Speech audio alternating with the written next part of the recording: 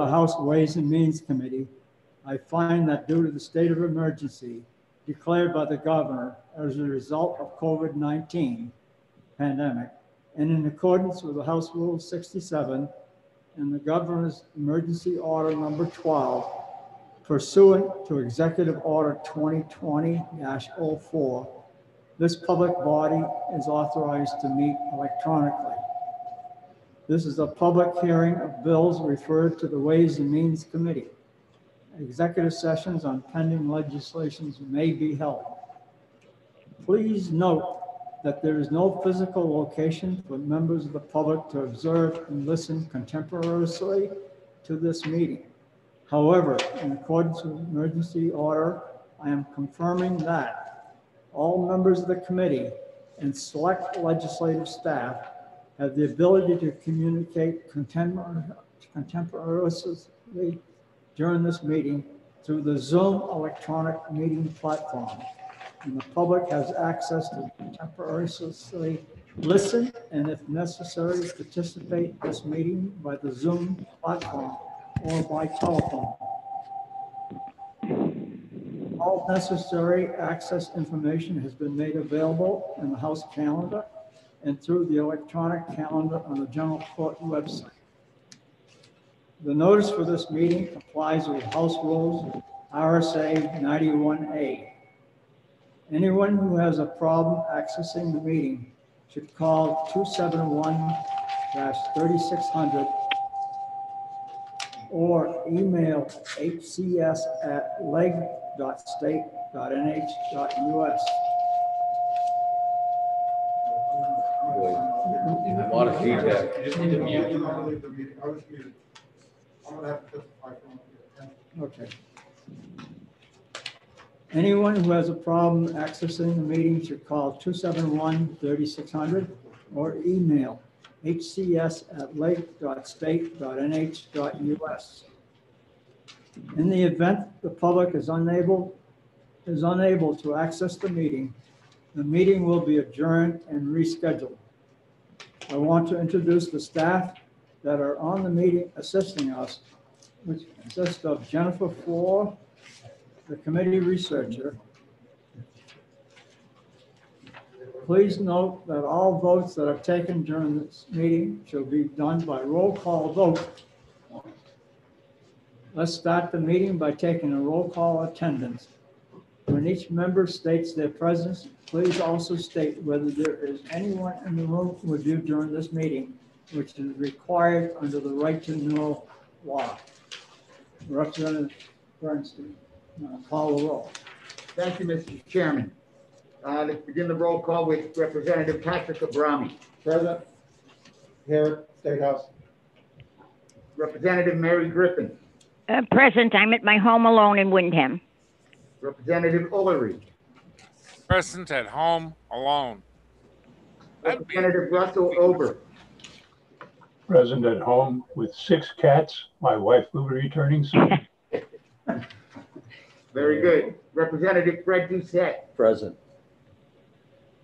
Representative Burstein is your clerk today, and I'm here in Concord. Representative Robert Elliott. Representative Elliott.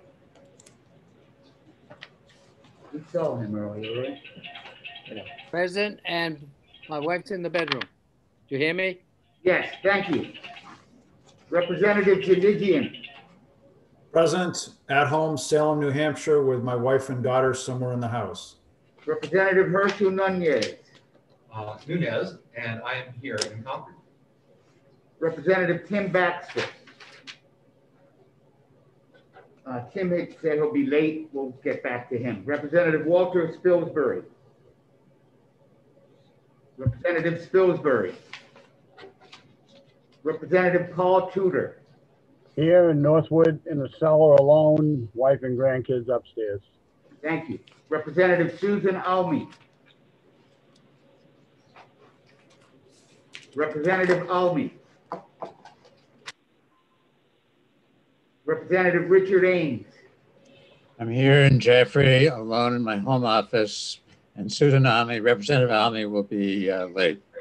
Thank you. Representative Thomas Southworth. Representative Southworth, I'm here alone in Dover.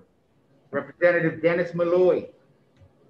This is uh, Dennis Malloy in Greenland, New Hampshire, and my spouse is in the house, present. Representative Thomas Schamberg. Uh, Representative Schamberg here at the LOB committee room. Representative Edith Tucker. Representative Tucker. Representative Gomarlo.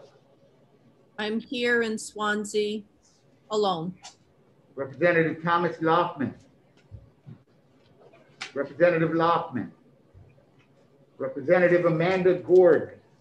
Here in my home office in Lee by myself. Representative Mary Hakken-Phillips. Present this morning from my office in Concord alone. Representative James Murphy. Jim Murphy here in Hanover with my wife and daughter elsewhere in the home. Representative Norm Major. Present here at the LOB.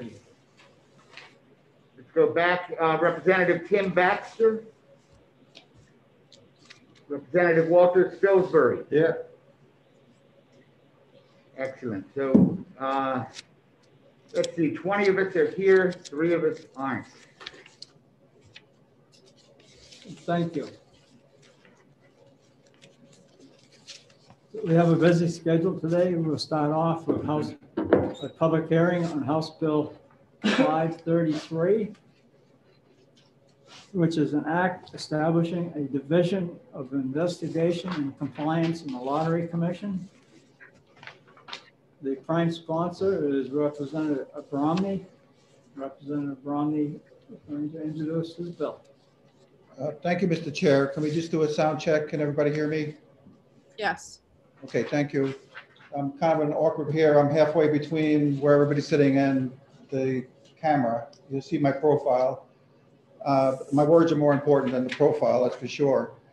Uh, I'm here to introduce, oh, first off, State Rep. Pat Abrami, for the record, uh, Rockingham 19, Stratham, New Hampshire. I'm here to introduce House Bill 533, establishing a division of investigation and compliance in the Lottery Commission. I filed this bill at the request of Charlie McIntyre, the Executive Director of the lottery. This bill uh, does four things. Uh, First, it formally creates a division of investigation and compliance within the Lottery Commission. The bill creates a structure, really a structure only, to be staffed by existing employees. This bill does not ask for additional staff. It's very important to understand that. In doing so, it clearly outlines the duties of investigation and compliance. Again, most of these duties are being done today, but he wants this codified in law as to what the duty of this division would be. The second thing it does, it changes the way in which the lottery interacts with the AG's office when it comes to background checks required for licenses. In short, lottery, lottery will do a lot of the data gathering uh, and more closely with the AG's office, but uh, the AG's office will still have the final say as to the fitness of an applicant that receives a license. The thought behind this is that it will speed up the process if his people do this data gathering. Uh, And this is not taking any uh, final authority away from the AG's office in this, this regard. And the fourth thing is that uh, it does give the this division, this new division of investigation enforcement of the rulemaking authority. And the last thing, and for new members, uh, I just want to spend a second uh, using this bill, if you hopefully have the bill in front of you. Uh, The first thing, the creation of the division is on page one of the bill, lines one to 22. And what it does is it says amend by adding a new section. So this is a whole new section of law. The second, the second portion is on page one, 23, uh, line 23 to 31, and page two, line one to line 18. And it says, it starts with amend a section of statute. This amends a section of statute. And you will see bold italic, that's the new words for this section. And you'll see crossed out uh, words, and that is eliminating current words from statute. And then if you go to uh, line 19 to 23 on, on page two, that is the portion that adds new language, new section to the current statute uh, that gives them uh, rulemaking authority. So it's important for new members to understand, and again, this is nothing new with the bill, it's just me just pointing it out since I was the first up on this. So uh, the, again, and the final thing was the effective date, which was January 1 of 2022. Uh, You're going to come to find Ways and Means members that there's a difference between applicability date and effective date. So the law will be signed into law by, let's say, if we pass this, probably in June or July, by the signature of the governor if it passes through the House and the Senate. Uh, But the law is not effective until January 1st of 2022. That's what that means. So with that, uh, I know, I know uh, Executive Director Charlie McIntyre is, hopefully, Mr. Chair, we can hear from him next to explain a little further. And uh, I- I'll take questions, but I think, uh, okay, Tom? Oh, Mr. Chair. So you'll take questions now? Yeah, although, I'll, yeah, I'll take a few. I think Charlie will do a better job explaining. Okay, was- are there any questions for participants? Uh, Representative Schamberg. Thank you, Mr. Chairman. Uh, I think it's a, a very important approach you're taking on this because of dealing with money. uh, We need enforcement to make sure people are following rules. The only question I have, do you have a uh, financial note to go with this yet, Representative Abrami? Again, th- there's no, because he's not asking for new positions here. He's asking for this division to be codified in law. This, and he wants to create a, formally create a division. Now, you can ask Charlie, um, Represent- uh, Executive Director McIntyre, uh, that question as well, but Thank you. uh, my understanding is that it's just creating the structure. He's going to fill it with existing people.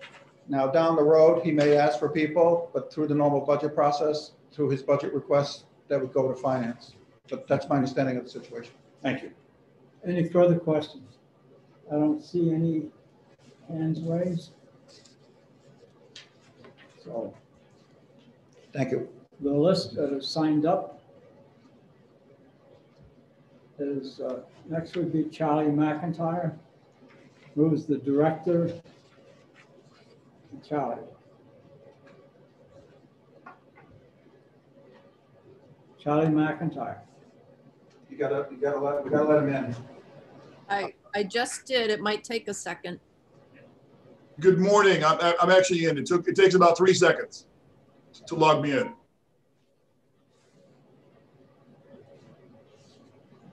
Can you folks hear me? Yes. Yes. Okay, perfect. So, uh, good morning, Mr. Chairman, members of the committee. This is Charlie McIntyre, New Hampshire Lottery Director. Uh, and with me in my office is our Chief Compliance Officer, uh, John Conforti, to answer any questions you might have. Um, fundamentally, this is enhancing and codifying the area regarding investigation and compliance in gambling in the state. And doing a couple things, as Representative Abrami uh, correctly points out. One is allowing us to do the investigation and background work for the AG's office so that we can do it and present it to them. They still have the authority to say yes or no, but certainly it would be a priority for us.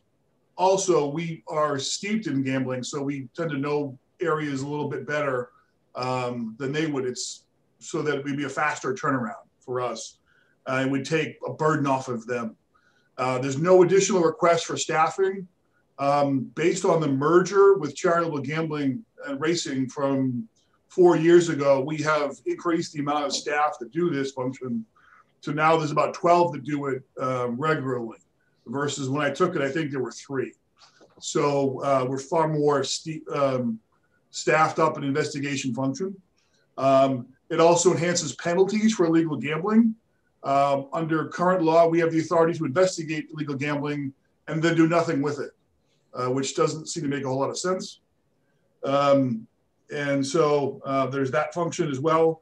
And then there's an enhanced authorization to um, connect with other law enforcement and receive information from them um, as part of the bill. So that's our request. Uh, and like I said, happy to answer any questions from the committee. Any questions from the committee? Uh, Representative Schamberg. Thank you, Mr. Chairman. Thank you for your testimony, Mr. McIntyre.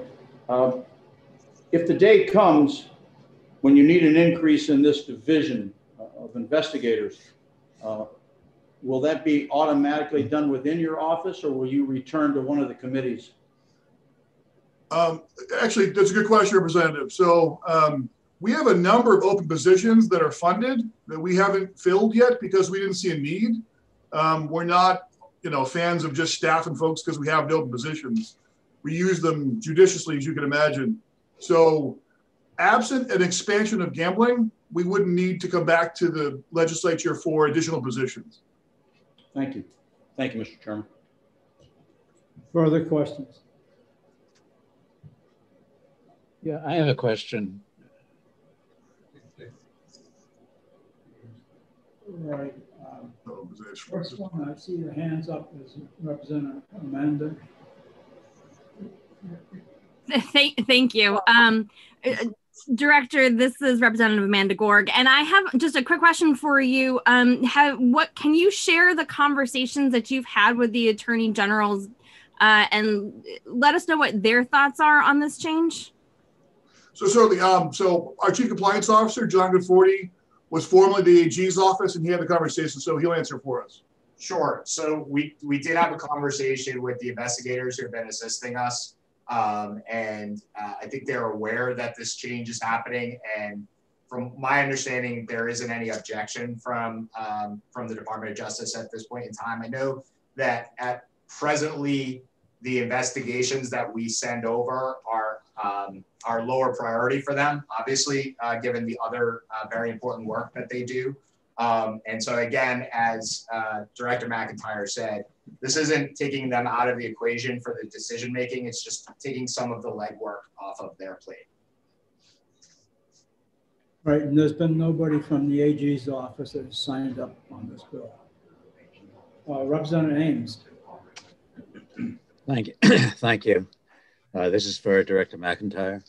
And um, my question relates to the, uh, subparagraph four of new 284-3A that uh, sets up a uh, system for uh, petitioning for equity relief with the Superior Court for uh, pen, enhanced penalty not to exceed $50,000 per violation. And um, could you uh, sort of fully explain that? You, you referred to this new authority, but I'd like to know the, uh, the, the, reasoning and uh, what's new about it uh, as compared with where you are now. Go ahead, John. Sure. Uh, Representative Ames, uh, this is John Conforti again. i am going to jump in and, and, answer that question. So the thought process behind this is presently there is some finding authority with respect to certain violations but they are um, very, um, the, the, the, dollar amounts are very small. Um, and so there was a concern that um, as charitable gaming may uh, get uh, larger, um, that some of the fines would be effective, uh, would be ineffective uh, as a deterrent. So this section basically permits us to go over the existing fine structure uh, by going to court um, that will be uh, fleshed out completely within rulemaking in terms of uh, what what would uh, what would constitute an enhanced uh, penalty under the statute. Um, what, what we are what we anticipate would be things like repeated violations um, or or things that strike at the very heart of the integrity of the charitable gaming or the charitable gaming system, um, and that would permit us. Uh, of course, with the assistance of the Attorney General's office, uh, to go to court and get uh, very particular relief that isn't available to us within the current statutory framework. Charlie, you might have done this, but uh, could you re-identify the person that just spoke? Oh, certainly. Sorry, it's uh, John Conforti, our Chief Compliance Officer. Thank you. Next question is from uh, Representative John Janigian. Janigian. Thank you, thank you, Mr. Chairman.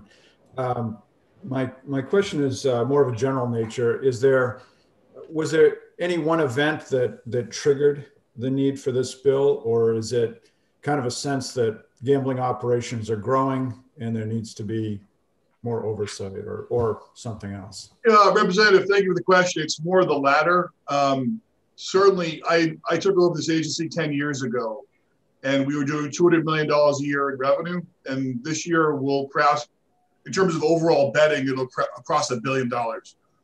All, all in sports betting, charitable gambling, Keno, internet, traditional lottery. So it's, it's hard to scale up a business. And this is part of that scaling up is really enhancing our compliance and investigation function, which in any gambling operation is a critical function. It's one of the three major functions you would have. So it's more to your latter point, Representative. Right. Okay. Thank you. You have a follow-up, John, Representative? No, no follow-up. I don't see any more hands raised. Okay. Um,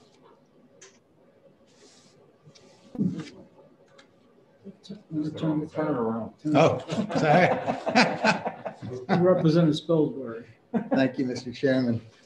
Uh, so it's my understanding that this doesn't really change the nature of enforcement. It just shifts the responsibility from the Attorney General's office into your office where it's going to get more urgency and more focus. And that seems fine to me. My question is, what is the special fund established in RSA 284 uh, 21J into which fines are deposited? Uh, that's our that's our normal that's education fund. So that's the fund all of our revenues are deposited into, um, from which our expenses are paid, and then the residual is left over for the education trust fund transfer, which is monthly around 10 million. Thank you. Any further questions? I don't see. Uh, let me just check the list here. Next would be uh, Rick Newman signed up to testify in support. Rick Newman? Thank you, Mr. Chairman. Can you hear me okay? Yes. Thank you, Mr. Chairman, members of the committee. My name is Rick Newman. I represent the New Hampshire Charitable Gaming Operators Association. Uh, the Charitable Gaming Operators Association are the uh, facilities uh, are made up of the facilities that uh, do uh, charity gaming under 2 RSA 287D, uh, commonly known as poker rooms. So just to distinguish from uh, bingo halls or whatnot. So those are that's the association I represent. Um, there are about 750 uh, licensees working in that industry. We support over 500 charities annually with contributions in the range of around $12 million a year annually going to charities from these rooms. And we are here uh, to briefly uh, support this legislation. The, the number one um, item uh, of importance in any gambling is integrity. And it's imperative that the public and regulators and legislators are confident that any gambling, whether it be in Las Vegas, Atlantic City, or Manchester, New Hampshire, that there is integrity in the game, and we are committed uh, to seeing that that happens. I think just to give you one example of a change that is of substance in this bill, the current law, Director McIntyre mentioned it. I just want to re- reemphasize it. Is that currently, while, while there are certainly illegal gambling is illegal, there have been times when there's been suspected illegal gambling, and really, while you can point it out, there's nothing anyone can do about it. This bill gives some specific authority to the Lottery Commission to be able to enforce and penalize those who might engage in illegal gambling. Um, so I, I, believe that uh, this is a very good change. Uh, it will make enforcement efficient, and our members support it wholeheartedly. Thank you, Mr. Chairman. Thank you. Any questions? I don't see any hands raised up. And the, I have the blue sheet, and the blue sheet shows that uh, Eric Lockburn, representing himself, is not in support of the bill. And then Thomas Donnie, D-O-A-E-N-Y, member from the public, representing himself, neutral on the bill. Oh, I'm sorry, I'm sorry. Eric Lockman supporting the bill. Thomas Donnie is neutral. They're not, do not to testify. No other questions from participants and from those attending virtually?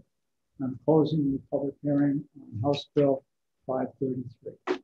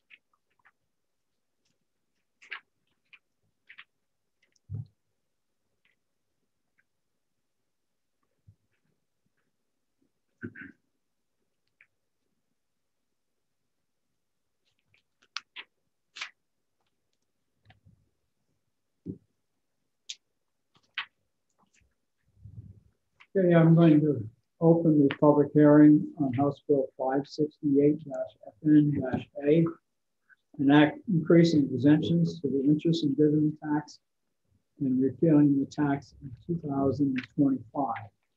The prime sponsor is Representative Cyber, Silber, and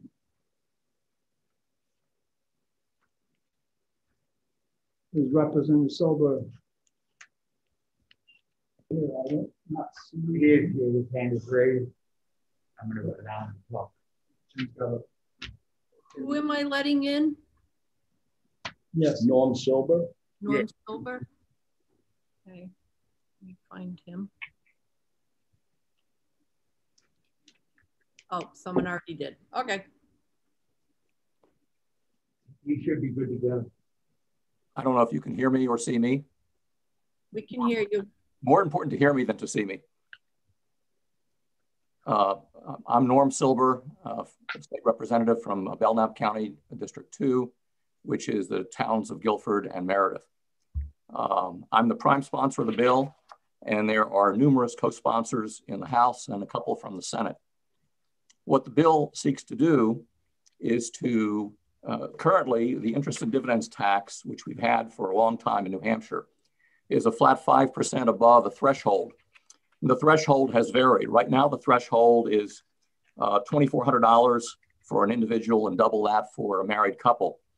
The bill would increase the, th- the filing threshold, it would double it next year, triple it in 2023, quadruple it in 2024, and in 2025, the tax would disappear entirely. The um, right now, there are uh, six states in the country that have no personal income tax, and 11 that have a personal income tax with a rate lower than our 5% rate.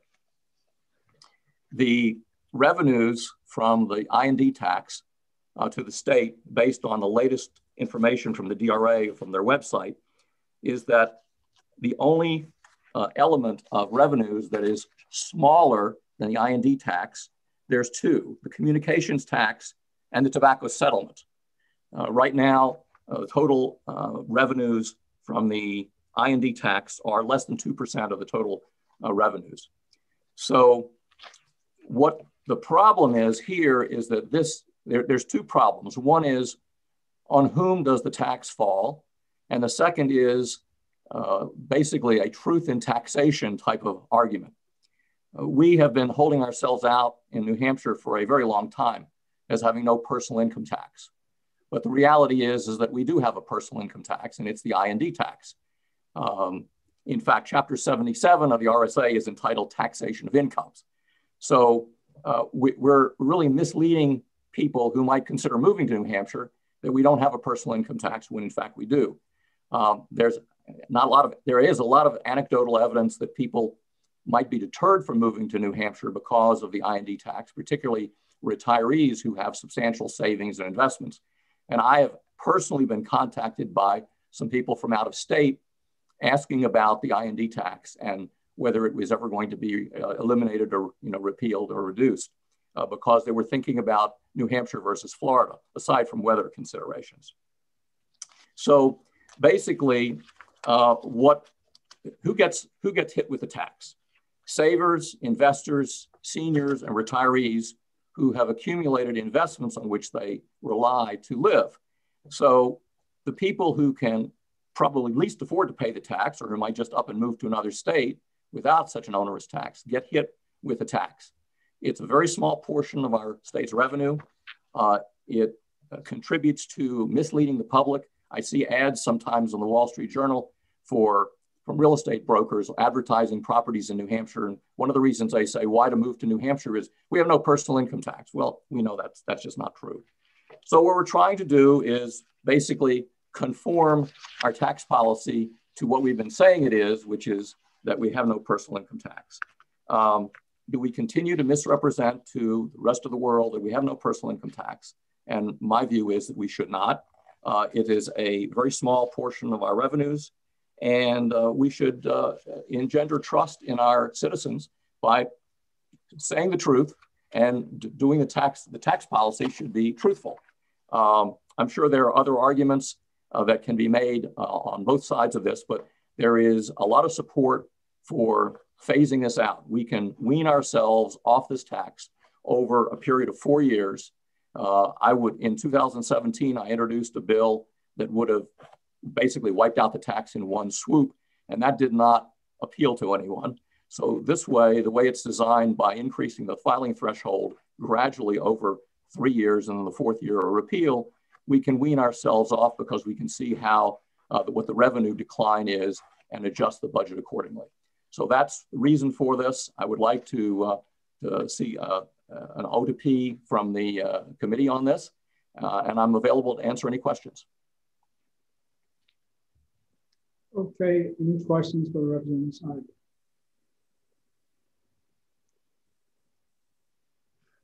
None participants here?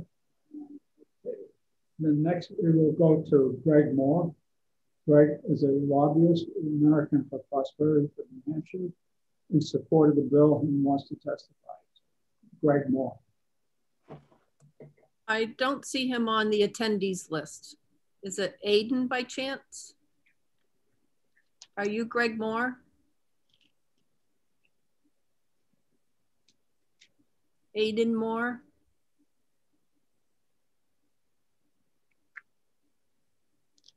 I don't know. okay. Um, and we will go to. Um, Let me try one more time. Okay. Is, it, is this Greg Moore?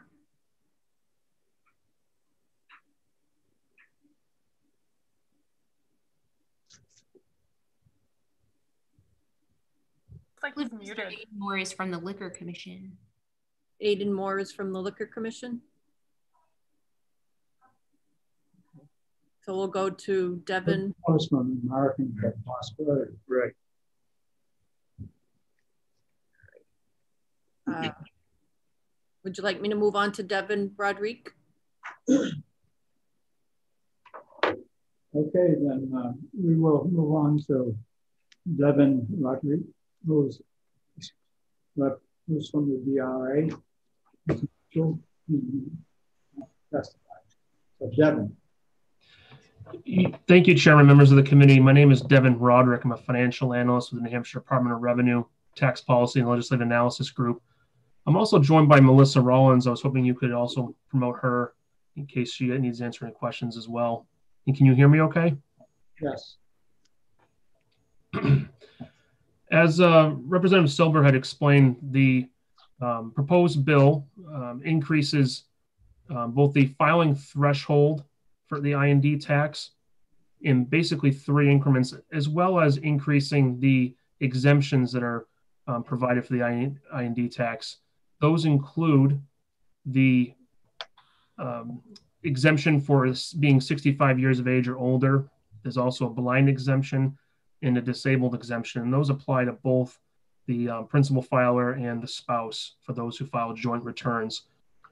It increases those exemptions, like I said, over three, uh, three taxable years, and then eventually repeals the IND tax applicable to taxable periods beginning after December 31st, 2024. There is no way for the Department of Revenue to determine the exact fiscal impact of increasing exemptions under the IND tax and repealing it altogether. Hence, in our fiscal note, it was an indeterminable decrease in general fund revenues, which is where the IND tax is deposited. Um, the department has no definitive method also to determine any future IND tax liability or credit carry forward amounts. However, using available data from tax year 2019, we are able to estimate the fiscal impact um, from the proposed bill um, as follows. Um, we, we looked at um, tax year 2019 liabilities being reported by taxpayers um, as being 113.8 million. Um, exemptions actually claimed in 2019 were used to estimate the proposed increases per year. We also did an analysis based on prior years breakout to apply that tax year revenue to a fiscal year basis. Um, in the fiscal note and also in the um, fiscal note quick guide, we attached a chart which shows the estimated revenue on a year over year basis, as well as, as well as the cumulative fiscal impact, eventually reaching the 113.8 million, as mentioned a minute ago, as being the tax year 19 total liability. Just please note that the, our fiscal estimated fiscal impact does not take into account any overpayments or credit carry forwards on file. The use of these overpayments could further increase the loss in revenue as taxpayers stop making payments and supplement the payments with overpayments they have on file before the tax is repealed. We also have no way of determining how the taxpayer would utilize the overpayment, whether they would use it or multiple years or they would claim it as a refund once the tax is repealed. Similarly, similarly, there could be trailing amounts of IND tax collected even once the, uh, the tax is fully repealed from audit and collection activity. Please note that there were a couple, there are a couple outstanding items that we identified as technical defects with the bill. Um, Section 13 of the proposed bill would interfere with DRA collection and audit activity, which may occur after the proposed repeal based on the way it's written uh, it interferes with the statute of limitations as outlined in RSA 21J 29. We would recommend a repeal that accommodates the collection audit activity within the statute of limitations. And lastly, section two of the proposed bill, which addresses the increases in exemptions, uses the terminology tax year um, ending December 31st of each change the department would recommend stating taxable periods ending on or after December 31st instead of the word tax year for purposes of fairly administering the tax. I am available for any questions if you have any. Any questions? Sure. Thank you, Mr. Chair. Thank you, Devin. Yes. Representative Schamberg here. Questions? if I may, Mr. Chair. Do you have the total number of uh, taxpayers in this uh, IND? And secondly, is there a statistical breakdown of individuals versus partnerships, limited liability companies and associations that pay into the IND? Just numbers? Uh, so I can answer the first part now. Um, for, for tax year 2019 data, there were a total of 70,437 IND returns filed for 2019. Um, 37,340 of those returns claimed exemptions. As far as the breakdown by entity, if you hold on one moment, please. So in our, I would like to point out one resource, our the DRA annual report available on our websites. Um, under tax year 2018, individual and joint filers represented 97.3% of the overall population and represented conversely about 98.4% of the liability. States and partnerships represented about um, about two and a half percent of the population and about two percent of the liability. Thank you. Thank you, Mr. You're welcome. Further questions? Seeing none, we're gonna go back and see if uh, Greg Moore is, is here. He is here now. Candace Brady. Representative, Uh, Major- um, Representative Malloy had his hand up. Sorry to interrupt. Oh, I'm sorry, Representative Malloy, you have a question? Yes, sir. Thank you for uh, taking, uh, uh, thank you, Mr. Chairman, for um, recognizing me. And uh, thank you, Representative uh, Silber, for uh, taking my question. I'm, I'm, I'm sorry, uh, Devin. Uh, uh, maybe this is a naive question, but is it possible?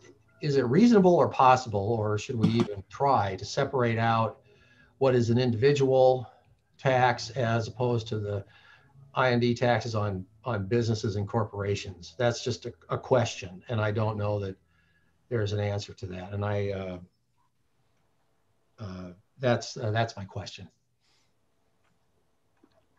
As far as uh, breaking out what this bill does to certain entities, is that what your question is? Uh, let me be, um, let me clarify. Would it be a, in your opinion, a, a different bill or a, uh, to, it would be a different bill, would it be a better bill to, or not, to have a bill for uh, doing this for individuals and have a bill for doing this for uh, uh, businesses? Two separate, uh, instead of rolling this into one. That's something that I would have to consult with our with some other folks in our department as far as the um, constitutionality of that goes, and as, as well as the feasibility of that. I'd have to get back to the committee on that, but I, I definitely will. Thank you very much. Thank you for your time. No problem. I don't see any more hands raised, so uh, we've got a Greg Moore. Uh, Thank you, Mr. Chairman, members of the committee, and thank you for working uh, with me through my technical difficulties um, in this new world we're living in. Uh, For the record, my name is Greg Moore. I am the State Director with Americans for Prosperity here in New Hampshire. And I'm here today to offer Americans for Prosperity New Hampshire's full support for the goal of phasing out the interest and dividends tax. As I'm sure everyone knows, um, many in New Hampshire are fond of saying that we don't have an income tax. And, and while it's true that the state doesn't generally tax wages. Uh, of course, as this committee knows, uh, Granite State is our tax on interest and dividends income. Moreover, in recent years, DRA has indicated that the majority of IND tax filers are seniors, many of whom, many of whom are taxed on their retirement instruments like annuities. Unfortunately, uh, this has had the effect of motivating many of these seniors to become residents of states that don't tax this income, like Florida. I personally know a number of seniors who have left New Hampshire as a direct result of this tax. And when they declare residency in another state, it follows a predictable pattern that the mid net worth retirees leave entirely, while a high net worth individuals simply spend more than half their year in another state and keep their homes here while, while they come from late spring to early fall. And the economic impact of losing these individuals is, is substantial. Not only do they, do they not spend their money here to grow our economy, they're also not investing here, which undermines future successful businesses from taking root. It certainly uh, wasn't lost on me when during the worst of the pandemic for those states, New York Governor uh, Andrew Cuomo and New Jersey Governor Murphy used their uh, COVID press conferences to beg high net worth individuals not to abandon those states because they said the economic impact would be, in their words, devastating. And yet here in New Hampshire, we have a, ve- a vehicle that takes these folks right out of our state. And I'd like to offer the committee a concrete example to drive home the point. As a former member of the House, uh, or a former member of the House, in, uh, in fact, uh, someone who served with the chair and the vice chair in the Rockingham County delegation, the Honorable Will Smith, who made abundantly clear that he changed his residency from New Hampshire to Florida exclusively to avoid paying this tax. Now, Will still still spends time here at his home in New Castle for about five months a year, but that's down from the nine months he would used to spend here before uh, before he moved as a result of the, the IND tax. While the, the loss of additional uh, loss the addition to the economy he would have added over the, those additional four months is real. There's a bigger issue. When Will was a full-time New Hampshire resident, he was involved in angel investing here. However, now that he's a Florida resident, he no longer is involved in that area. So losing four months from Will has a magnified economic impact on our state. And that's just one example. I have several other individuals I know who have stories just like Will's. I also have stories that of our, middle, middle class uh, individuals who are activists of ours who simply packed up and left for good as a result of this tax. What's most personally impactful is when they ask for contact information from an AFP chapter in states like Florida, Texas, or Arizona, where they're moving so that they can still stay involved, but they wish that they could have stayed here. I've even, even had one of our activists move to Alaska over this tax, which is hardly where I suppose I'd want to spend my uh, retirement. The point here is that losing these folks is not good for our economy, period. The good news is that we have an example of a state that phased out its IND tax to understand its impact. Tennessee, as of this past New Year's Day, did away with its hall income tax, which was its own IND tax. And like us, Tennessee also doesn't tax wages. The Beacon Center of Tennessee, a policy think tank, has been tracking the effect of the phase out of the hall income tax over time. Their research has shown that the estimated anticipated overall revenue losses from phasing out this tax have not materialized, and the state stands in a stronger position economically as a result. So while a static analysis of the reduction in revenue will seem significant, it's also important to balance that against the potential economic growth, which can also benefit state revenues. That's why we fully support the, the idea of the phase out of an IND tax. Not only would it make New Hampshire a truly income tax free, but it would add new unexpected economic growth to our state. Now, while we fully support the phase out of the IND tax, we would do it differently than the manner in, included in House Bill 568. Instead of increasing exemptions, we would suggest a manner similar to House Bill 529, which came to this committee in 2017, sponsored by Representative Ken Weyler. That bill gradually reduced the INT tax rate, which we believe is a better phase out strategy and one that matches how Tennessee phased out its hall income tax. The reason why we prefer that route is because, in our view, the best tax reform strategy is to, is to keep the base as broad as possible and to, and to reduce rates, while the uh, House Bill 568 shrinks the base and keeps the rates at, at, at a higher level. Moreover, we are concerned about that if in 2025 the state legislature were to choose to stop the phase out, then the reduction uh, in the base of the tax as a result of the increase in the exemption could leave the state vulnerable to litigation. The state no longer has a broadly based IND tax and puts us in a constitutional jeopardy similar to the BPT litigation from the late 80s and early 90s. it is for that reason we support the phase out similar to House Bill 529 from two, two legislatures ago. Thank you for the opportunity to testify here today, and I'd be happy to answer any questions. And, and I have a cold, it, is not the coronavirus. So thank you, thank you, uh, members of the committee. Thank you, Greg. Questions? Greg Moore. No hands raised, no questions here. So then we will go to Dan McGuire, representing, a member of the public and also the Granite State Taxpayers Association, who's in support of the bill. Dan McGuire. Thank you very much, Mr. Chairman. May I be permitted to testify via video? I did put my tie on this morning.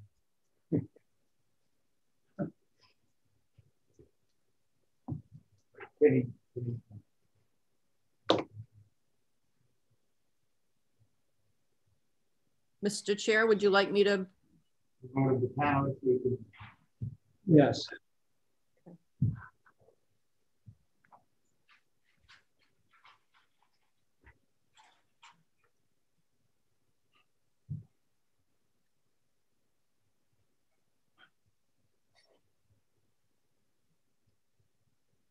You should be. There I am. uh, thank, thank you very much, uh, Mr. Chairman and members of the committee. For the record, my name is Dan McGuire, and today I'm representing Granite State taxpayers. I've been a member of the board for over 10 years. Um, we're in su support of this bill um, to reduce the interest and dividends tax.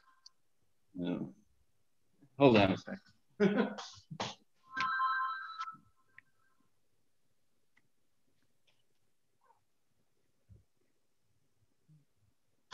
my cell phone is muted, but my phone is on. Um, so we're in support of uh, this bill to eliminate the interest and dividends tax um, because, in our opinion, and in my opinion, this is the worst tax that we have, the most destructive to our economy um, of all the ones, you know, the BPT, the other taxes, and so on. In general, a tax uh, discourages whatever it is that's being taxed, the activity or the item or, or what have you. And, and sometimes that's explicit because things like these uh, tax on tobacco, we explicit and other sin taxes, we explicitly want less of what uh, less tobacco use, uh, less uh, liquor use, et cetera, because they're they're um, destructive to the public health. And so it's, it's very effective. The high tax on cigarettes um, causes fewer people to smoke, people to smoke less, et cetera. Which, which, but this tax, the interest and dividends tax, is a tax on savings. And savings is the most um, important thing for the economy to move forward because savings creates capital, it creates businesses, it creates machines, it creates innovation. And that is how the economy gets better year after year. And, and it's an improving economy, economy which helps the citizens of New Hampshire, which, which um, improves their lives, um, makes one year better than the next, and so on. Why was 2020 such a horrible year, right? 2019 was a very fine year. 2020 was horrible because it wasn't as good as 2019. And so for, for general um, well-being and happiness, we need an improving economy. What definition um, today is better than yesterday.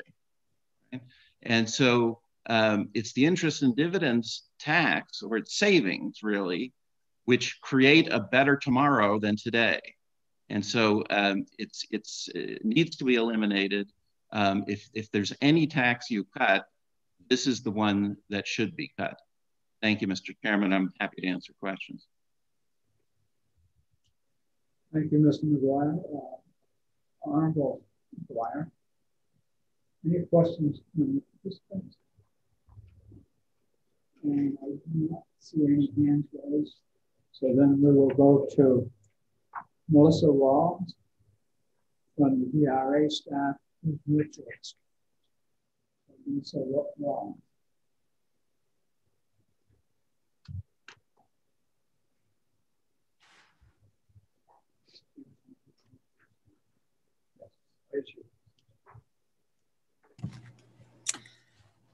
Hi, Mr. Chair, members of the committee. Um, I am all set. I was just here to support Devin Roderick if needed, so I think he has covered everything that needs to be said from the DRA. All right. Thank you. Anybody else wishes to testify? Not see it, so we do have a number that have signed up. And I read the list. Senator Daniels signed up in support. Senator Cardi in support. Nicole, Nicole, I'm sorry, Nicole uh, Forty from the public signed up opposed. Representative John Otek in support. Representative Yokela in support. Representative Meeker in support. Representative Moni in support. Representative Green in support. Bob Green. Representative Harley in support. Representative Doug Thomas in support. Eric Rathborn, member of the public, opposing. Representative And then uh, Alvin C., member of the public in support. No other questions? Dennis Moore. Yes, th uh, thank you, Mr. Chairman. Uh, I just have to say, I'm having a very hard time uh, understanding you. Uh, uh and I don't know if it's my side or uh, it's a microphone issue or when uh, it seems to be kind of cutting in and out, faint. so I could not hear clearly all the names of the people that signed in. So I, I, I, would, I think we have a technical issue and I would uh, urge the uh, staff to help us correct that so we can all hear clearly uh, your comments. Thank you. Okay, and then for the members of the committee, uh, I do have a list and I'll make sure everybody gets a copy. Uh, Representative Major, I have a question. Representative. Who has the question? Representative Ames.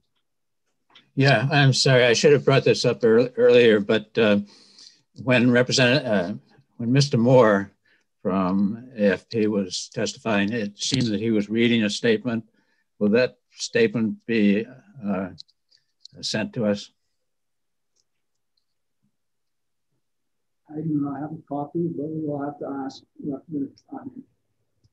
Greg Moore about sending the statement to us we'll check on that. Okay, thank you. And Representative All.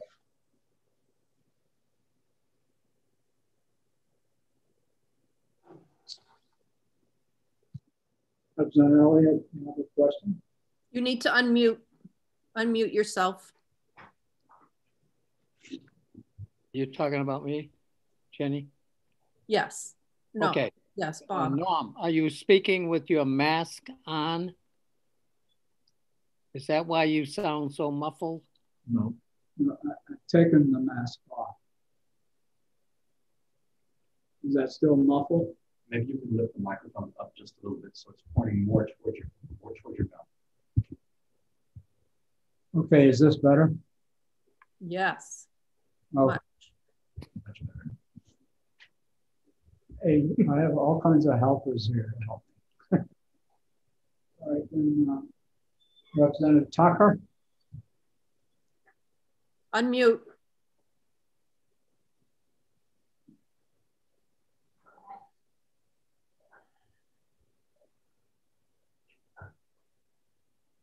Uh, uh, hint, you can just press the Representative Tucker, you can unmute. Uh, I just wanted to say that I had arrived late, but I'm here. Okay, noted. Thank you. Okay. And the same for me. Welcome. And Representative Ulery. Yeah, uh, remember yesterday I mentioned uh, that they had some problems uh, in the committee rooms with uh, in, in, commerce across the hall, well, or upstairs across the hall. Um, that's the same kind of issue they're having here that the uh, table mics don't seem to be picking up uh, as um, efficiently as they could. And also a little hack. You don't have to unmute yourself. All you have to should we do a test for the table mics to see if they can hear us? Yeah, all you have to do is press the space bar and it'll unmute you temporarily. Let's try something different. They just moved the table mic up closer. Yeah, I moved it closer. Do I need to take it away? No, let's check. I, think that's better. The table mic up closer, how is that? Much better. Representative Major, there's an attendee that's on a telephone with their hand up. Shall I give them permission to talk? Yes.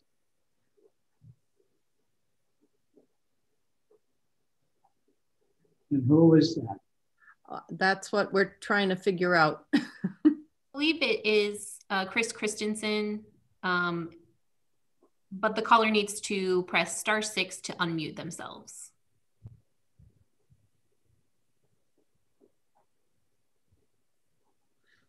We will get these bugs worked out eventually.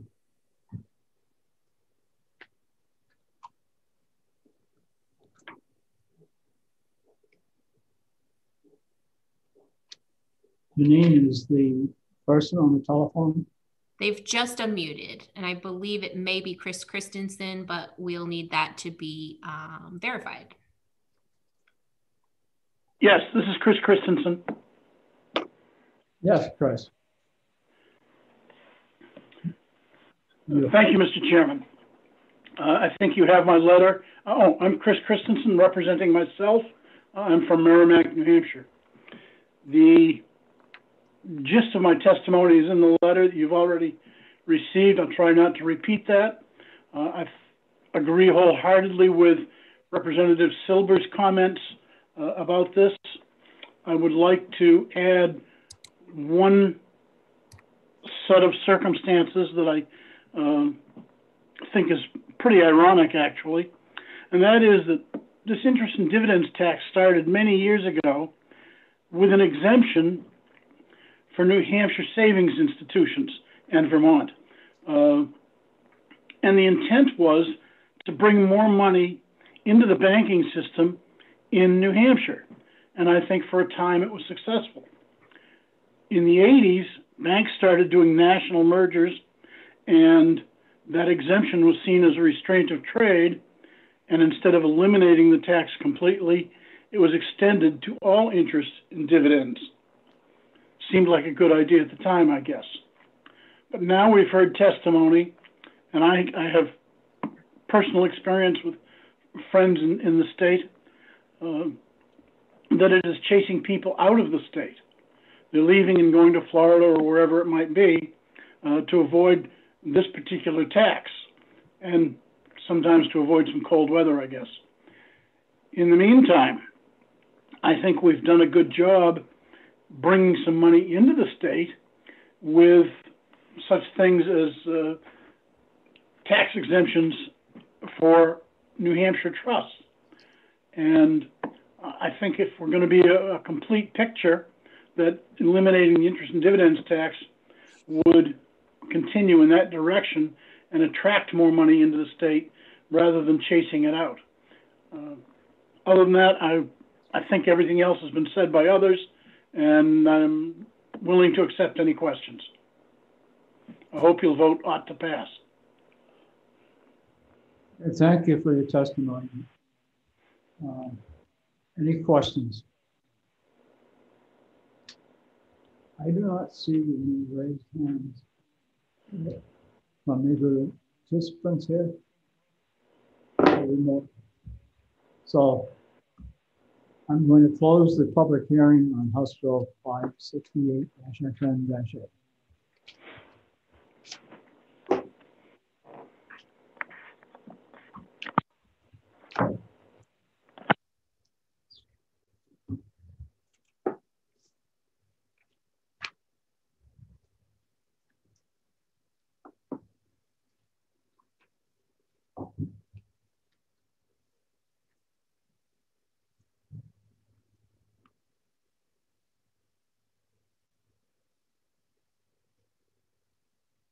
Okay, I'm going to open the public hearing on House Bill 210-FN, an act increasing exemptions under the interest and dividend tax and decreasing the total amount of research and development credits against the business taxes.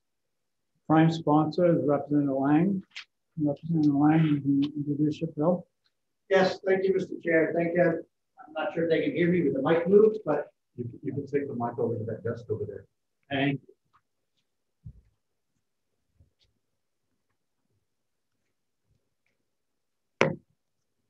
Sorry, Mr. Chair.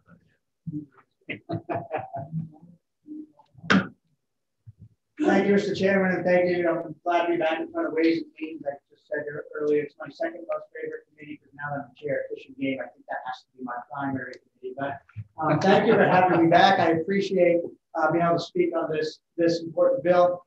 Um, this bill does two basic things. It allows New Hampshire citizens to keep their money, and it requires New Hampshire businesses not to have a tax subsidy that we're giving them right now through a tax credit. Um, the second part of this bill basically creates liability on the first part of, it, of this bill. In other words, if we're giving a businesses an increased tax credit, then someone has to pay for that in the budget. And that comes from people who pay taxes like people who pay the interest and dividends tax. What I tried to do here, because having served two terms on this committee, one of the things I used to dislike when someone came in with a, a reduction bill is they didn't explain how they're going to pay for the hole in the budget that they were creating.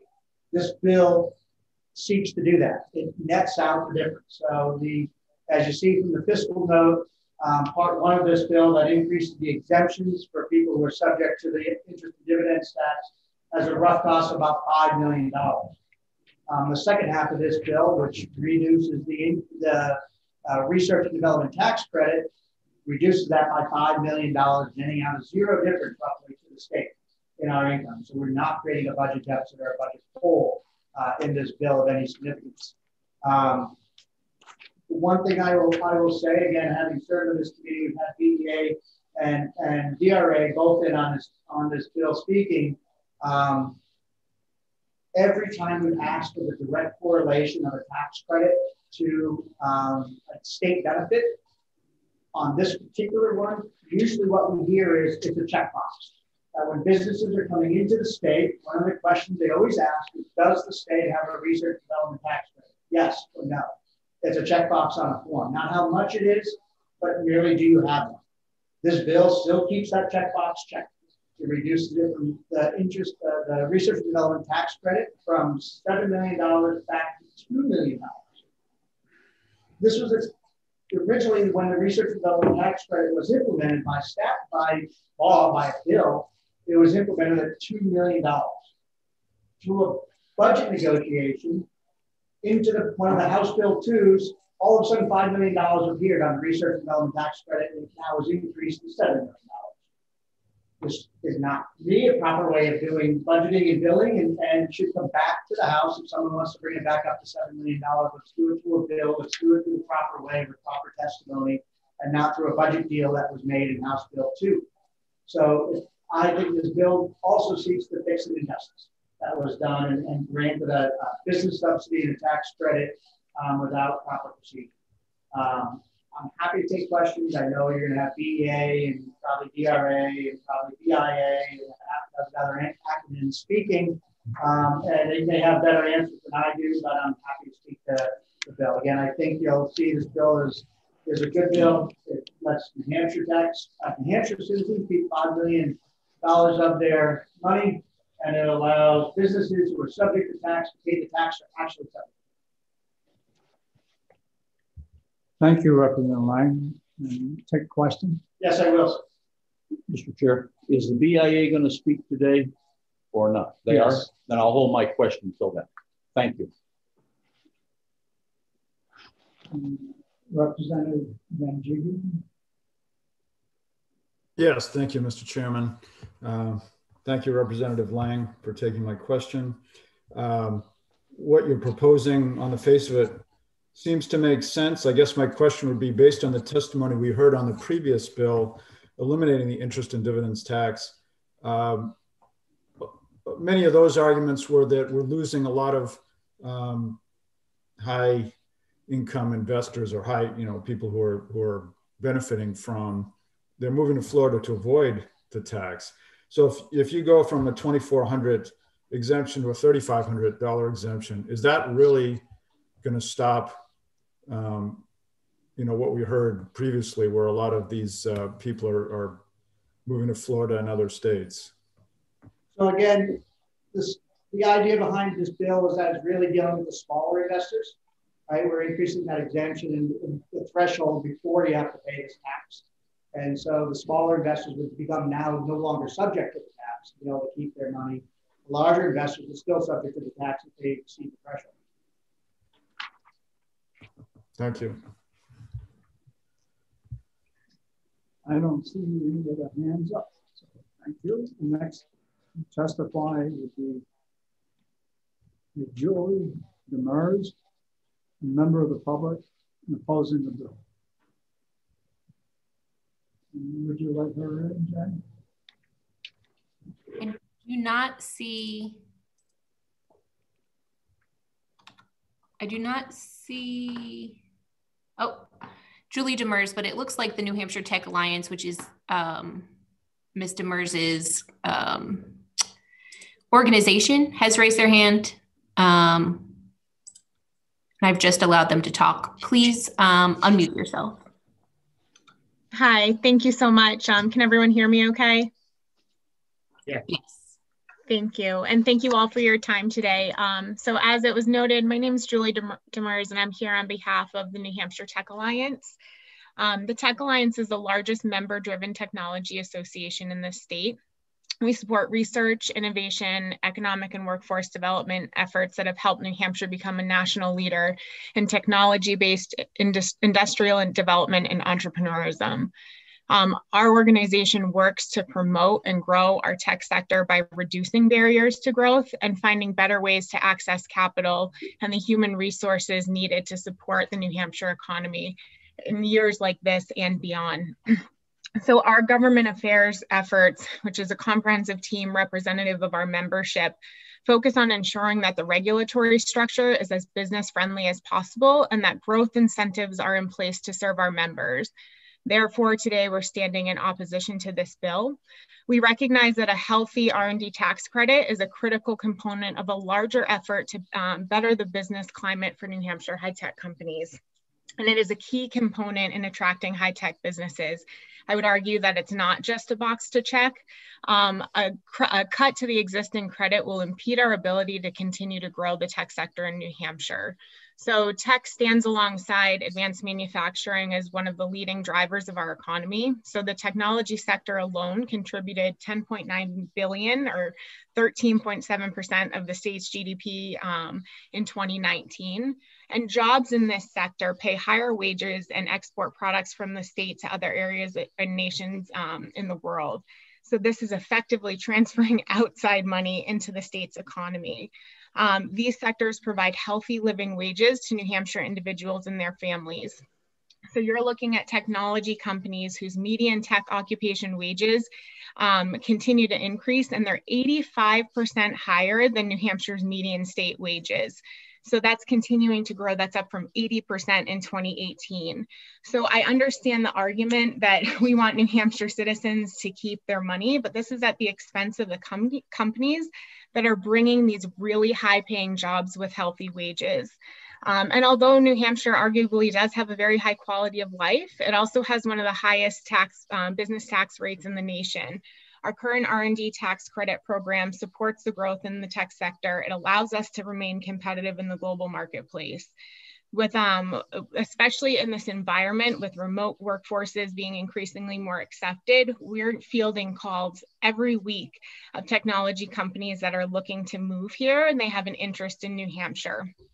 I'm just asking that we do not give these companies a reason to look to other states that have more attractive R&D tax credits, lower energy costs, more favor favorable environmental and labor regulations, and, and lower business taxes. I'm going to reiterate again that it was mentioned that this is just a box to check. It's really not. These companies are comparing apples to apples, and it could be the make or break between a company coming here, bringing high paying jobs, um, or going elsewhere.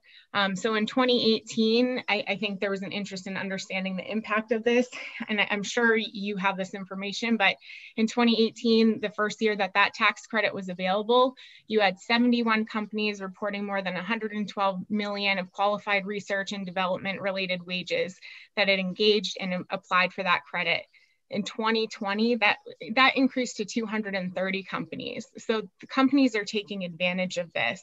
So our membership specifically which ranges from small startups to large companies that conduct commerce both nationally and globally um, benefits from a healthy r&d tax credit program. Um, so ultimately we feel that a change to the existing um, R&D tax credit would be a huge step backwards for our membership, this, uh, the sector and the state overall. And when you're looking at the companies that are looking to grow here and what we want New Hampshire to be about four or five years down the road. So thank you. I, I appreciate the time today and I'd be open to any questions.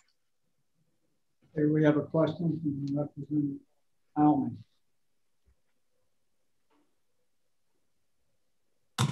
Almy. Thank you. Thank you, Mr. Chairman.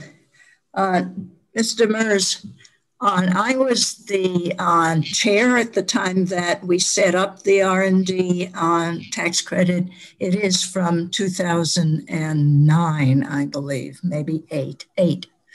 Um, and at that time, it was meant as a million to check a box on, and it got raised to 2 million and then all of a sudden to 7 million because uh, so many more companies wanted to use it. But everybody that uh, uses this credit first has to take the federal credit.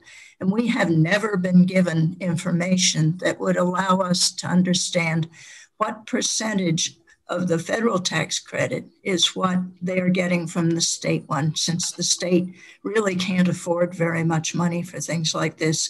And it goes on your local property tax if we cut our taxes at the state level too much. Thank you. Thank you do for you that. Have, do you have information on this? On when someone gets the federal tax credit and then they turn around and get the New Hampshire tax credit, what what is the ratio? In terms of money acquired? I do not have that information, but I just made a note um, to have that be a talking point and have our government affairs committee and also our executive committee look into seeing if this can be information that we could actively gather um, for future reference. Thank you. Representative Noonan. Thank you, Mr. Chairman, and thank you, Mr. Merce, for testifying with us today. Uh, in your testimony, you uh, you alluded to uh, statistics, statistics from other states uh, on this R&D. Do you have any information on those other states that you were talking about so that we can have a comparison to their, their rates as a comparison to ours? I have it anecdotally, but if that would be helpful for you to see, I think that could be something we could pull together. Thank you. Any further questions? Seeing none, we will go to Dan McGuire, who supports this bill. Dan, have to let him.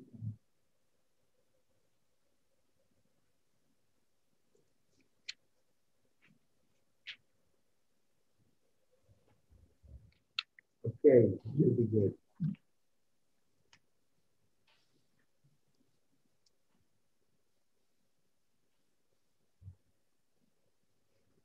Okay, Dan McGuire. Thank you very much, Mr. Chairman and members of the committee. For the record, my name is Dan McGuire. I'm from Epsom, and I'm a member of the board of Granite State Taxpayers.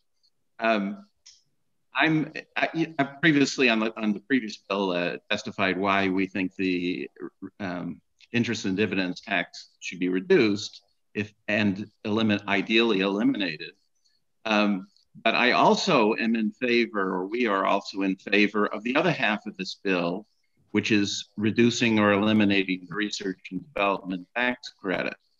Now, I personally am an angel investor and frequently invest in tech startups. And so you might think that I'd all in favor of the research and development tax credit, but I've heard in any meeting where we consider um, investing in a, in a tech company that, that this is any kind of issue um, or that uh, any kind of a benefit or anything like that. Um, if uh, Representative Almy is, is exactly correct, and let me expand her point. If you go into this bill and look at the RSA that has the research and development tax credit, it refers to a section of the US tax code and if you go search for that and, and read who is actually getting the credit, the definition of this credit, because we just give uh, some fraction of the federal credit to, to New Hampshire companies. So we, we are adding on to the federal credit. You will find that this is not a simple, you know, you did so much research last year, so we're going to give you a fraction of it back. Um, this is not based on just last year's activity activity. Definition of, of the research uh, credit in um, in federal tax law is based on uh, it's a very complicated formula, but it has to do with you know what did you do since 1981, how much research have you done in the past, et cetera. So so in my opinion, what's what it really does is benefit companies that were small um, at in you know 20 30 years ago such as microsoft apple intel et cetera they're the ones getting the bulk of this of this credit. Um, it's not about how much research did you do last year and therefore if you're increasing it you're going to get a better you know pay less tax this year. So so my point is it, it's not good to distort the tax code in this way and, and say that somehow a high tech company is better than some other kind of company, but also it it's have a tax code that's that's favoring specific large companies um, as opposed to to other companies in the same business. So um, we are in, in very much in favor of, as I said, reducing or eliminating uh, this particular tax credit. It is not a, it's not what you think it is just based on the name of it. Thank you very much, Mr. Chairman. Questions, Mr. McGuire? Uh, Representative Nunes. Uh, I, this is more of a question for the chair. Uh, because of um, the Honorable uh, Mr. McGuire, uh, his testimony kind of cut out a little bit. Is there going to be a written testimony submitted from him? I'd be happy to do that. Um, Thank you, Mr. McGuire. We, uh, you just cut out just a little bit, and I think that there may have been some important pieces that we might have missed. Uh, no problem. My, my home internet is not the best.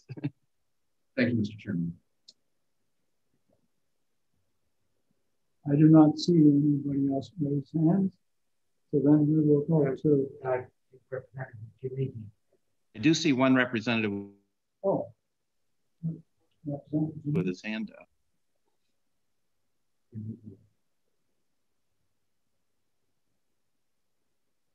Uh, guess it went away. This, this, is John, Representative Janigian. Um, I have a question for Mr. McGuire. Um, I guess in considering your, I, am someone who spent 25 years in high tech, uh, not necessarily as an investor, more as a participant. But as you're looking at companies, it seems to me counterintuitive that, I mean, I can see where there's certain companies of certain sizes that, uh, you know, if you're a one or two person startup, the 7 million exemption isn't going to help you that much. But if you are large enough that you know, I, I, don't know what that number would be 10, 15 employees, 20 employees, um, 30 employees, where that 7 million makes a huge difference in your R&D budget. Um, I guess my concern would be, are we losing chances for innovation? Because while you're saying large companies, um, you know, it's just a benefit for them, these mid-size, small to mid-size companies, are we possibly losing opportunities for future innovation, which could lead to economic growth? Thank you. Thank you for the question, Representative. I think you'll find that, well, 7 million sounds like a significant number. Um, this is being spread over, I don't know, 50 to 100 companies. You could ask the DRA specifically how many companies um, take advantage of this. But now you're talking about if it were 100 companies, that's $70,000 per company. And $70,000 um, for a company like Microsoft is a nothing, right? So um, I don't think it is a significant uh, factor in where they where they want to be and and uh, where they want to do business and and so on. Uh, it's much more is the ability of the employees. That's a huge part of you know high tech industry as to um, where where you locate. Um, and you know we're somewhat of a subsidiary of the Boston area, so which is a, a hotbed of high tech, and so that's part of it. Follow up, Mr. Chairman. Um, so, um, so if we look at the Boston area, do you know what the uh, in Massachusetts what they're offering for any for an exemption on R and D? did not. Okay, thank you.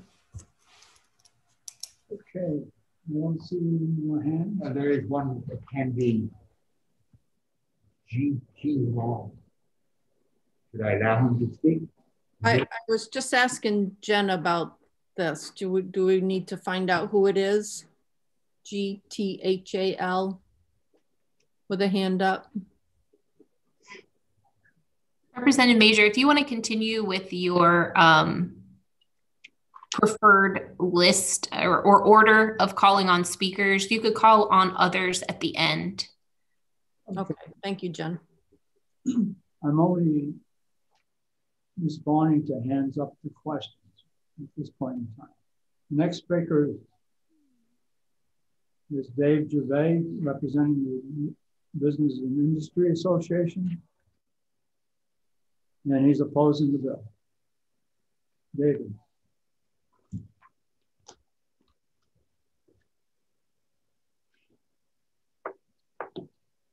Thank you, Mr. Chair and members of the House Ways and Means Committee. I trust everyone can hear me okay?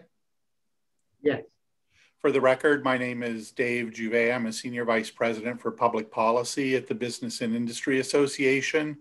We are a New Hampshire based statewide chamber of commerce with approximately 400 members businesses of all sizes, from the state's largest companies down to single sole owner operators. I appreciate the opportunity to testify in opposition to House Bill 210 and uh, the opportunity to explain why this would be a um, really unfortunate move for, for the state of New Hampshire to take. I first want to comment on a couple of things from previous testifiers to, I hope, um, clear up what may be some misunderstandings.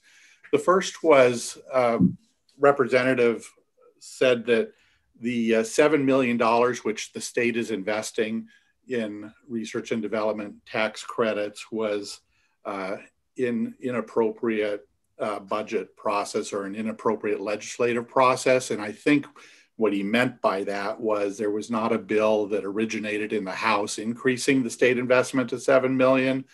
It was added to the state budget negotiations in the Senate, but that bill, as all budget bills do, come back to the House for concurrence or non-concurrence. In this case, the House non-concurred, which they almost always do, and requested a committee of conference. And at that point, that was the opportunity for the House to question this uh, increase in, in the state investment, or uh, if, if they felt it was that critical to non-concur on the budget, but but it didn't even come up in the discussion. So I want to make sure committee members understand that the increase in 7 million wasn't the result of a specific bill, but there was nothing improper about the budgeting process that was undertaken. I'd also like to comment on the check box. Um, and the representative is correct. If we have a um, research and development tax credit, even at a de minimis amount, there will be a box that will be checked. But I can assure you that uh, the program itself and that box will become a laughing stock because if you reduce the state investment to 2 million based on the number of companies that applied in uh, fiscal year 2020 they'll be getting a, less than 10 cents on the dollar for what they are eligible for under the research and development tax credit program I'd also like to address a couple of other things. Um, and I worked with, with Representative Almy back in 2007, the 2007 session where this bill passed. It was, it was implemented in 2008. That was the first year that companies could take advantage of it. And we worked closely together on it. And one of the things we worked on that hasn't been brought up was the original um, language for the bill was the tax credit only applied to business profits taxpayers but we realized early on that our intent uh, was that this also be available for, for smaller companies that, that may not be profitable and are therefore, therefore only paying the business enterprise tax. And that was added to the bill, and that exists in the law to this day. We also did some other things to make sure that smaller companies could take advantage of it. And that is, we capped the total amount of credit that would be given out in any uh, given tax year to a maximum of $50,000 per company.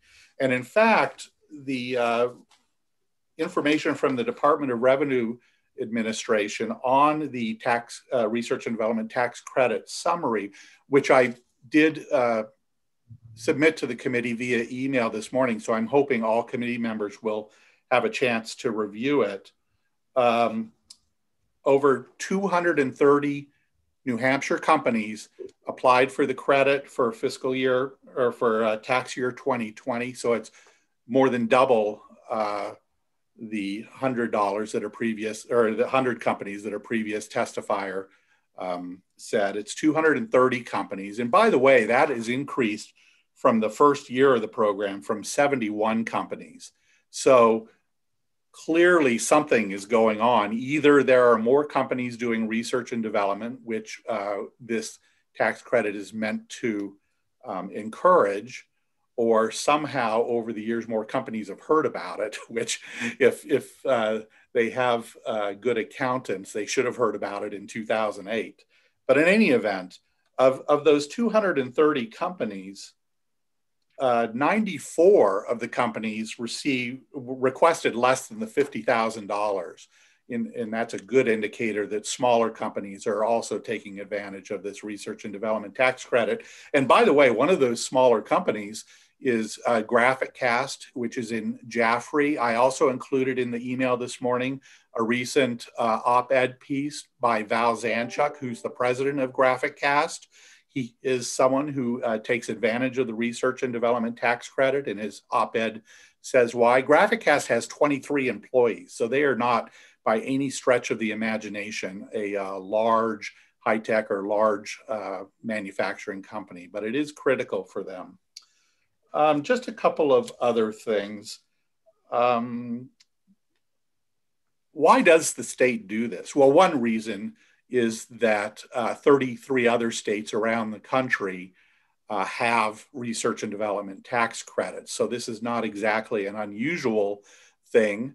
And, but it is something that New Hampshire needs to be aware of in terms of recruiting companies uh, to the state and wanting companies who are already here to expand their operations. Um, but there's more than that. Uh, it is in a compelling state interest to uh, encourage and foster manufacturing and high technology jobs. I um, have a document here from our state uh, Department of Employment Security. Every year they track average wages. And for the entire state, uh, the average weekly wage for private sector jobs is 1,145. That's for uh, 2019, which is the most recent year they have data for.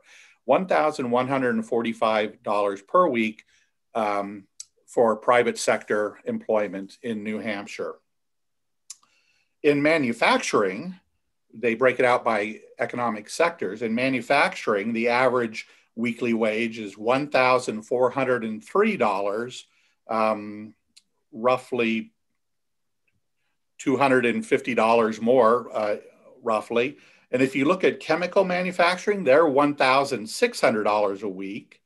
And if you look at uh, computer and electronic product manufacturing, they're $1,900 a week.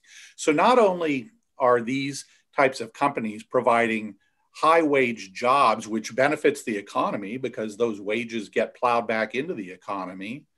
Um, but they also benefit the state because, as you all know, the business enterprise tax is is is um, uh, almost entirely based on company compensation. So if a company is, is paying out more in compensation, their business enterprise tax payments will be higher to the state. So there is a compelling interest. Why I'm not suggesting one company is better than the other, one economic sector is better than the other, uh, one job is better than the other, but there are differences. And uh, it's clear that uh, it is in the state's best interest to maintain a healthy manufacturing and high tech economy. And then finally, I want to address uh, the the issue of this $5 million. Now, I guess I should state that uh, BIA does not have a position on increasing exemptions for the interest and dividends tax or eliminating it entirely. We leave that up to the wisdom of the legislature. I would suggest you don't need to rob from one of the state's most successful economic development programs to fund that.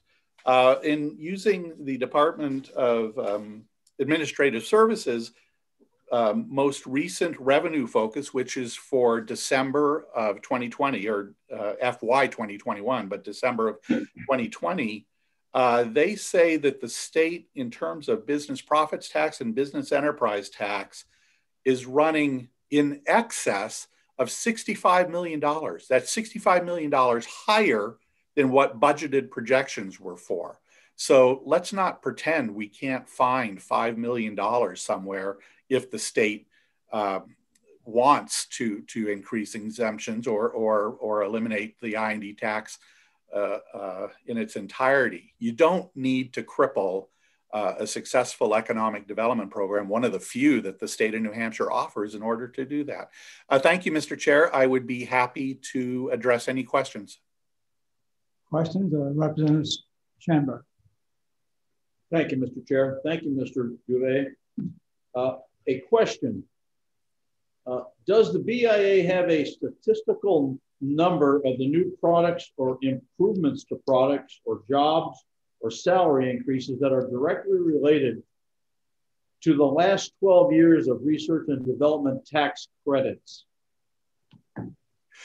Uh, the answer to that question is no. And part of the reason why is the BIA nor anyone else outside of the Department of Revenue Administration knows who the companies are. I know a few within the BIA membership because they've expressed some concern about uh, uh, the research and development tax credit being uh, rolled back uh, as this bill would would uh, purport to do. In fact, the committee heard from two two members, uh, Val Zanchuk and Tom White from New England Wire, who spoke about the research and development tax credit when you had your economic briefing several weeks ago.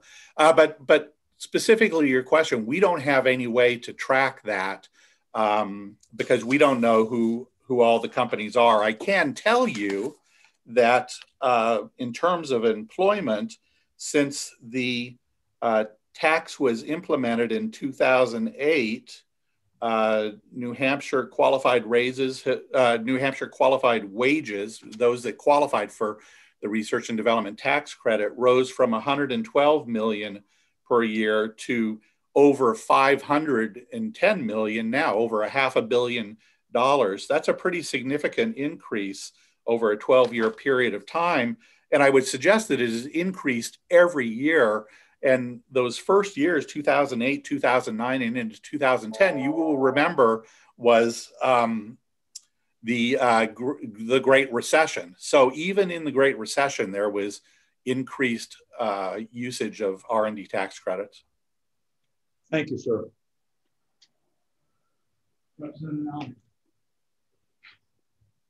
Thank you, Mr. Chairman. Dave, on we we have been on some something like a reverse waterfall on this this uh, tax credit. It was started at one million in order to to um, be able to check that box. And there were not that many people using it at the beginning because we were targeting on new companies, we were targeting young companies. The only way we could do it was to keep the amount of money available low per capita. We, we did cap it, as you said, and but we had to use the federal tax credit because administratively the state couldn't have handled anything else. Um, but when it was doubled to 2 million because too many people were starting to use it and they were only getting 25,000 each uh, because it's prorated, um, they um, the number grew again to take care of the 2 million. And we were back down to 20, 25 each. I think it was 17 each the last year. On, and they put 5 million more in it. And it's been growing since then. It's under 50,000. On someday, if we keep this up, and you, BIA is the one that, that started, th- that has been asking for this, on we're going to have a tax credit that's worth $50 million or something like that. So, how do we avoid that without uh, going against the, the principle of the Constitution that um, we have to treat everybody equally. Um, thank you, Representative Almy, for the question. I have to confess, my memory on this is a little different than yours. Um, the the original language of the bill, there was no cap at all, and uh, in House Ways and Means Committee, uh, there was significant concern about well, how do we know what the uh, fiscal impact will be? How do we know how many people will be taking these credits? And the answer was we didn't know, nor could we forecast because it had never existed before, or at least hadn't existed since the, the mid 1990s. And so the decision was made, uh, first of all, that we need to somehow uh, create a cap to uh, make sure the state is not exposed you know, in a way that would be detrimental to the budget. And then the decision, and this was really uh, negotiation and pulling a number out of the air, was to have it at a million dollars per year so we could see what the um, interest and and usage of the R&D tax credit was. And, and we all agreed to that. Uh, it, was, it, it, was done by design. Um, as you've noted over the years, that's increased from uh, 1 million per year to the current 7 million per year. And, and by the way, I would say at the 1 million per year, companies that applied in 2008 were only getting 41% of their requests because of the $1 million cap. When it was increased to $7 million in 2017, uh, companies were now getting 92% of their requests. So still not 100%, but close. That has gone down since 2017, and companies are now, as of 2020, receiving 76%. Um, and I guess the response my response to your question would be um, it's really a matter of state policy and what keeps it from going up to 50 million is is that the state has this cap that that uh, they won't go beyond and then it's a state decision if how closely they want that cap to match uh, demand for the r&d tax credit right now they're matching at 75 cents on the dollar. Um, if anything, we would argue that it might be appropriate to increase uh, the cap. It hasn't been increased since 2017, but we're not asking for that this year. You know, everyone knows this is an unusual time in, in our country and in the state, and the budgeting process is going to be uh, difficult as it is. We're not asking for an increase, uh, but we are certainly opposing any type of decrease. Are there any further questions? Representative Elliott. Oops. Representative Elliott. Unmute yourself, Representative. Who's talking? Or push your space bar and talk and hold it. Yep, sorry. Uh, I, I don't have a question for the present speaker. But my question is for Representative Lang. It's a simple question. On page one, line 18 and 19, where it says exemptions, each taxpayer shall have the following exemptions. Uh, Representative Lang is, is not hear me? right now. Can you hear me, Mr. Speaker? I mean, Mr. Chairman? Representative Elliott, uh, Representative Lang doesn't happen to be uh, in the room with us right now. All right, maybe you know then the uh, answer on line 19, income of $3,500. It doesn't say how long that is. And the previous speaker mentioned that the average uh, per week is $1,145 a week, which comes to almost $60,000. So I don't understand line 19 where it says income of $3,500. How long is that for? Does anybody know? And how can you live on that? That's one year, Bob. That's for one year? Yeah. Yeah. On Representative Elliott, that's only the interest and dividends. Oh, okay. That's that that's not their total income. That's just on the dividend. Okay, thank you very much. Okay. Um,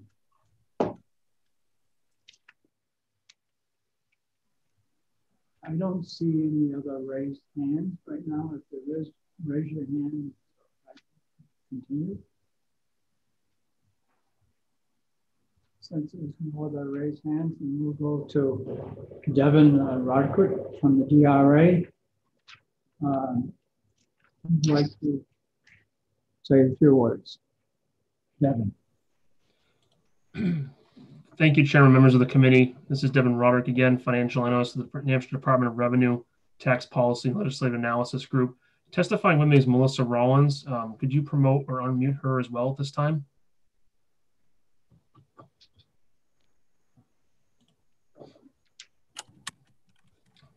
You want to go to uh, Melissa Rollins? If you could, if you could unmute yep. both of us, that'd be great. Thank you. I'm unmuted, Devin. Thank you. So HB um, 210, Section 1 would increase the filing threshold from 24 to 3,500. In Section 2, it increases the additional exemptions of being blind, disabled, or 65 years of age or older, um, including spouses, from 1,200 to 1,750. These two sections would take effect January 1st, 2022, and apply to tax years ending on or after December 31st, 2022. We applied these changes to tax year 2018 data, and it would have resulted in a decrease in revenue of about 5.1 million. Lastly, it is important to note that this does not take into account any overpayments or credits that are on file, much like the previous bill. Section three of the proposed legislation, as previously explained, decreases the aggregate amount that we can award for the R&D tax credit program from 7 million down to 2 million um, for any fiscal year effective July 1st, 2021. This would result in an increase of up to 5 million in state general and education trust fund revenues. The DRA cannot determine the potential increase in revenue in future years because it has no way of knowing the extent to which they would use these previously awarded R&D tax credits. Um, because it's important to note that the R&D tax credit in New Hampshire has a uh, basically a five-year carry forward. They're able to use that R&D tax credit toward business liability within the five subsequent taxable periods beyond the period in which it's earned. If you have any other any questions, I'll be happy to answer them. Okay. Does the committee have any questions? Representative Almy. Thank you, Mr. Chairman.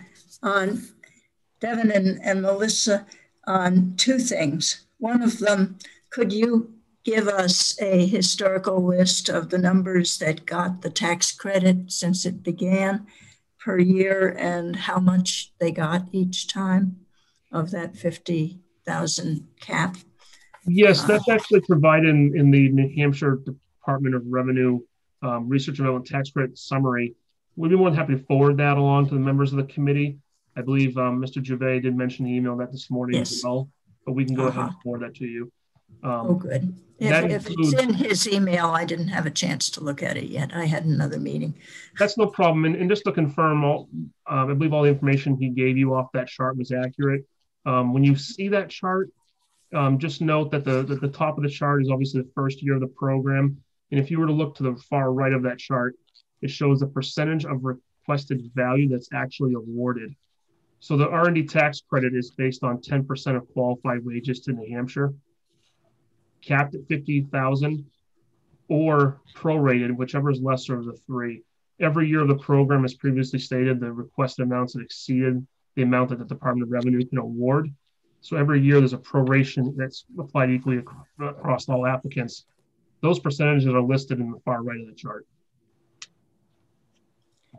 Thank you. The other question was, I wasn't able to be here for the last bill, but in the last bill, you calculated on the base of tax year on 19. And for this one, you used tax year 18.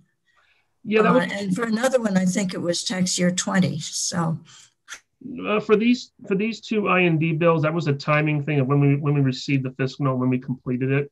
I did take a look at the um, applied this bill to tax year 2019 liability, and the difference was minimal. It was about 400,000 difference on the I&D portion of this bill. So the number, the, the overall impact did not change very much with this, depending on which tax year you applied it to. Normally, I, I can't speak to the other bill that you mentioned at tax year 20, but we don't have complete data for tax year 20 yet. So in this particular instance, I, I would not have used that for, for I&D analysis. Thank you. No problem. Any further questions from the committee?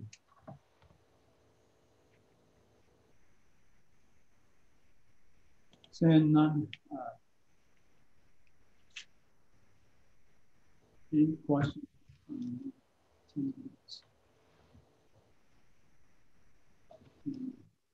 Then on the blue sheet,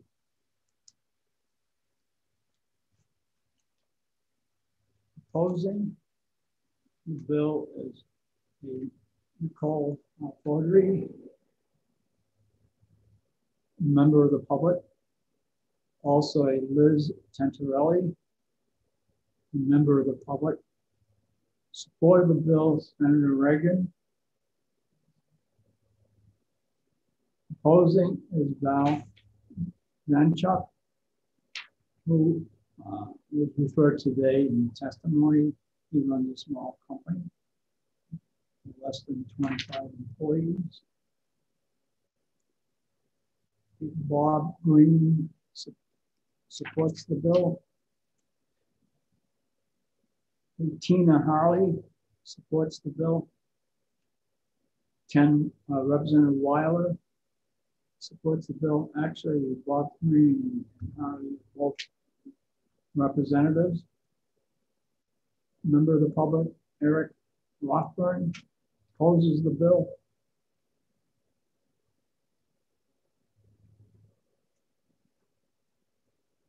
And uh, Tom Oleski, representative, supports the bill. Anybody else wish to support or oppose the bill?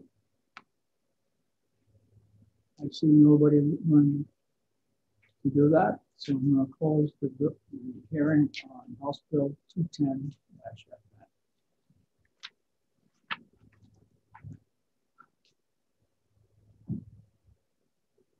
We're running about 25 minutes behind, so we'll go right into House Bill 353. This is an act establishing credit against RSA 77 for tax paid on income subject to taxation in another state. Representative this is the prime sponsor. He has he has joined us, Mr. Chairman, so he will introduce uh, virtual. Representative Abbas. Okay, us. Representative Abbas, uh, you put him on, Jen. Good morning. Good morning. This is Representative Daryl Abbas. I uh, represent Rockingham County District 8. I want to just thank the members of the committee for uh, hearing me today. Uh, the reason this bill, I put this bill forward is, so in an S Corp in Massachusetts that operates solely in Massachusetts, uh, what is occurring is a if you are a resident of New Hampshire, and uh, even though you're operating solely in Massachusetts, you are paying a double tax on the income earned through being paid a dividends, a dividend as a shareholder of the corporation. Even if the, that S corp operates solely in Massachusetts, and all the work is performed there, but you just happen to reside in New Hampshire. Now, the problem occurs is that and why that's happening is in Massachusetts, the dividend that is paid, they are cl- classifying that as an income tax. So it's being it's categorized as an individual income tax, taxed at the same rate, and just put into uh, when you file your tax, that's what it falls under. Because in New Hampshire, we don't have an income tax, and I pray to God we never do. We are class New Hampshire, we classify that as a dividends tax. So what is happening is that normally if they, they were both an income tax, they would be an offset from between the states. But we are not. New Hampshire is not offering that offset or that credit because they're calling it something different. I looked, I always looked at that as when in Rome. If you're earning it in Rome, it should be taxed under Rome's law. So if you're operating solely in Massachusetts and all the work's done there, you just happen to have a New Hampshire address and that's where you reside, it shouldn't be called something different by New Hampshire. So it's been well set by Supreme the Supreme Court on more than one occasion that a double taxation is unconstitutional and violates the dormant uh, commerce clause. And I would call this a violation of the dormant commerce clause. This, that's my interpretation it. That it looks like that is happening. What I would say is that in this case, if anything, there would need to be an, an offset, which we're just not doing. Now, not everyone agrees with me on on this. I, I have shown some of the research I've done to other members, and I understand there's a disagreement. But that aside, the disagreement aside, I still look at it as a bad policy. It would completely disincentivize anyone from who's a shareholder in a, a, corporation from wanting to live in New Hampshire if they primarily working in, in another state, having to pay that state's income tax and New Hampshire's dividends tax. It just to me that's an extra high cost that you can be paying in taxes. So I, I look at I really look at that as, as a bad policy, where if you don't agree with me on the legality of this, I would still ask that this uh, support in passing this. I've been asked a lot of questions about how, how would this impact the current uh, lawsuit going on that's before the Supreme Court. I don't believe this would have any any influence on that because that's involving a person working in, solely in New Hampshire. It's not, and then they're being taxed a income tax in Massachusetts. So it's actually somewhat the opposite. This is in this scenario, the person, the individual, is still working and operating in, in Massachusetts, and they're still going there to. They're going there for work, and they're still being subject to the double taxation. I think it's very different when we're talking about an individual income tax, not the dividends, not the shareholder, just the actual employee. So I don't believe the two uh, would have any impact on each other. So I'm looking at this as something that would encourage people who are living here to stay here, but also even more people to move here. And I think it would really result in an economic boost, especially along the bordering towns all, all through New Hampshire, not just the southern border. I think it would support the borders on both uh, by Vermont and Maine as well. And I can answer any questions. Thank you, Representative Abbas. Um, Representative Abrami. Hey, Representative Abbas, uh, Rep. Abrami here. Uh, I, I, I lived with this for 38 years. Uh, I think what you're, you're talking about is uh, distributions that are given. Uh, I was an owner of a company or co-owner of a company in Massachusetts.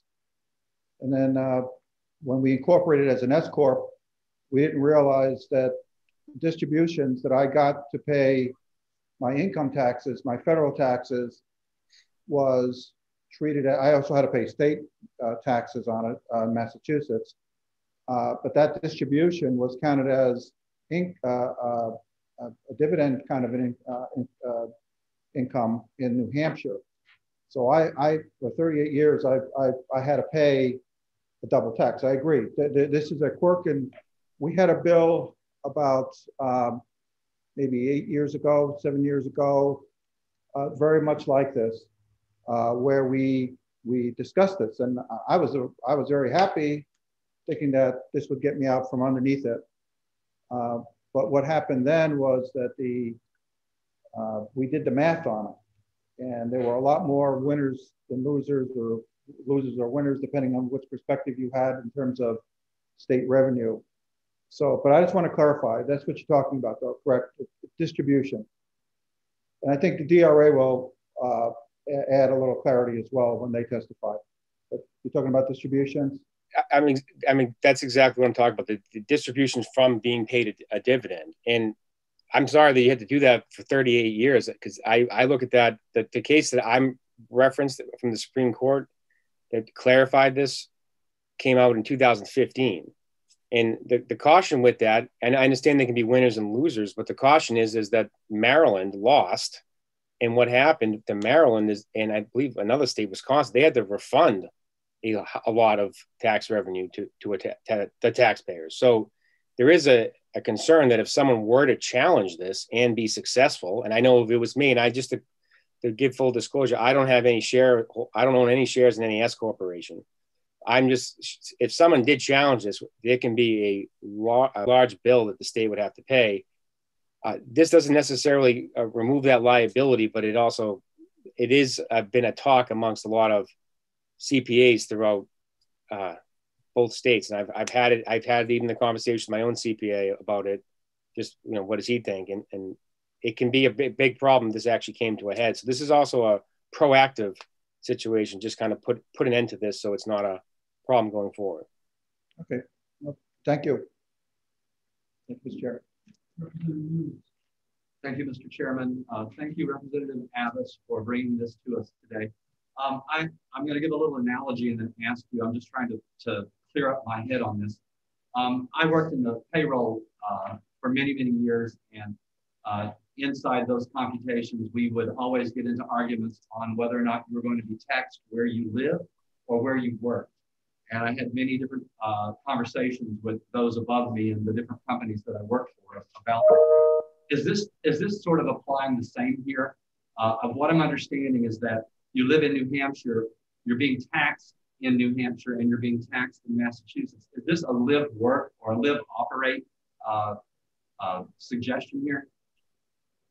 It's it's thank you for the question. It's actually more of a hybrid. So the difference between just individual income tax, if you let's say you're working in New Hampshire remotely, but it's through a Massachusetts company, that scenario is the, where the individual's working. The dividend, the distribution payout has to do with the company, uh, the S Corp's profit margin, and then they're distributing some of those profits, making a distribution to its shareholders at a certain time.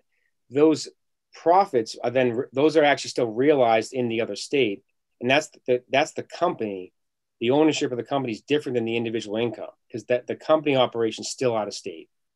So in that case, it, to me, where with this scenario, it's the reverse. You're being taxed because of where you live, but you're also being taxed because where the S corp is performing. You're actually getting both. So my whole the whole point of this is that you're getting hit twice, where you should only be getting hit once. Whether whether we agree that that should be paid to New Hampshire or that should be paid to Massachusetts, that's a different discussion. But you should not be paying both. Normally, what happens is that the states will have a reciprocal agreement but because the states are calling it different or classifying it differently and calling it apple and orange, there's not there's no offset. So that's the problem. There should be a credit and it should go both ways. If, if it was the reverse situation and you're a incorporated in New Hampshire, but you solely live in Massachusetts, they're actually doing the same thing and they're violating it just as bad as the state of New Hampshire.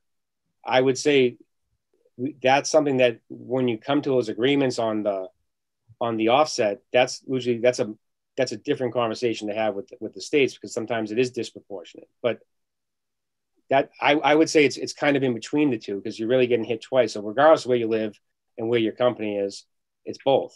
So that's the way I've always been looking at Thank it. you, Representative. Representative uh, Spilker. Thank you, Mr. Chairman.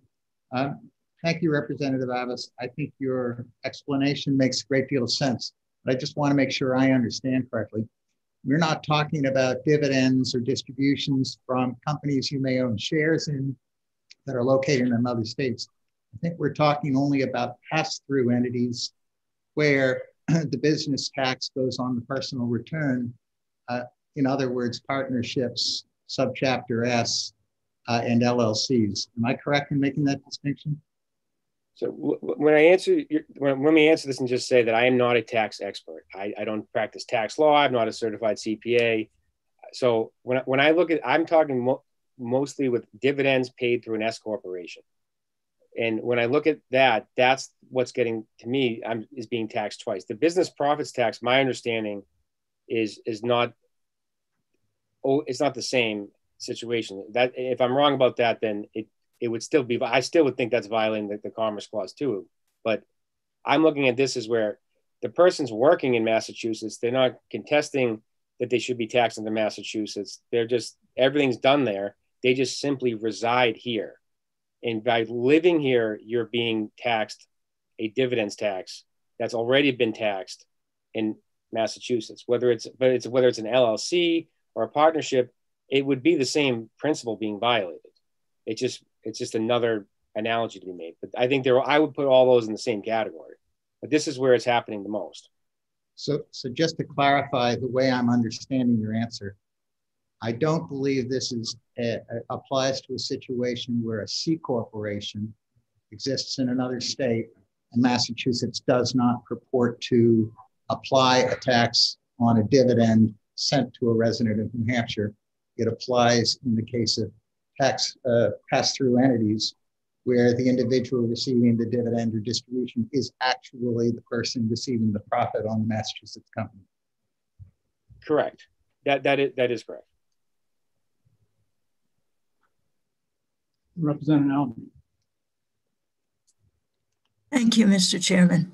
On Representative Abbas, on it, I'm wondering on if you're you're asking us to unilaterally on remove ourselves from taxing anything that Massachusetts is taxing, it sounds like to me, because we can't get Massachusetts to do agreements with us, as far as I can tell.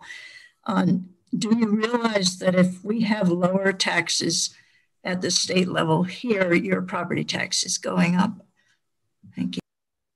Well, just to thank you for the question. First of all, I, I think that's an assumption that the property taxes go up, and to to make a grand, overbroad statement about how the local governments will change their tax rates, and I, I think that's that's over that's too broad of a statement to make. And I what I'm referring to here is this is something the Supreme Court has decided. Whether I like it or not is not is that's I can have my own personal opinion on it, but I just look at the this is something that they've ruled on several times, saying a double taxation is inappropriate. And just just like any other precedents, I, am looking at it and I see it happening. And I'll and I'll be honest, if I was the plaintiff or if I, if I was hit with this, I would challenge it and I would say, well, I'm not sure that you're allowed to do this. So that would cost the state a lot of money having to refund all that money. And when it comes to property taxes, if if there was there's already a lot of great incentives to live in New Hampshire, and it's I, it's one of the I would say the best state to live in the entire country. But there are people that would make the financial decision to not live here for that reason, simply to avoid this double taxation. I would believe that this would create a, a more of an incentive to move here, which would perhaps develop more areas, which would create more revenue in property taxes just by developing more homes, but it would also improve the economic activity in the area where you have people who perceivably have disposable income to spend to support local businesses. Uh, there will be a lot of um, domino effects of actually having uh, getting rid of this. It's just not it's not simply black and white like this. So I don't actually agree that real estate taxes would go up, especially along the, the bordering parts of the state. But I also believe that it is still a policy that's really it's negatively impacting a lot of people. Chair. Any further questions? Mr. Chair. Representative Schamberg. Thank you, Mr. Chair. A question for you. Will we see a, a fiscal note come on this from someone? We have two other people signed up to testify, one from the DRA. All right. Thank you.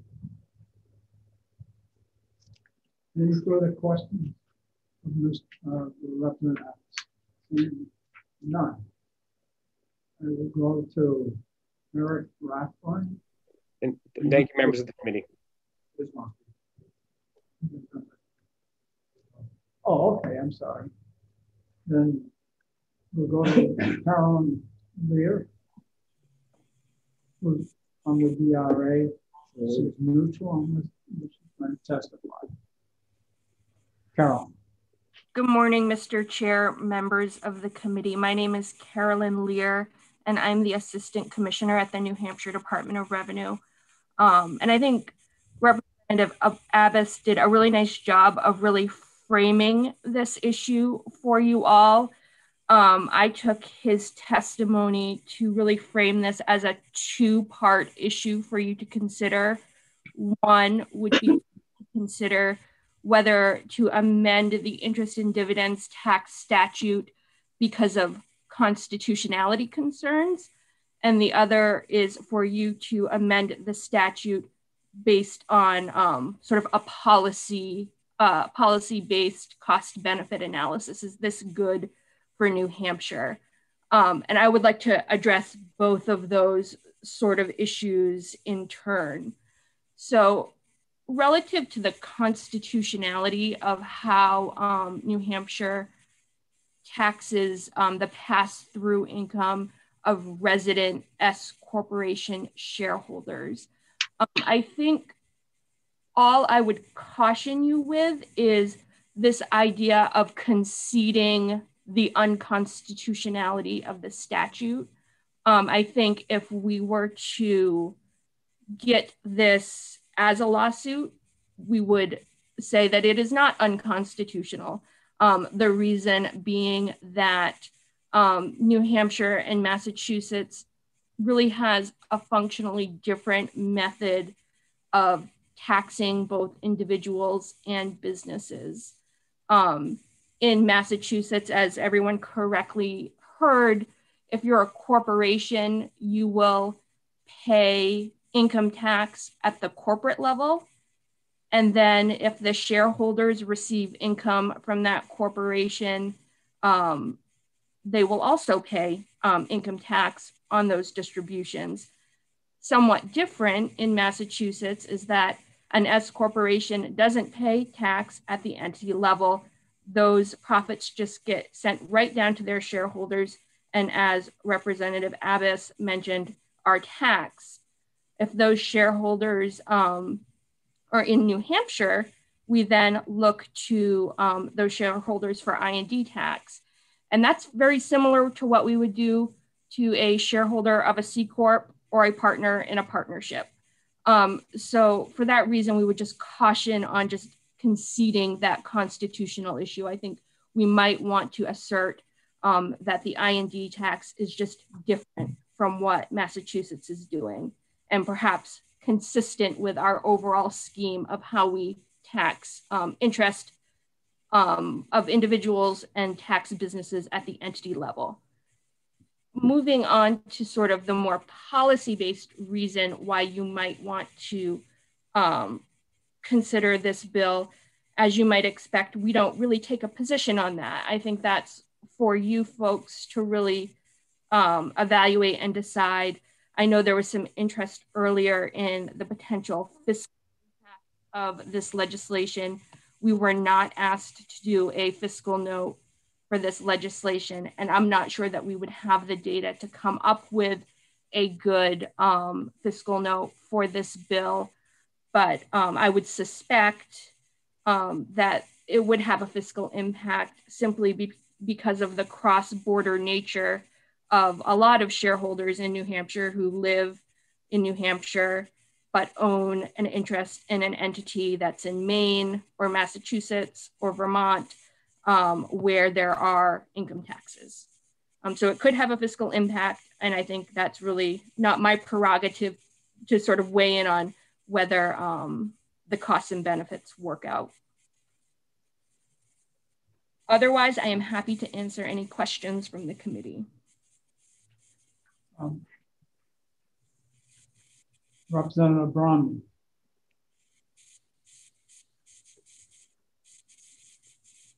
Ms. Lear, how are you?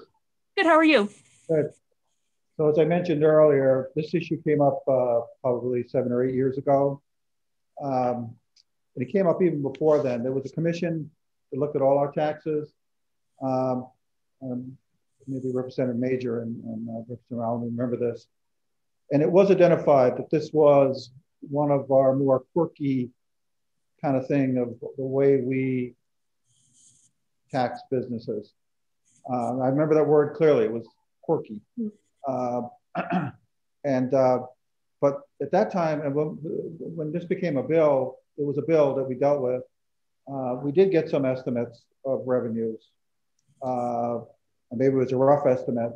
uh, because that's what made the committee shy away from doing anything about this because it, it was it was it appeared that there'd be a lot of lost revenue to the state at a time when we couldn't afford that lost revenue. Now, obviously, I was I would have been a beneficiary of, of this bill, that, you know, this type of bill passing when I was still working. I'm retired now, so. Uh, but um, so, it, is there any way possible that we can get at least a rough estimate of somehow fiscal of a fiscal note on this? I could take that back to um, our financial analysts and see what they could come up with. Um, perhaps we could cross reference if there's any Massachusetts or federal data available that might help us hone in on a rough estimate. Right. Okay. I appreciate whatever you could do. Thank you. Sure.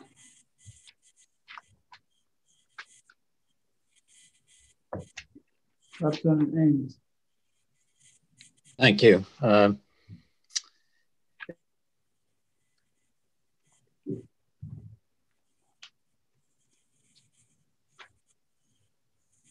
You accidentally muted yourself. Okay. Here you go. All right. Thank you. Um, yeah, I, my question goes to the uh, uh, point made by Representative Abrami, the question or request for a fiscal note. I think we really need to have a fiscal note. I understand it may be difficult. All fiscal notes, in fact, have difficulties. Uh, and um, we get, uh, in the course of uh, DRA doing a fiscal note, we get a good explanation of what the bill, in fact, uh, as they understand it, would would do. And I think we really need that in this case because there was uh, confusion, I think, amongst uh, those who were asking questions and uh, and uh, the answers given. Um, and it left me wondering, scratching my head, exactly what is the uh, situation that's of concern. Uh, so I really hope that we can get a, a fiscal note from DRA that explains their understanding of the bill and then um, their um, identification if they can't do a bottom line estimate of the factors, uh, the cost factors uh, that go both ways that would weigh into the impact. So uh, that's my, uh, it's really a request to DRA. Representative Romney has a question. Uh, yeah, another question, uh, Ms. Lear. could you help us out and, and direct us to exactly where in the statutes uh, we should be looking for. Can you find the lines in the in the statute, current statutes that make these out-of-state distributions taxable in New Hampshire? Um, excuse me.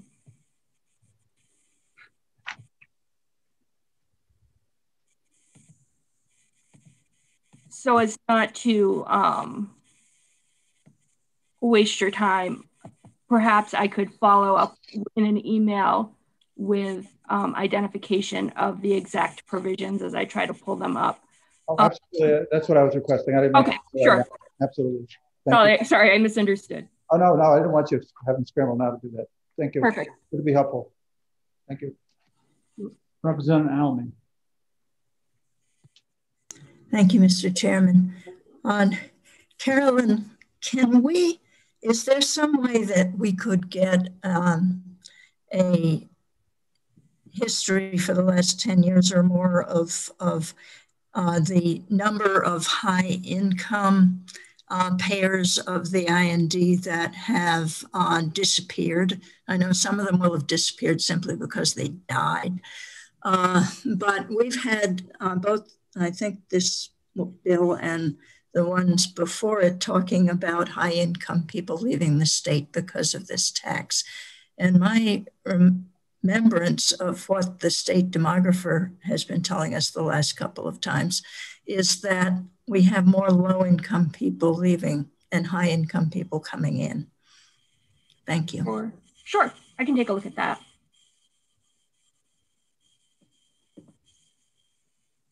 Any further questions? Anybody else wish to testify for or against this bill?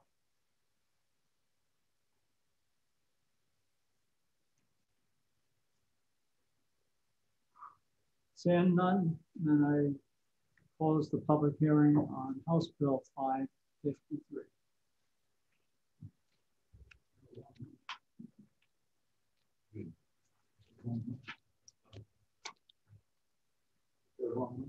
Yeah.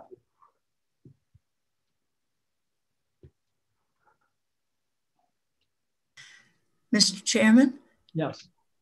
Could I just ask, there was another bill that um, we were trying to get a fiscal note on, and I'm trying to remember which number it is now. Um, but that on they told us that we'd have to do a vote in committee in order to ask for one. Oh, it was the uh, 346 funding source for domestic violence programs. Okay, that's that's not for today.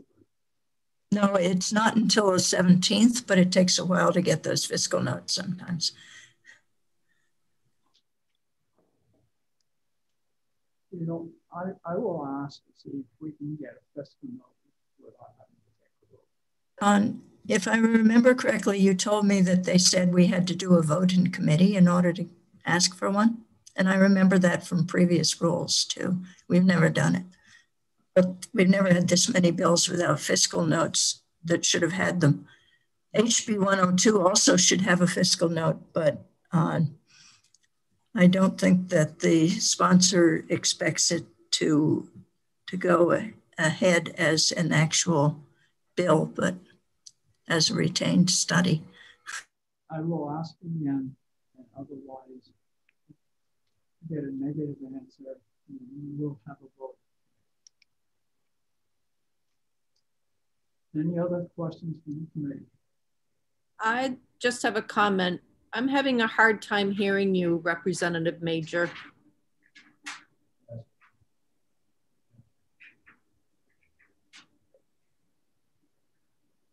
Is this better? Yes, thank you. Yes, it comes off and on. Um, then I will take it off when I speak.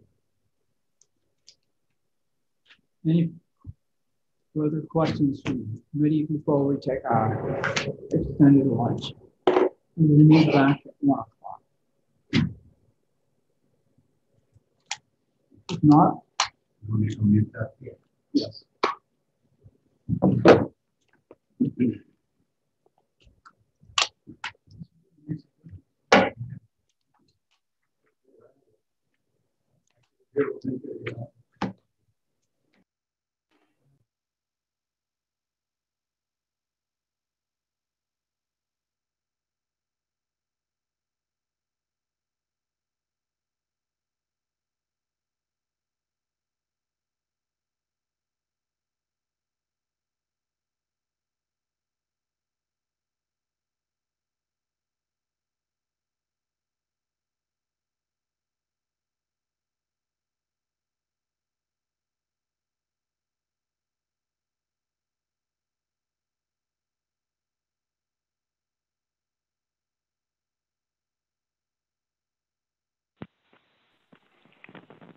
Are we through for the morning?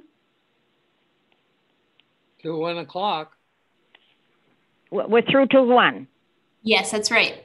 Okay, thank you. Thank you, Representative Griffin.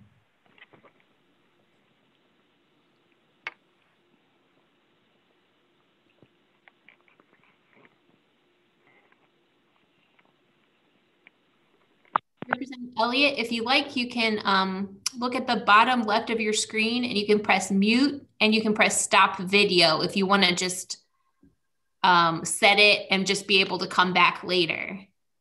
Stop video. Mm-hmm.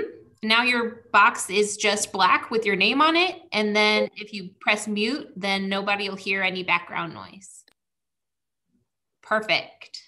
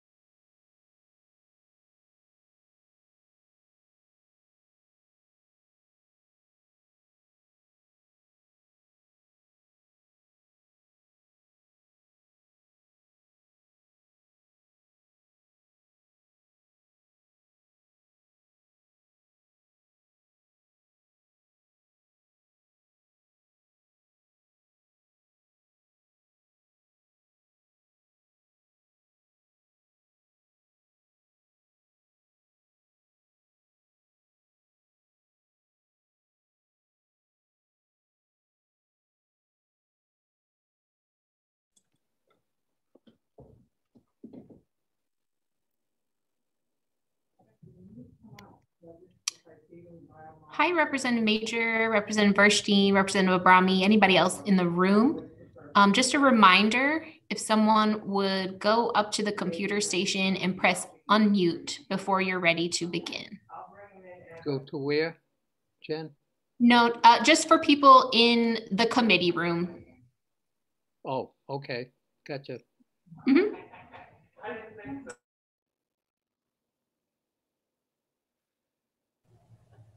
Representative Tucker, how'd your testimony go? You're muted. I had written, I had some written testimony, so I just synopsized that. I don't think I was brilliant. I do a mic check just to see. Oh, uh, Testing, testing, can, can you folks hear me? Yes, Representative Abrami.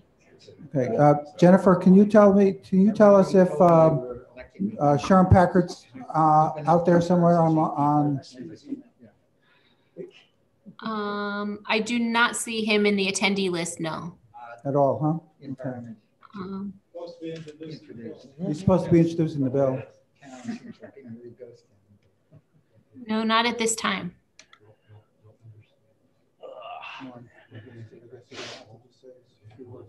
Oh, my dog get taken care of. I got a text saying, do you want me to feed her? I'm like, "No, Load off. The mics are live, by the way. Mics are live? Yes, be everywhere. And Thank you. already got his hand up, Tim Bergen. Bergen has his hand up. Every night, Tim. There's a mic right here. Thanks for doing that too. The text stuff. Terry. Okay, everybody, uh, we're gonna, we're gonna start the afternoon session. Uh, You're probably wondering why I'm sitting in the chair seat. Uh, uh, For new members, Norm Major is a sponsor of this bill. A co-sponsor, I'm a co-sponsor of the bill. Uh, Therefore, he can't speak on the bill. Uh, So I'm going to be chairing this one and the next one as well. So uh, our understanding is that Sherman Packard is the prime sponsor on this bill, uh, and that he, he was uh, supposed to be testifying. Uh, He's he's still not there, uh, Jennifer or Jenny? No. All right, what we're going to do is have, uh, you ready? we're going to have Representative Major uh, introduce the bill. You want to sit over here closer? I can trade with you. Which one over here, too? Oh, there's one there too. That- Yeah, that one's probably a little. There you go. Can you hear me? Can you hear me okay? Not very well. Can he sit at the table? Can you guys hear uh, the chairman? Not very well. Okay. Do you want to move it up? Pat- Pat's mic. Yeah, why don't we, why don't we move it back up there, Norm, do it like, like I did? Yep. All right, we're, we're just going to do a little uh, rearranging here.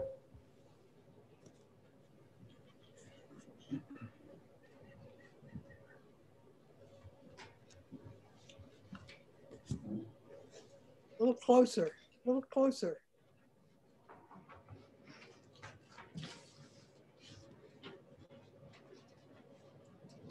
How's this? Can you hear me?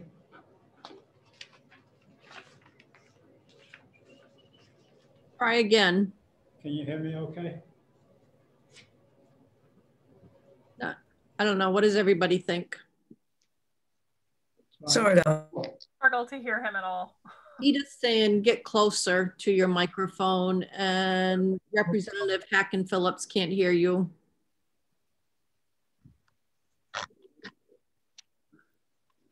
Is that better? Yes. Right? Yeah. That was a good yes. That was a good yes. All right, I just need to get the bill.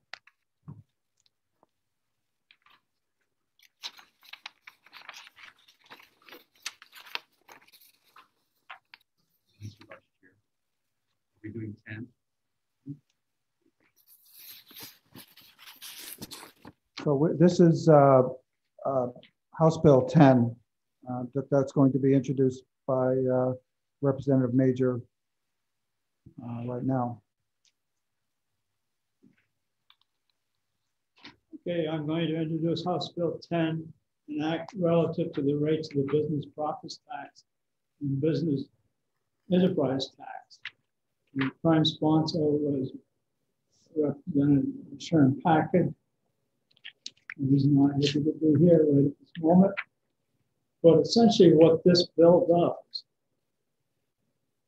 it brings the, prop, the business profits tax rate from 7.7%, which it is now, in two years now to 7.5%. It brings the business enterprise tax in the rate of 0.60% now to 0.5% two years from now. And this is the planned schedule. The rate reduction in business profit tax was introduced a number of years ago. Warren? No. Chairman, Representative Packard. Oh, Representative Packard is here, so. You were, you were taking over Yeah, well, we're right on, we were right on time here, uh, Mr. Speaker. Yeah, I just went a little bit behind. Okay, But I do want to talk about- Okay. so Rep- Representative uh, Packard's uh, going to pick up mid-sentence here. Mr. Mr. Vice Chair. Yes, uh, Can I question. say welcome, Mr. Speaker? Thank you, It's good to see you. Thank you, thank you, Uh, Mr. Vice Chair. I'm not sure how far uh, Norm got, but um, this is, I think most of you realize, this was one of our uh, former speakers, Dick Hinch's uh, bills, and when he passed away, I took over. It, uh, I'm sure every, all of you have read it, pretty simple. It um, reduces the business profits tax and the business enterprise tax until we get down to 7.5% for the business profits and 0.5% for the business enterprise tax. That's what it does. Okay, thank Doesn't you. get much simpler than that. You're probably all either going to agree with it or disagree with it. But that's, that's the whole context of the bill. Uh, Or have Will, uh, you want to take questions? I'll take some questions. Okay, Mr. Representative Schamberg. Thank you, Mr. Chairman. Thank you, Representative Packard, for making the presentation. At least a simple bill here. I, I do have a question. Uh, do you have any uh, data that shows if a tax rate reduction in the BPT or the BET as proposed by this bill would have a positive impact on state revenues? Well, I mean, being perfectly honest, we're not hundred percent sure will have a positive impact, but we do know that when you reduce taxes, it has a positive impact on business and uh, business enterprise and the money that extra, the business extra money that they have to spend. So we believe it's an absolute positive move forward that will bring more business into the state. It will help businesses in the state stay in business and uh, help them expand once we get out of this pandemic. Thank you, Representative. Uh, Any other questions? I, I don't have a computer in front of me, so can someone, uh, Jen, Jen, can you, Jenny, can you? Representative Bowman. Okay, Representative Almy, please. Thank you. Uh, Mr. Speaker, I just wanted at this point to bring up a procedural on a problem in our RSAs, which has been there since you started cutting the business taxes on that I just realized on in both the business profits tax and the We just lost, we just lost our audio on. Zoom. Almy, you, you muted yourself accidentally.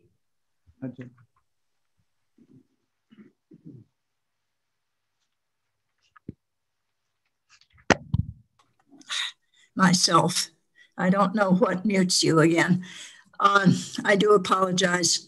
Um, I don't know when where I started, but on I want to read from uh, section 77A 20A distribution of funds for the business profits tax and the business enterprise tax uh, is approximately the same thing. The commissioner shall determine the additional amounts of revenue produced by an increase of 1.5% in the rate of tax imposed by 77A2 for each fiscal year and shall certify such amounts to the state treasurer by October 1 of that year for deposit in the education trust fund established by RSA 19839.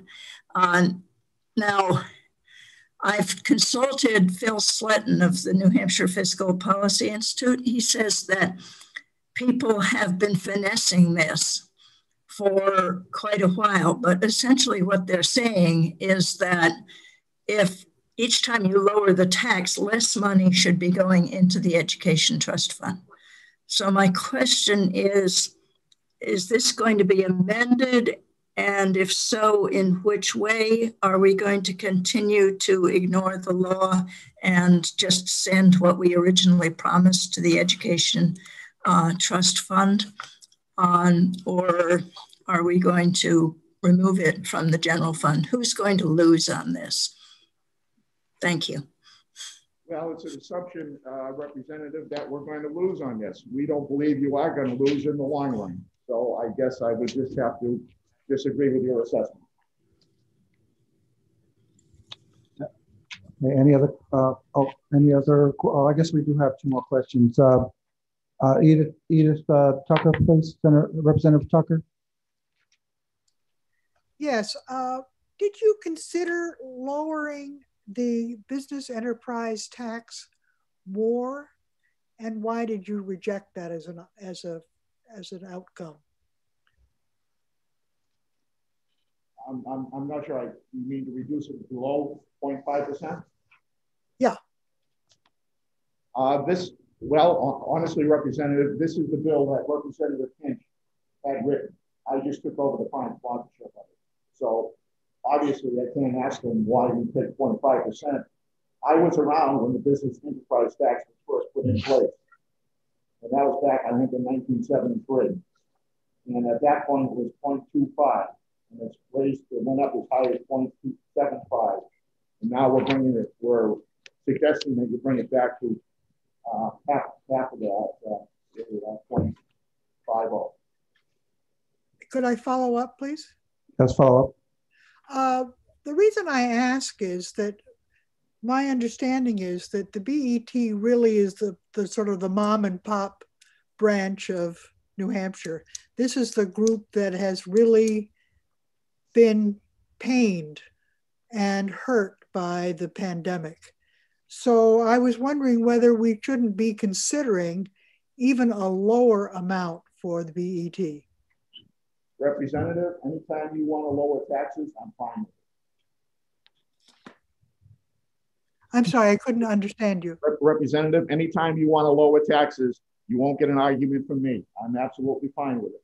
The committee so, to lower it more, that's fine with me. Great, thank you very much. Well, uh, we still got two more questions. Still wanted to take questions. Uh, Tim Horgan, please, please let him in. Representative Horgan. Representative Abrami, I'm sorry, Representative Horgan signed up to testify on the bill. Oh, he did. Okay. That's what he's trying to indicate. So, uh, Drew, uh, is this a question from uh, Drew Klein? Oh, Drew Klein's not a, a, member, so he can't ask a question. So uh, I guess we're all set then. Uh, thank you very much, Mr. Speaker.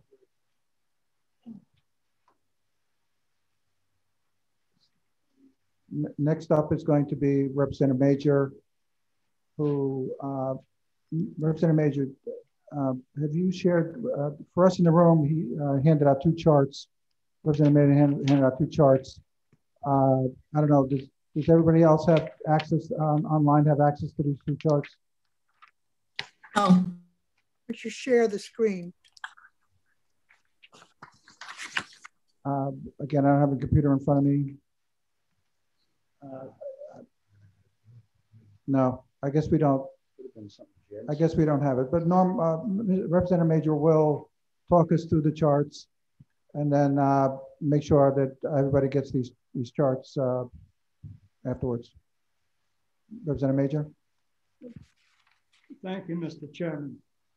Yeah, the, the two charts are put together so to better understand what's happening to the BPT and BET when you change the rate and what and what happens to the revenues. That question was already asked. what I did is I made a copy of the chart from one of the handouts that was given to us in our orientation.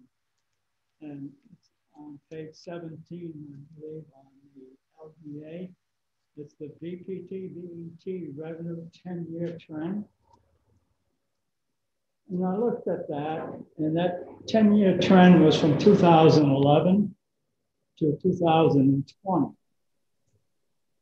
What's striking, if you take from 2011 to 2015, that was before there was any rate changes in BET or BPT, that the changes in the total revenue, business revenue in those years went from $490.2 million to $561 million, or a $71.5 million increase from 2011 to 2015, 14.6% increase.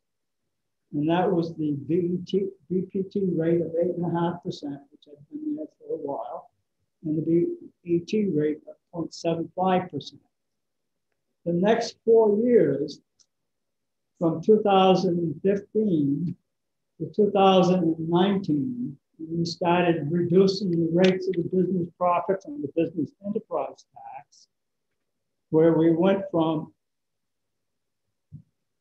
a rate of 8.5% in 2015 to 7.7% in 2019 over four rate drops from 8.5 to 8.2, 7.9, 7.7%, which is a total drop of 8, of 0.8%.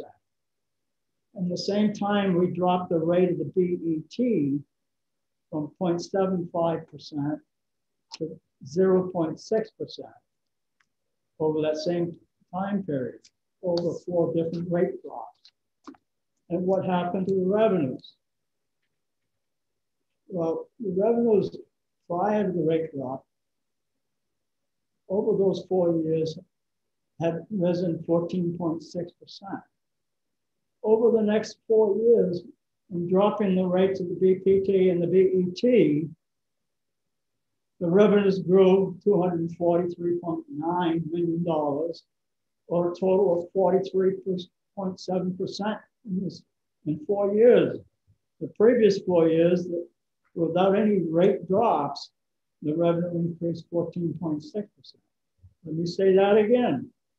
In these four years where you saw the rate drops, the revenues increased by $243.9 million. So that question of what happens when you make rate drops and to the revenues, in this case, what it did, it encouraged more economic activity, which encouraged greater revenues. Thank you. Questions? Questions? Press the button. Any other questions of Representative Major? Uh, Ollie Oh, uh, Representative Almy. Get, get on major mute. Get on mute. Unmute.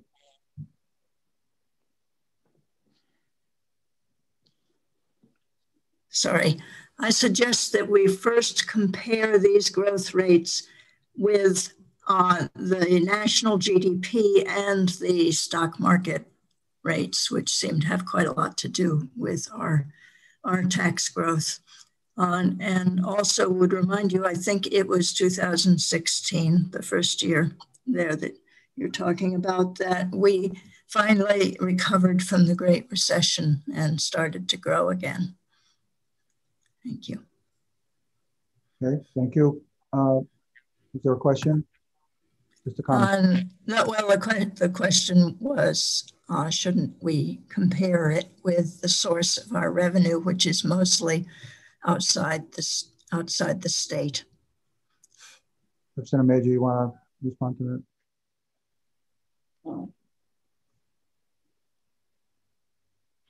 What I did in this analysis, I looked at the total revenue growth. The revenue is made up of the corporate taxes. Yes, a lot of the corporate taxes comes from corporations outside the state on the profits that they make in that state.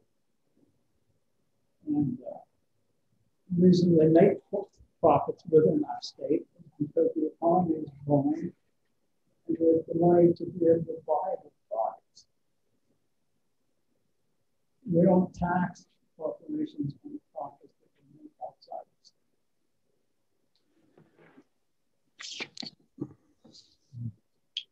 As far as the GDP, if you look, the Great Recession was 07, 08, 09. It took a while to come out. Started this analysis in 2011. In 2011, the growth was stagnant. I mean, it went up from 2011, $490 million, 516 million in 2012, 551 in 2013, and 549 in 2014. In 2015, it's 561. It was, the growth was, was almost flat. Then in 2016, we had our first rate reduction. And it went to 699. And then through 2019, $805.6 million. So it was quite a steep growth in those four years while we were reducing rates.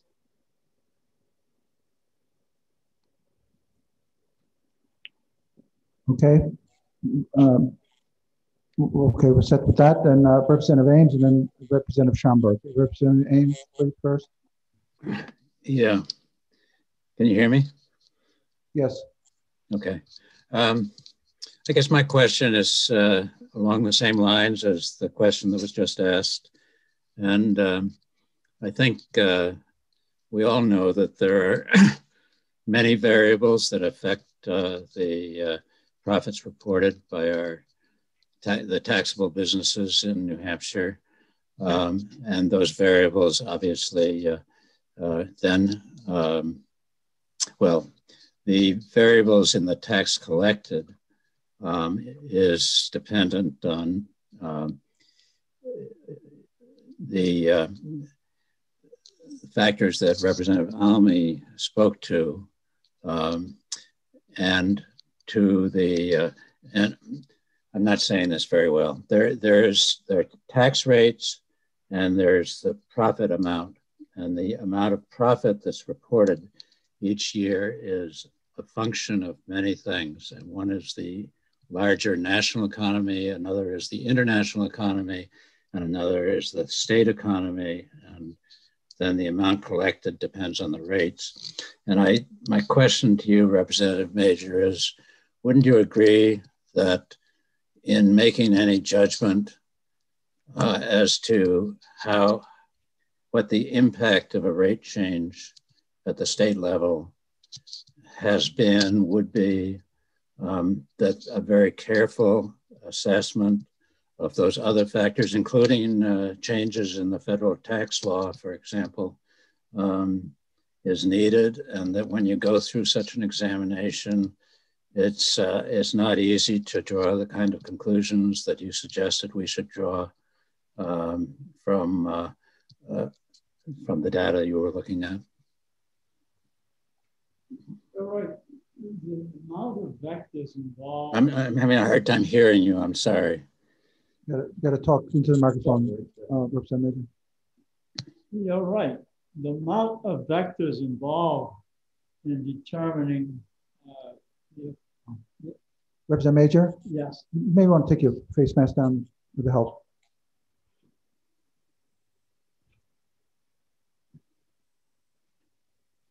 He's very socially distanced for those not in the room. Right. There's at least six feet apart between us.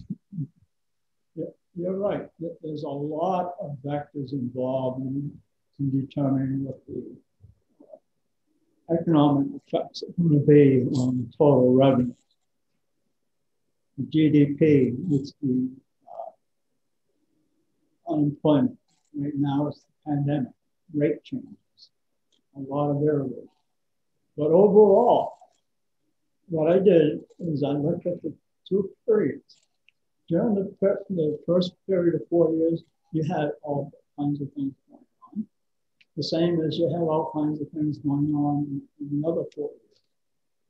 But the sum of everything is that while these rate changes were going on,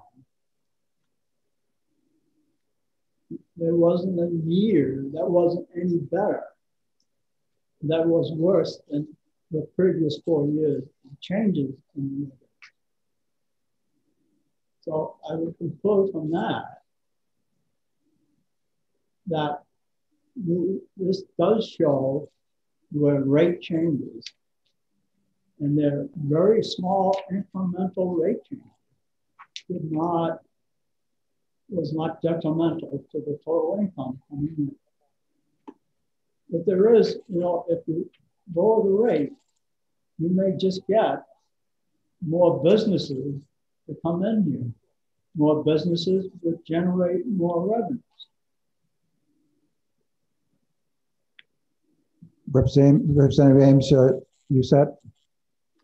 I think I am for now. I, I uh, look forward to continuing dialogue and discussion with Representative Major and others as we go into work sessions to look at the facts. Facts are facts, and uh, we uh, can try to uh, come to a common understanding of what has happened to help us forecast what will happen. I think this is very murky territory. I'm sure Representative Major would agree. Uh, it's incredibly complex. As he says, there are many different vectors come into play, and uh, let's all look at it together and do an honest assessment. Uh, if, uh, yeah, I'll leave it at that. And I certainly would love to I'll be glad when we can sit down and, and go over this together. Yes, uh, I, I agree. We, we are definitely going to have a work session on this bill. So, uh, so there's two more uh, members. No, uh, okay. Representative uh, Schamberg waves off. Uh, Representative Ulery, you have a question of Representative Major? There it is. Yes. Um, if I recall correctly in the past, it, with the exception of the tobacco tax, when there's been a modification downward of our taxes, there's been an increase in revenue. Uh, yes, Susan, I see you smiling. That's the nice thing about this distance stuff. At any rate, I remember getting um, some uh, facts as Representative Ames uh, spoke about uh, from um, LBA regarding what has happened in uh, over time whenever we've done this. That may be helpful. Uh, don't you agree, Representative uh, Major? Yes. You know, there are certain things that aren't as complex, such as the beer tax. If we rate, if we lower the rate on that, it would definitely reduce our revenues because the it seems that over the years the volume of the beer that is taxed has been very consistent. So definitely, if lower right there, then you can lower the revenue. Okay, uh, any other questions of Representative Major? I see none. Thank you very much, Representative. So look, we have uh, two other, uh, well, we have uh, one other uh, individual who had signed up in the pink card, if you will, and then we have Department of Revenue, and then we have two other hands that are up. So I'm going to start with Department of Revenue, and then uh, Greg Moore, you're next. Tim Representative Horgan, you're next after that, and then Drew Klein, you're next after that. So let's start with Department of Revenue. Uh, I, I, do you want to be want us to open, uh, Melissa Rollins and uh, Carollynn Lear? Do you want to do this together? Oh, can we can we open them up both together? Great. Thank you, Representative Abrami. Thanks for promoting both Carollynn Lear, the Assistant Commissioner of the Department of Revenue, as well as myself, Melissa Rollins, Senior Financial Analyst with the Department of Revenue. I just want to make sure you can hear me first. Yes, can. Okay, perfect. All right, so I, um, you seem pretty familiar with the bill so far. It's been explained very well that the business rates go down twice in this bill. So I'm just going to speak to our fiscal note and our fiscal analysis. We have provided a fiscal note quick guide, which basically mirrors the fiscal note that you have in front of you that's back to the bill. So if you want to look at that while I'm chatting, it might make a little bit more sense as I go through. First off, I want to note this is a static analysis. Our fiscal impact is indeterminable. During the static analysis, our starting point was fiscal year 2020 cash basis plus anomalous revenue. You've heard us in the past couple of weeks talk a lot about this anomalous revenue. You know that it belongs back in fiscal year 20. So our starting point for business taxes as a whole is the 69 or 697.5 million. So we take that amount and then we need to tweak it a little bit to get it to be the true amount for fiscal year 20 which is bringing it to 691.5 million. And that's because you've heard me speak before about how tax years cross multiple fiscal, fiscal years. And in fiscal year 20, we are feeling the last impact of, excuse me, in fiscal year 21, we're feeling the last impact of our last rate reduction. So we need to adjust for that prior to this bill being um, put forth. So our starting point is 691.5 million. We then take that amount and we apply the applicable rates based on each fiscal year to get our get us to our bases. And once we have the bases we then are applying the rates as we move forward and the reason we have the chart that's in the sheet it's called proposed legislation rates and splits. It's a good visual to show you how the tax years cross each fiscal year because there's a lot of moving parts when making this calculation so using those rates and splits and applying the base to each of those race, rates and splits, we end up with a final estimated cumulative fiscal impact starting in fiscal year one, fiscal year 21 of negative 5.9 million with a total cumulative fiscal impact of 53.7 million in fiscal year 24, which is the time we'll feel the full impact of all of those rate changes. Happy to answer any questions. Any questions from anyone? Any hands up? Okay, thank you. Uh, I'm sure we'll be talking to you uh, both more about this as we uh, proceed forward on this. Oops, I think Representative Almy has a question. Oh, I, I can't see hands one. Okay, sorry. I need, uh, Jenny, I need your help on, on that. So, so Representative Almy. Yep. Thank you, Melissa. Uh, thank you, Mr. Chairman. Um, I was wondering, we're starting with fiscal year 20, which is probably going to be our lowest, but it may be our second lowest. We won't know until April on, on revenue on to the state from this, these taxes. And so it really is how much we actually lose from this is going to depend on how much revenue we get from uh, the re rebound from the uh, recession, though that in the past has always been slower in New Hampshire than elsewhere.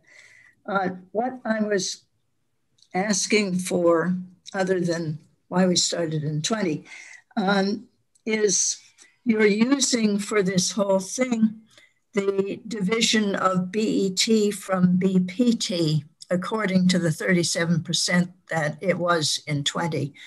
Uh, but we know that we hope that a lot of that is going to change again towards the 40% that you always used as the general number. Um, once we all, all are vaccinated for COVID, which in my case is going to be a long time, uh, and uh, could go back to restaurants and the restaurants could start opening again. Given that they've turned a lot, hopefully they're going to come back almost to what they were before. So uh, the BET should be growing back relative to BPT, and I'm not sure what that does to your conclusions. Yeah, that, that's a great point, Representative Almy. We do always try to put in a little note to say if the starting point of our revenue is adjusted, then our revenue impact will be off. It's very hard. We did we did do this um, these fiscal impacts at the end of fiscal year, um, excuse me, at the end of December, beginning of November. So we weren't exactly sure where fiscal year 21 was going to end. And because of COVID, it made it really hard to say, let's use fiscal year 21 plan because we weren't, we weren't sure at that time if we were even going to meet plan or not. So our safest guess at that point was to use fiscal year 20. So obviously if the revenues increase or if that split does change between the BET and BPT, there will be some impacts. However, I'm not sure if it will be a drastic impact just because of the BET credit against the BPT might offset that a little mm-hmm. bit. Right.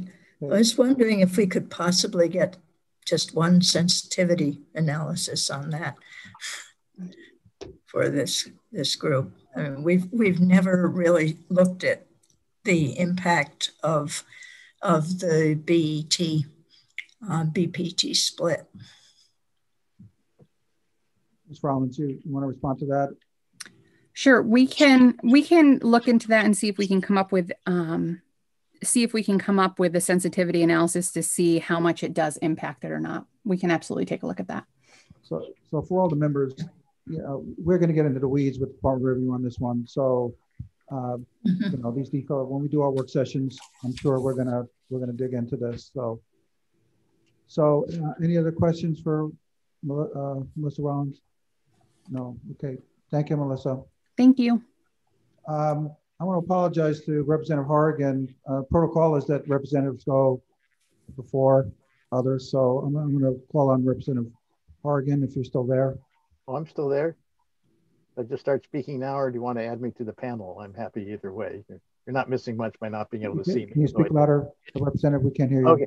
Thank you very much, Mr. Chair. Um, so I guess so you, well, this is, I guess right now I'm uh, an attendee, but I'm, I'm able to speak. That's good enough. You won't be able to see me probably, but you're not missing much. Um, so I'm in opposition, uh, opposition to this bill. I think, um, I think it would do nothing but reduce the amount of revenue coming into the state. And um, both the speaker and Representative Major made what are many of you recognize as Laffer curve arguments for the tax cuts, which is supposedly when you cut taxes, business activity will go up so much you'll get the same revenue or more.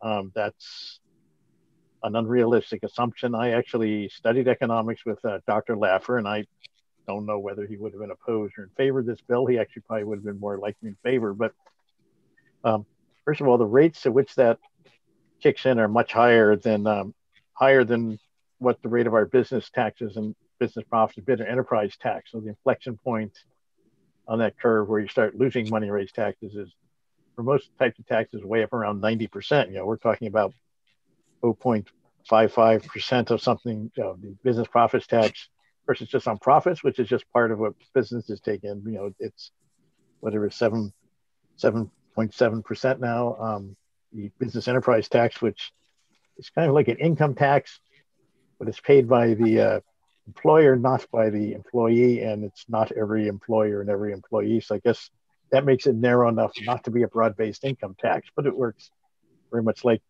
the income tax of everybody who works for a covered um, thing. That's 0.6%. And I think these are also the Laffer curve effect, you know, supply side effect kicks in only when the uh, when only only when there's a, a significant uh, change, when there's also there's structural changes that can kick in, and um, also people have to be confident it's going to stick around. And none of these apply to this. You could probably totally eliminate the business enterprise tax, and you do nothing but lose all that revenue. I think that would probably have little or no effect on businesses. Um, biz- also, growth in business it um, relies a lot more than low taxes. Um, you need you need a uh, good government for businesses to grow. You need businesses need a workforce, you know, they need a judicial system, they need transportation, they need all kinds of things that government pays for. So like at least some of what government does is very beneficial to the business community. So, and also um, the government also is a major customer for private business. So they're one of the largest, uh,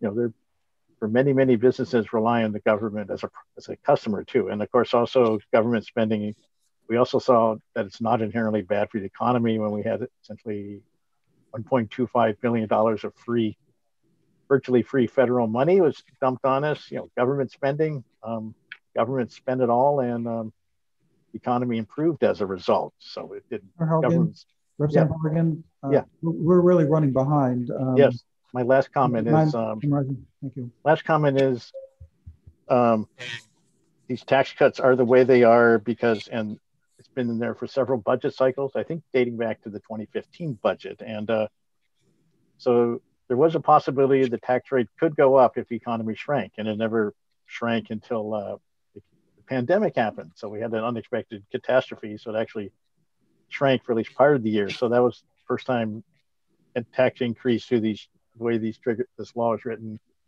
could even happen. And um, it was, uh, you know, the effective the amount that it goes up would would have gone up is very exaggerated. I remember even back then when we had the budget briefing, I asked uh, Neal Kurk, um, this looks like the tax rate could actually go up under certain circumstances. And I tend to be really amazed that such that he would consider such a thing. And um, he, he assured me, and it was a reasonable answer that that would be virtually impossible. But then last year, many things that are virtually impossible actually happened, and one of them was that uh, these, these triggers that these uh, you know the economy shrank enough to trigger a possible tax increase. So anyway, I think uh, you know we'll have plenty of work sessions. I'm my, I know a lot less about this than the uh, than the committee, and you'll have plenty of work sessions, a wide variety of, of uh, sessions. But I think uh, I think this bill is a bad bill. I think it, it will do nothing except uh, just lower the revenue, and we'd either have to uh, Th- Thank you. which we have to get it somewhere else. So that, that's that's why I'm opposed to it. So Thank you, Representative Horrigan. Uh, Any questions for Representative Horrigan?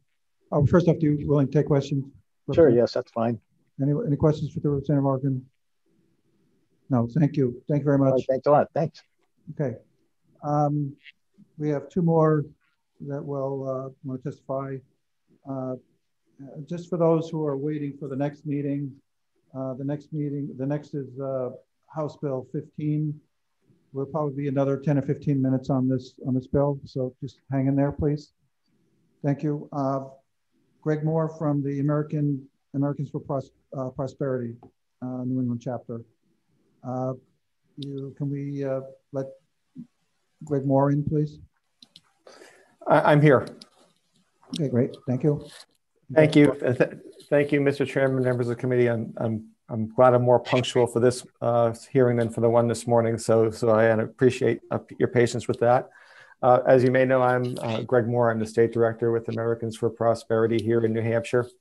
And for the veteran members of the committee, uh, you know that uh, we have long been proponents for reducing the state's two business primary business taxes.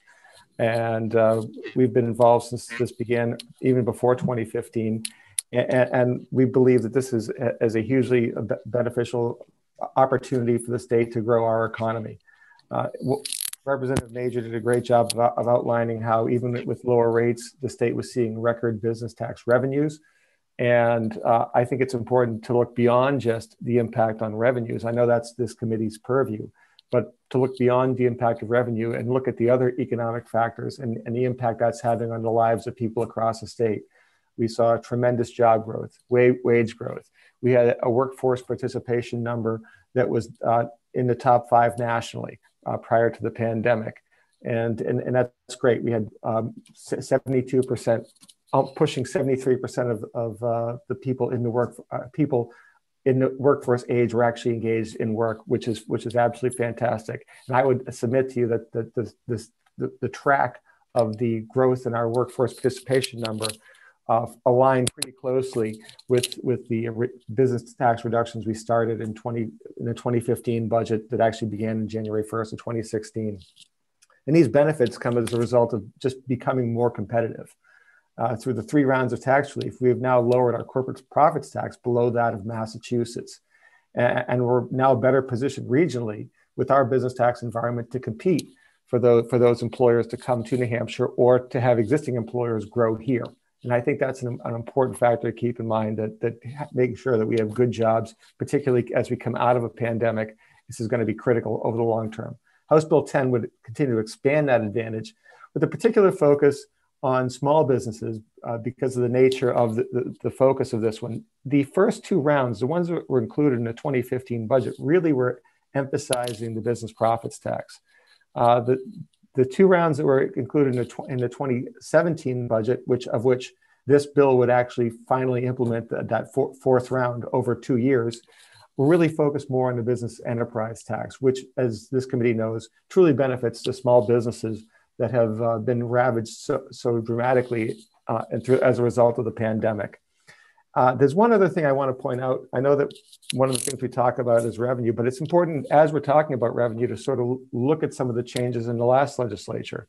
Looking at the surplus statement that was attached with, with the last bu budget, House Bills 3 and 4 from 2019, one of the things we note is just by going through that surplus statement, ta tax law changes as a result of Senate Bill 190 and, and House Bill 4 resulted in, at least estimated at the time, 41, 41 and a quarter million dollars in tax increases on businesses.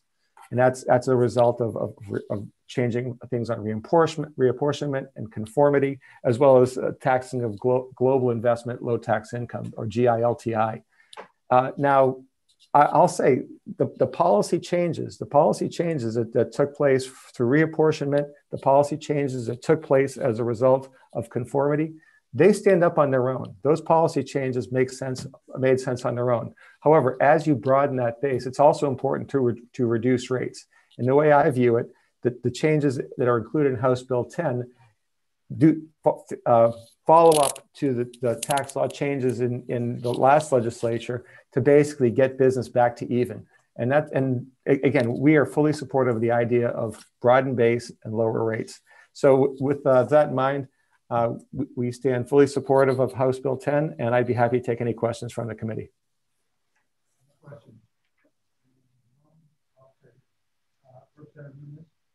Thank you, Mr. Vice Chair. Uh, and Representative Nunes, I'm sorry. Thank you, Mr. Vice Chair, and uh, thank you, Mr. Moore, for testifying to us today. It's good to see you on a screen, even though it's just a picture.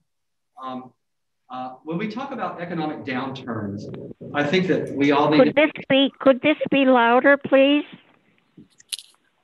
How's How's that? You may want to take down your better. Mask. Better. Is that better? You You want me to take down my mask? Is that better? That's better. I couldn't hear before. Thank you so much, and thank you for letting me know that because I certainly want to be heard. Uh, Mr. Moore, when we talk about economic economic downturns, um, I think sometimes that we forget that there are different there are different levels of economic downturns. Some of that is is a lack of consumer confidence. Sometimes it is bad planning by the feds, and, and sometimes it's about bad policy introduction at the state level. I think that when we compare 2020 to other years, a pandemic hit in 2020, and I don't think it's fair for us to judge in 2020 but for us to look back in the past and look at the growth that we've had from reduction in business taxes. Um, Mr. Moore, can you touch a little bit more on the growth that we had over the past several years before the pandemic and looking at our unemployment rate and where we're going right now and the possibility for businesses to be coming open again as they are in Massachusetts and other areas that are opening up their businesses right now. I think that we'll be following suit, hopefully. Um, can you talk to the level of confidence that we'll have in our economy here in the state and why reducing this tax would help us? Well, at first, I'd say uh, I, I, tend to look back at this as, as a, a five-year discussion, not necessarily a one-year discussion. Um, it's clear that without question, what happened what happened last year I think we can all say that we, none of us hopes that would ever happen again or anytime again in the near near term.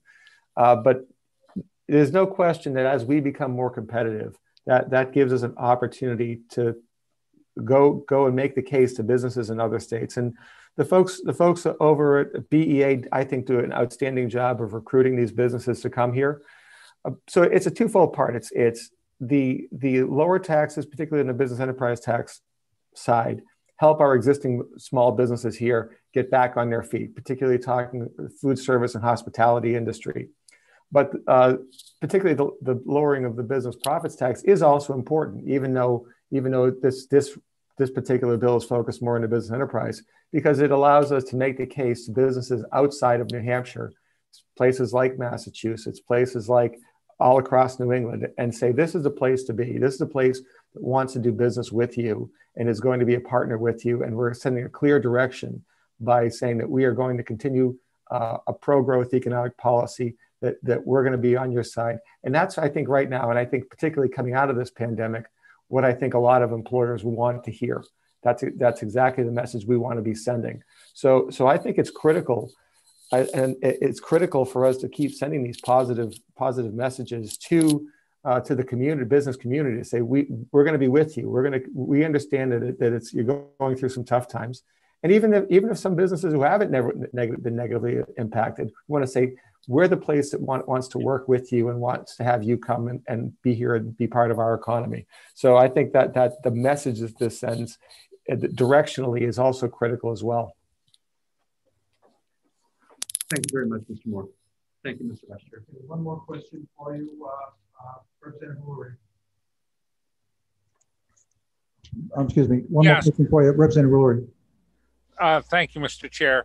Uh, Mr. Moore, uh, the same question I asked earlier about uh, historical analysis. Uh, you and I have both attended conferences with um, uh, Dr. Laffer, who is funny, or an economist who's funny. But excuse me. But at any rate, um, do you have any information from AFP regarding the uh, practical effect of uh, reducing um, uh, uh, taxes and the and, and increasing generation of revenue from uh, any other sources that we could uh, use as study for what Representative Ames is seeking facts. Thank you. Uh, I, have done a, a, bit of a literature review on this. Uh, certainly, certainly there there is plenty of uh, confirmatory evidence if, if that's the case of, of increased business activity. But I think it also depends, uh, as Representative Major pointed out in his testimony, that uh, that, that sometimes consumption is fairly stable and and, um, and increases and reduction in some taxes will have little or no little or no Im- impact on the actual level of consumption. Uh, as much as I hate to say it, the, we've seen that quite a bit with the uh, meals and rental tax, where increasing the tax rate has not resulted necessarily in a drop in consumption.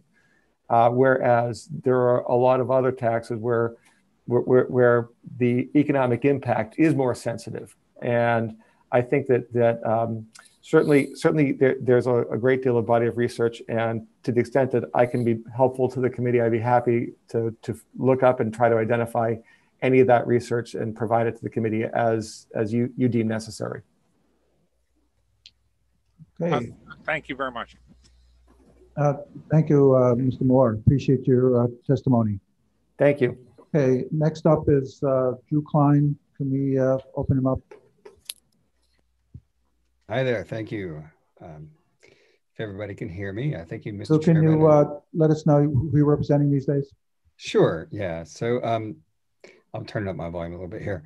I'm Drew Cline. I'm president of the Josiah Bartlett Center for Public Policy, the free market think tank in New Hampshire. And um, my interest in this is, testimony today is just to um, actually answer some of the questions that I've heard uh, brought up by members of the committee uh, regarding the effect of business tax rate reductions on state revenues in the past few years. So if you go back to 2015, when uh, you had the state budget debate over the tax rate reductions, uh, Governor Hassan predicted that the business tax rate, tax rate reductions would create a $90 million hole in the upcoming two year budget. But what actually happened? Instead, business tax revenues came in 132.8 million or 23.4% above plan in fiscal year 2016, 72.7 million or 12.9% above plan in fiscal year 2017. For the next budget, business taxes came in 118.8 million or 17.9% above plan in fiscal year 2018, and 151.6 million, or 23.2% above plan in FY 2019. So you look back at those four years since the business tax rate reductions began in 2016, business tax revenues exceeded budget projections by a combined $475.6 million. So we're talking about almost half a billion dollars in new revenue, Un- unanticipated, um, above budget projections. in 2017, The Office of Legislative Budget Assistant projected that the additional business tax rate reductions passed in 2017 would cause an $11 million reduction in business tax revenues in fiscal year 2019. Instead, business tax revenues came in 15.16 million above plan that year. I'm not saying that the business tax revenues caused all of those increases. As uh, Representative Bellamy points out, there was um, economic growth elsewhere in the country. But I would point out that GDP growth in the United States in those four years, and I just did this quick calculation um, looking at Federal Reserve data, economic growth in the US, GDP growth was 9.3% from 2016 to 2019. In New Hampshire, GDP growth was 11.6%. So it was more than 2% greater than the US average since we've been cutting these business tax rates. Um, I think the obvious takeaway is that the way when you have this fiscal note done by the legislative budget assistant, um, that is, as they say, static. It is not dynamic. And what that means is that they do not take into account when they do this calculation what the effects of the business tax rate changes would be on behavior. They simply look at numbers um, on a spreadsheet. And when you consider what the changes to business behavior are, you see um, that it does, in fact, stimulate some additional economic activity. And we know this um, not just from Art Laffer, who uh, has been brought up several times here as the godfather of um, supply side economics, but since then, there's been a tremendous amount of research from all sorts of economists on the effects of business tax rate changes.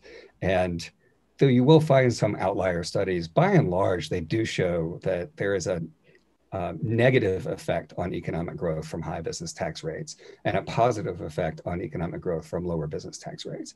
In addition, since this bill um, does focus a little bit more on the BET, I think it's worth pointing out that that effect is particularly strong with small businesses. I would point to a 2018 study by the Federal Reserve. So just a couple years ago, they did a study looking at entrepreneurship and state taxation.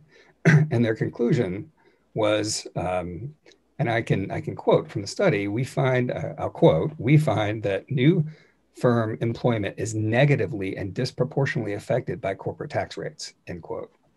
So there is a great body of literature showing that lowering business tax rates, corporate tax rates, does have a bit of a stimulative effect on the economy, can help GDP growth, and can particularly help small businesses. And since almost all businesses in New Hampshire, the large majority are small businesses, um, I think one of the takeaways you can have from lowering these rates, particularly the BET, is that it would have a positive effect on small business growth. And that's yeah. all I have. Thank you, uh, Mr. Cline. Uh, any questions, Mr. Cline? Any hands up? Okay, seeing no hands up. Uh, thank you very much, Mr. Cline. Appreciate it. Thank uh, you. Are there any other hands up? Uh, anybody else want to testify? Wants to testify? Okay, seeing none. Okay, thank you. I'm going to read the blue sheet now. All of these folks signed up are in support of the bill.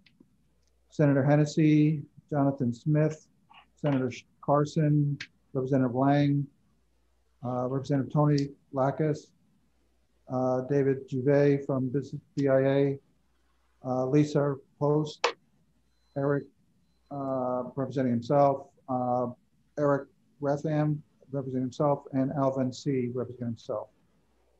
Okay, uh, with that, I'm going to close the hearing on House Bill 10. So, Mr. Vice Chair, I like that gavel. Yeah, I know. okay, next bill is House House Bill uh, 15. And uh, we have uh, Representative Packard who stayed with us. Thank you very much, Representative Packard, for, or Speaker Packard, I should say, uh, for hanging in there with us. I just want to say for the committee, uh, this is the bill relative to including under the meals and rooms tax facilitators of internet transactions of motor vehicle rentals and facilitators of internet transactions of room uh, occupancies. I, I just want to point out to the committee, those new nine members, this is a bill that we worked on very hard last year uh, and that uh, for whatever reason didn't make it through the Senate. Uh, but I, I think, uh, and we merged, Representative uh, had a, he was a sponsor of the, uh, last year was a sponsor of the, uh, uh, the, not the room and meals, but the, the auto, the motor vehicle rentals piece of this. We merged the two bills last year into one. But with that, I will turn it over to Speaker um, Packard. Thank you, Mr. Chairman.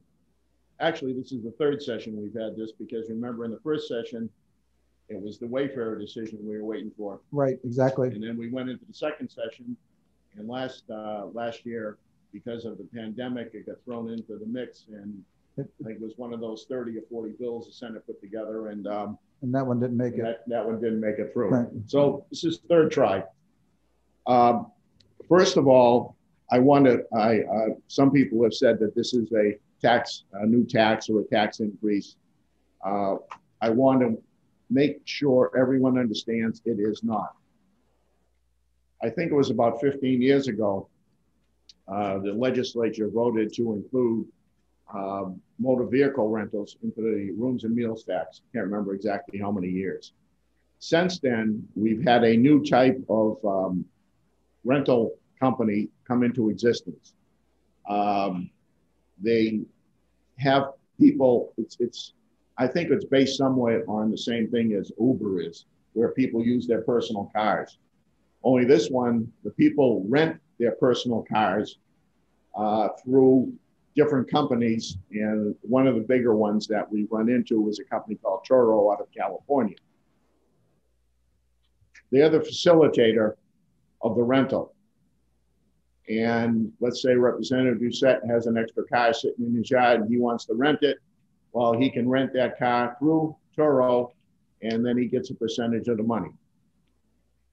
So what we discovered, and it was brought to our attention by the rental car companies, is that if we're going to charge the rental car companies the 9%, then anybody renting a car should be charged the 9%. Pretty simple that's why I, I am I am insistent that this is not a new tax. This is something that's fair. If you want to get rid of the 9% in the rental car companies, go for it. I'm all for it. But if you're going to keep the 9% on the rental car companies, then I think any company renting a car should have to pay the 9%. That's pretty much what this, uh, the, what this bill does. Uh, I'll let you address, Mr. Chairman, the other part on the uh, Airbnb part because obviously that was a thing that you instituted, you know, into this bill. There were two bills, and I understand that. So that's all this bill does is it makes it a plain, a, fair playing field. Is that if one company is going to be charged 9% and this company is over here, it's a different model. They do it differently, but it's still a rental car company. So all I'm asking is that um, we move forward with this bill and make it fair for those rental car companies out there.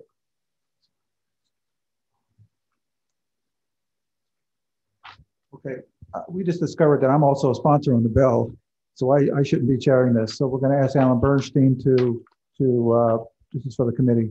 Well, actually, Mr. Chairman, you can chair as long as you don't get into any discussion or ask any questions. Oh, okay. Thank so, you. So, so you, you uh, can say that as long as you don't testify and you don't ask questions. All right. Can or, uh, or I could chair. is a member uh, is a, a, member of the committee, whether present here, who was here last year, or on, uh, want to explain the Airbnb? But we call, we used to call it the Airbnb bill. Uh, does someone want to just add a little light on that for for the rest of the members? Representative Almy will. Okay, Rep Representative Almy recognized. Thank you. Um, last year, we we had been dealing, the DRA had been dealing for quite some time with this issue with hotel lodgings. Um, the hotel lodging companies that arranged on the internet for, um, they would buy up large quantities of hotel rooms in, in New Hampshire, for instance, and then offer them at lower prices than what they would be, be offered at by the hotel itself. And it did that because it was not paying the 9%. It declared that the 9% was a commission that had nothing to do with the regular cost. And um, the DRA can probably correct me on this if, if they want to, but on, and the DRA finally managed to reach an agreement with Airbnb that they would pay the 9%. But that left all the smaller companies that were doing this, and it left Airbnb at a disadvantage with those companies. So um, that it was brought, there was a lawsuit, which the DRA can tell you more about. There was a lawsuit um, by some of those companies saying, we don't have to pay this. And it went to our Supreme Court, and our Supreme Court, New Hampshire, said, uh, You're right, under the law the way it is now, you can't, you don't have to pay this. But if they just change this piece, yes, you you should be paying this. And so that's why that bill came in. It was sponsored by Representative Butler, who uh, did not run again this term, who runs a small B&B, which was being discriminated against by this also on and on that bill also was something that we were going to put through very easily. There was no opposition to it on developing it all. And uh, we got hit by the, uh, the Senate's omnibus requirements. And we put those together largely because they're they are doing exactly the same thing from two different segments of industry uh, to exactly the same sections of the statute, and we wanted to make sure that it was consistent. So that's why that piece of this is in here, and um, it seems to it there may be a company or two still trying to avoid being taxed for the same thing Airbnb is paying and and all of our brick and mortar hotels and B&Bs are paying. Um, but um, we heard very little, if any, opposition.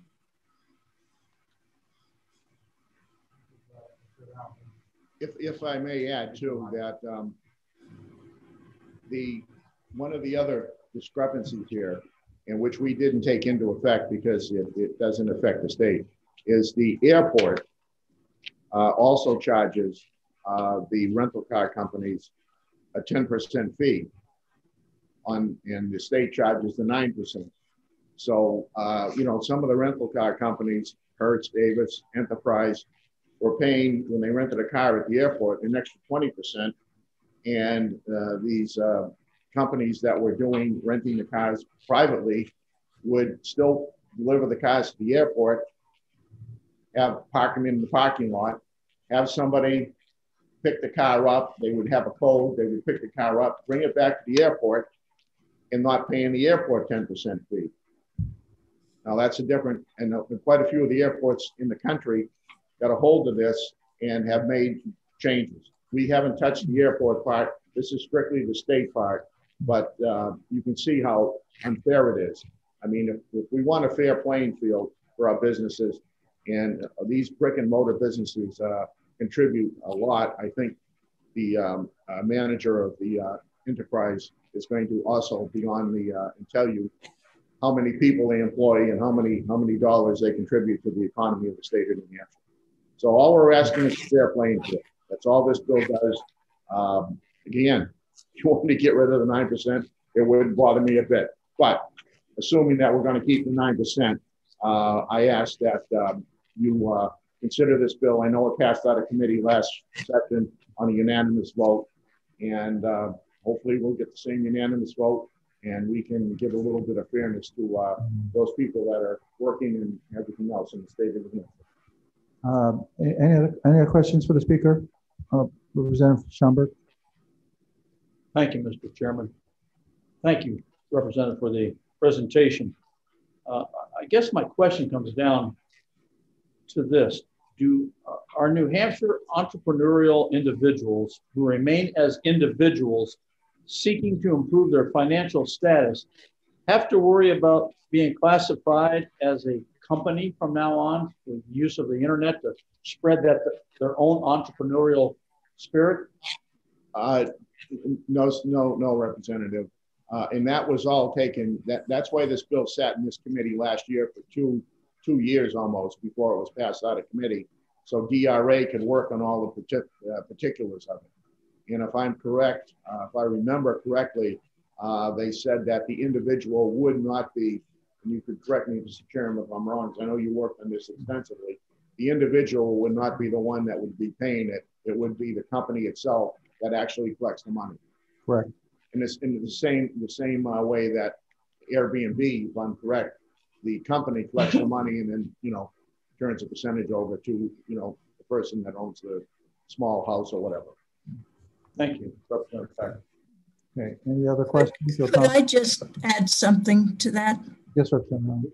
Thank you. I'm sorry to be out of line. On the, the individual, under our current law, the individuals are responsible for renting that car. The individuals are responsible for renting that home whole uh, uh, hotel room. If they do not pay, and the and the hotel or the online company does not pay, then the DRA can and has sometimes, I believe, they can talk to you about it, go after the individual who had no idea he had a tax to be levied and make them pay. I, I, I, I yeah, I, I think Representative Almy is right, but um, the uh, the thing I'm the thing I'm saying is that these people that are renting their private vehicles uh, really don't have a platform unless you know. And something some of the things were, brought up as well. My neighbor takes my vehicle to go pick up a refrigerator or something. Are they going to have to pay the nine percent? Well, that's just crazy. That's just ludicrous. This is the people that sign up with these companies like Turo and a few others out there. So they're already in the system and their cars get rented through Turo or the other company. So it's not like you're going to have anybody out there. And if somebody out there can successfully, individually, just rent their vehicle somehow, then I'm, I, I realistically don't think, uh, you know, We wouldn't catch after somebody renting a vehicle a couple of times a year. But this is the company itself. The amount of money right now is small, but remember Uber first started, the amount of people using Uber was small, and then it got bigger and bigger. So if we're going to have a fair playing field, then this is, I think, the way we go. Otherwise, make a change in the taxes. Uh, Can I just interject? Uh, Representative if you refer to uh, the second page of the bill, lines 13 through 18, I think this is addressed, that we can't go after the person that owns the room or the vehicle. I think, I think we covered that last year, so it's in the bill. Yeah, it, it was brought up last year. uh, Yeah, I Mr. think, Yeah. yep, I think That you're protected. That was brought up and I talked about it. Okay, very good. And it, it's it's in the bill, but it's in the bill with the basis that that somebody else is going to pay it, namely the the online company that has been providing the insurance, that has been providing uh, cleaning and all sorts of things like that. Okay. Uh, We'll have a discussion when we, when we meet in, uh, and we'll be meeting on this bill as a, as a committee. Thank you very much, Mr. Speaker. Okay, thank you. I, I do have one. Dennis has Oh, I'm sorry, I'm sorry. We have one more. Representative Malloy, Mr. Malloy. Thank you, Mr. Chair, for uh, recognizing me, and, and uh, thank you, uh, Mr. Speaker, for taking my question. Uh, and this is really for the benefit of the whole committee. I'm hopeful that, would you agree that uh, the work that we did on this bill uh, last session was thorough and complete? And it's really, it, it, we put a lot of effort into this to make this right. Uh, I would agree hundred percent representative, and that's why it, it took is, you know, the two years to do it. And I believe you came out with a damn good product. So hopefully we can move it forward. Thank you. Okay, thank you both. Thank you, Mr. Speaker. Okay, so we have uh, seven, seven others that want to testify. So if we can all be, because we're way behind now, um, if we could try to keep it to three minutes each, that'd be great. Uh, I, I, really appreciate it. Uh, I won't cut you off uh, if you go a few a minute or so over, but we got to kind of keep it down to a dull roar here so we can we can get through this. So uh, we'll start with uh, Clarissa Alexis. Uh, she represents Enterprise Holdings. Are you still there?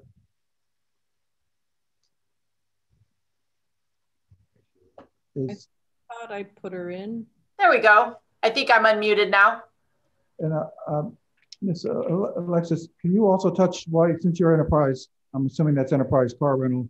Uh, can you touch on the uh, on the uh, airport issue, please? Yes, would um, I can definitely touch on that as part of um, part of what I wanted to share today. And, and really just starting off, I wanted to say good afternoon, Chairman Major, Vice Chair Abrami, members of the committee. It's great to see so many familiar faces. I, I know many of you were part of this unanimous vote to pass the legislation last session. Um, for those of you that I don't know, my name is Krissa Alexis. I'm a New Hampshire resident. I live in Windham. Um, my office is based out of Londonderry, and I'm also an employer of nearly 400 residents with over 30 locations across the state. Um, as the regional vice president overseeing enterprise holdings operations in New Hampshire, and as of the last time we were discussing this bill, uh, we were proud to have contributed over $8 million in state tax revenues. We spent over 7 million with local New Hampshire businesses in the auto industry and donated more than $46,000 to charitable organizations in our great state. So, needless to say, but I will, we're heavily invested in New Hampshire uh, to the continued prosperity of the families we employ and to our communities. So, my involvement began um, in this bill began because Enterprise supports a very simple principle, which is equal rules of the road for all rental car transactions. And I think Speaker Packard represented that perfectly. We are not looking to create new taxes. Um, what we do know is the way rental car transactions are conducted has changed and evolved since the original tax rules were written. And we're looking to expand the platforms that are covered to create a level playing field for everyone renting a car. Um, enterprise, we've been exploring an opportunity to offer peer to peer car rentals as well. Um, and we want to play by the rules when we do so, making sure we're paying taxes, following consumer protection, safety, and privacy laws that go along with making vehicles available for rent to our public. Because some peer to peer companies claim that these laws don't apply to them, everyone needs clarities on the rule of the road. Uh, when we rolled up our sleeves and really started digging into this legislation back in 2019, uh, the opponents argued the language, definitions, and premise of the bill. They tried to create fear about what would happen if the online platforms were to be taxed the way they should be. Um, they kept offering to work together to come up with agreeable language that would address all of their concerns. But after two years of working on this, um, and the oppo- opposition being given a working platform and open discussion to make recommendations, they just didn't. They kept whining about how it wouldn't work, but didn't really give us anything to work with. Um, also, in those two years, many other states have passed similar legislation and has not stifled the growth of the platforms or any new online rental car act, uh, initiatives. Um, I agree with Representative Malloy. Our representative worked really hard to create a bill that was fair and works here in New Hampshire. Representative Almy did a great job leading the discussions that got us the bill to a place everyone agreed on. Um, and when we passed this through the committee last year, the DRA agreed this bill was easily applied and enforceable. Um, so at the end of the day, to me, uh, this bill is about fairness, and we should not let some peer to peer companies dodge taxes. Just as many states have already decided in other gig economy debates, we're simply asking for equal rules of the road for everyone in the car rental space. Um, competition is good and healthy and welcome. Uh, we just want a fair shot at winning every rental we can, and we believe in an even playing field for all rental car providers um, is necessary to keep a healthy market and industry. Um, I believe there was a request for me to comment on the airport market. And here in New Hampshire, we work very closely um, with both uh, MHT and PSM. And I know um, Ted and the team over at MHT. Um, this is very topical for them, and you know he's had other legislation that he's brought to the table. Um, but we have had the support of our airport directors here as well to create an even playing field when it comes to rental uh, car transactions and facilitators. I don't know if that answered the question, but I'm absolutely um, open to and welcome to any other questions the committee may have. Okay, thank you. Uh, other questions? Are there any uh, hands up, please? Uh, Representative Almy? Representative Almy, please. Representative Almy.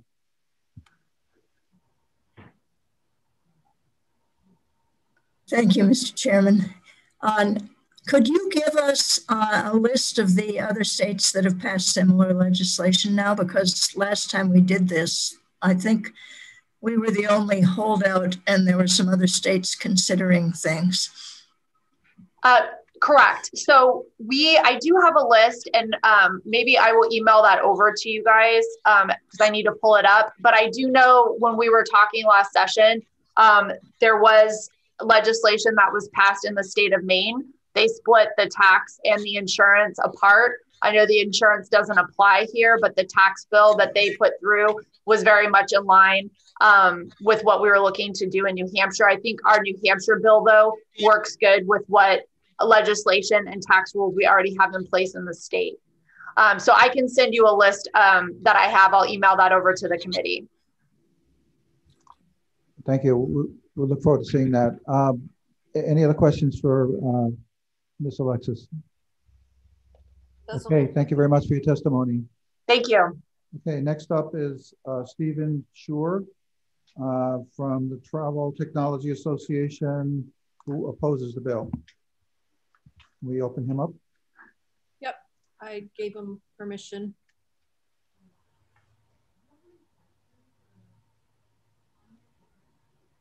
Good afternoon, members of the committee. Are you all able to hear me? Yes, we can. Thank you very much. Uh, thank you for the opportunity to speak with you today. My name is Steve Shur. I'm the president of the Travel Technology Association. I represent companies like Expedia and Priceline and Vrbo, uh, all of whom uh, inspire and facilitate travel bookings uh, in the state of New Hampshire. Um, but before I get into the testimony that I prepared today, I wanted to just um, take a moment and reflect on um, the speaker's introduction to the legislation. And if this bill is really about car sharing, then I believe that um, there's a way to draft the legislation that that narrowly addresses the car sharing issue. That's not my issue uh, here today. My concern with the legislation is that it uh, it applies the meals and rooms tax to travel agent fees, and I can explain that. And that would apply to not only car rentals for people who book uh, car rentals through platforms like Expedia and Priceline, but also hotels uh, and short-term rentals. Think of it this way. Online travel agents like those companies operate much like brick and mortar travel agents. They facilitate the booking. They, they don't have possession of the vehicles or the rooms uh, simply providing a service. And what this bill would do would, would apply the meals and rooms tax to that new service fee. And it would apply to new hampshire travel agents as well. So when you book a room or a car or a short-term rental on one of those platforms Typically, what happens is that platform collects the room rate or the car rental rate and all the applicable taxes and passes those on to the hotel or to the car rental company for remittance to the local jurisdiction or the state. And then they also charge the traveler a small travel agent service fee. That service fee would be subject to this new tax. And that's why in my testimony that I, that I provided in my written letter to the committee, as well as uh, the written testimony of the American Society of Travel Advisors, we're concerned that the broad nature of the use of this tax uh, that would apply to hotel bookings through third party and travel agents, as well as car rentals, um, would be detrimental to the state. As you're all aware, the pandemic has had a dramatic impact on the travel and tourism industry. That's no secret to anyone. And we just firmly believe at this point that now is not the time to tax any aspect of travel and tourism uh, and rather look ahead towards recovery. We think this tax will have a negative effect on the recovery in that it will make accommodations more expensive. And even for New Hampshire citizens, our research shows that about 25% of hotel rooms booked on online travel sites are in state bookings. And given the pandemic and travel restrictions, et cetera, we're seeing actually higher rates of in-state travel. And so, uh, like all taxes, this will be passed on to the consumer in the form of higher room rates, higher car rental rates, as those taxes are uh, recalculated into the total cost of the trip. And so I would urge you, if the true goal of this legislation is to narrow the focus uh, to car sharing, then do so. Uh, but the way it's drafted now would unnecessarily tax travel agents and online travel agents uh, for everything from hotel hotel bookings to car rental companies. And I'm, I'm happy to answer any questions. I appreciate your time. Mr. Shur, did you, uh, you, you said you sent something, you have sent something to us? Yes, I did. I sent a, uh letter to the entire committee. We'll take a look at that. Uh, I, I know we had this discussion last year and here before. Uh, uh, well, let us take a look at that. Um, thanks for bringing it to our attention. Um, Thank any you. questions for Mr. Shur? Representative Almy does. Representative Almy? Thank you. Uh, Mr. Shur, uh, I'm sure you heard the previous speaker on, she said that uh, they'd asked for information from you and how to um, word things so that it would avoid, I presume, this issue, which I don't remember, frankly. Um, do you have such language at this point to share with the committee? Uh, I certainly could provide that to me. Other states have, have, as was mentioned previously, have, have done something similar. And again, if, if the goal is to address ride sharing, car, I'm sorry, car sharing, not ride sharing, um, in this context, that, that there is a way to draft the legislation that doesn't involve traditional car rental bookings on platforms like Expedia and Priceline, as well as hotel room bookings on those same platforms. So I'd be happy to follow up with you and the members of the committee on that. Thank you. You realize we don't have a lot of time, so we'd need it by next week. Certainly, I'd be happy to provide that in that time frame. Thank you. Thank you, Mr. Shur. Uh, any other questions? Any other hands up? Okay, thank you. Thank you very much, Monsieur. Okay, next up is uh, uh, Henry Value um, uh, from the New Hampshire Lodging and Restaurant Association uh, in support of the bill. Um, I'm trying to find him. Didn't come up in my. I think he may have left. I saw him here here earlier, but now I can't find him.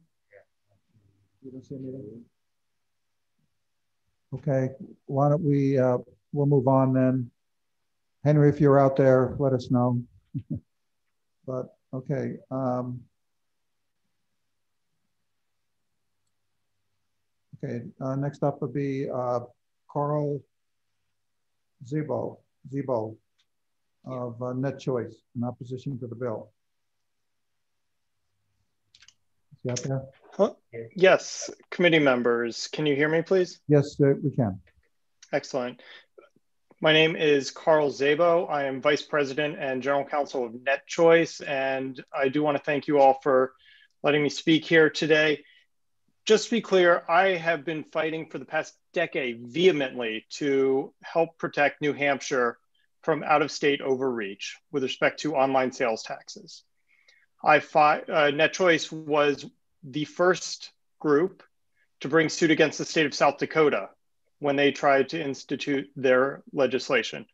I filed an amicus brief at the US Supreme Court. I've spoken with many of you on panels and stood by, by you as we defend the rights of New Hampshire residents to avoid unlawful taxation from other states. And one thing I noticed that I found rather jarring to me today was hearing much of the same rhetoric that I fought so hard against when it came to online sales taxation, when it comes to hotel lodging services taxation and car rental services taxation. And it was the level playing field, unfairness. These were terms I heard time and time again for the past decade coming from RILA and other brick and mortar stores as they said it's unfair and we need to level the playing field that New Hampshire businesses aren't paying their fair share of taxes. So once again, it was very surprising and, and uh, frustrating for me to hear those types of phrases from my colleagues and, and uh, the representatives in New Hampshire. Now, speaking to the merits of this legislation, I did submit testimony. Uh, I oppose both components of it. With respect to the hotel tax, as well as the new tax on car rental. Now, it is important to be clear that this is a new tax.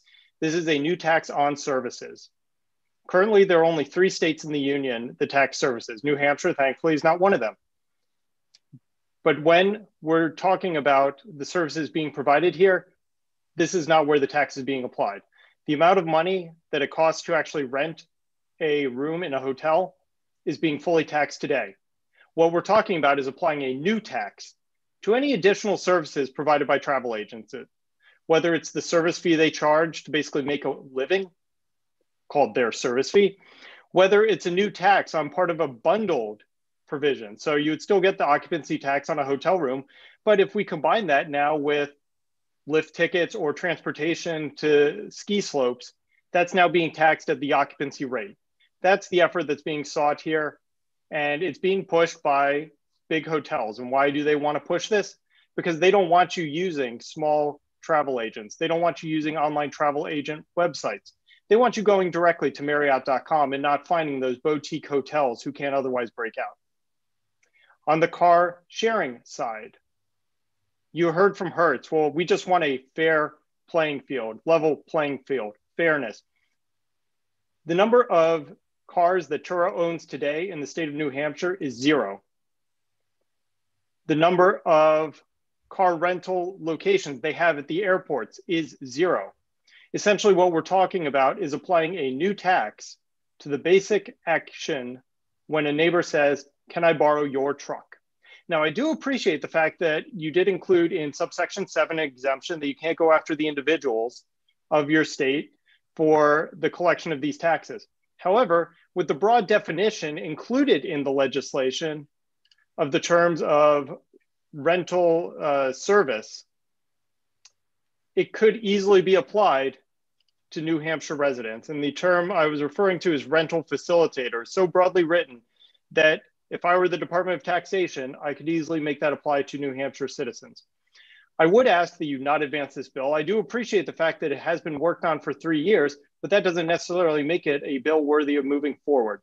To answer uh, Representative Almy's question about do we have recommended language, I did include in my testimony two possibilities of recommended language with respect to the uh, hotel occupancy tax agent component, and they both come as models from ALEC, who has repeatedly stood against these forms of new taxes. I'm, i was trying to be fast and I covered a lot, so I welcome any questions you ha may have. Uh, thank you for your testimony. Uh, are there any hands up? Uh, none in the room. Any uh, uh, any hands up? I have a question. Okay.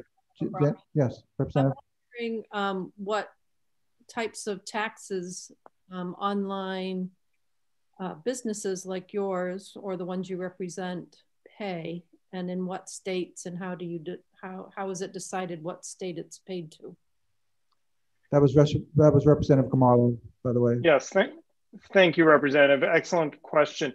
So just to be clear the uh, taxes are always paid. So let's use the example of hotels. If i were to go and use a travel agent to book a hotel in New Hampshire. That hotel, and let's presume the cost of the hotel is $80 for the room, 100% of the hotel occupancy tax on that $80 is paid.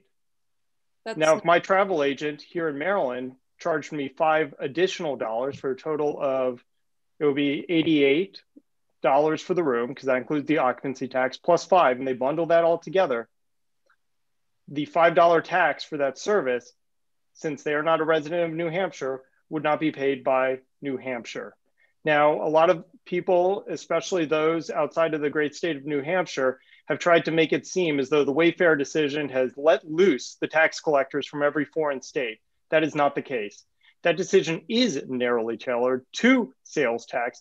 And what we are talking about are issues well outside the area of sales tax. We are talking essentially about business service taxes. And I can promise you, you do not want in New Hampshire other states reaching across their borders and trying to apply their business service or business activity taxes to New Hampshire businesses, because that's essentially what we're talking about here. Sure thank you. Any other questions? Any other hands up? Okay, thank you, Mr. Szabo. Uh, uh, we'll, we'll take a look at your written testimony as well. Thank you. Thank you. Okay, next up is uh, John Olson, who's with uh, any Internet Association in the opposition of the bill. And uh, for the committee, I'm going to step away for a second and Representative Major is going to take over. Thank you. So, uh, so, uh, so uh, Mr. Olson. He's there. Yes, thank you. Can you hear me? Yes, thank you. Yes, thank you, Chair and members of the committee. My name is John Olson. I'm the Regional Director for the Internet Association representing the Northeast. Um, I represent most of the companies uh, this tax would apply to with respect to Expedia, Airbnb, and Turo. Um, I will refrain from repeating my written testimony I submitted last night, so you should have had time to look at it. I would just say, from my perspective, uh, representing the internet industry, um, you know, this is a very unique time. We are still under the throes of a pandemic and experiencing economic recovery across the states. Uh, and I don't think that's any less true in New Hampshire. Uh, generally, the services that um, this rooms and meals tax would be applied to have become uh, almost a lifeline to New Hampshire residents. In general, I think the car sharing aspect has allowed most New, uh, New Hampshire residents that utilize Turo and other car sharing platforms to uh, help offset uh, a significant liability in the form of their vehicle. Um, I think the same can be said for renting out rooms or second homes through travel platforms such as VRBO, HomeAway, or Airbnb. Uh, in general, as Carl mentioned previously, this is a new tax and it's likely a tax that will either directly be impacting New Hampshire residents or, you know, pass the cost along to them for using these platforms. Uh, so I would just ask the committee uh, to consider, you know, the current environment is this the right time to uh, to assess new fees and taxes on New Hampshire residents?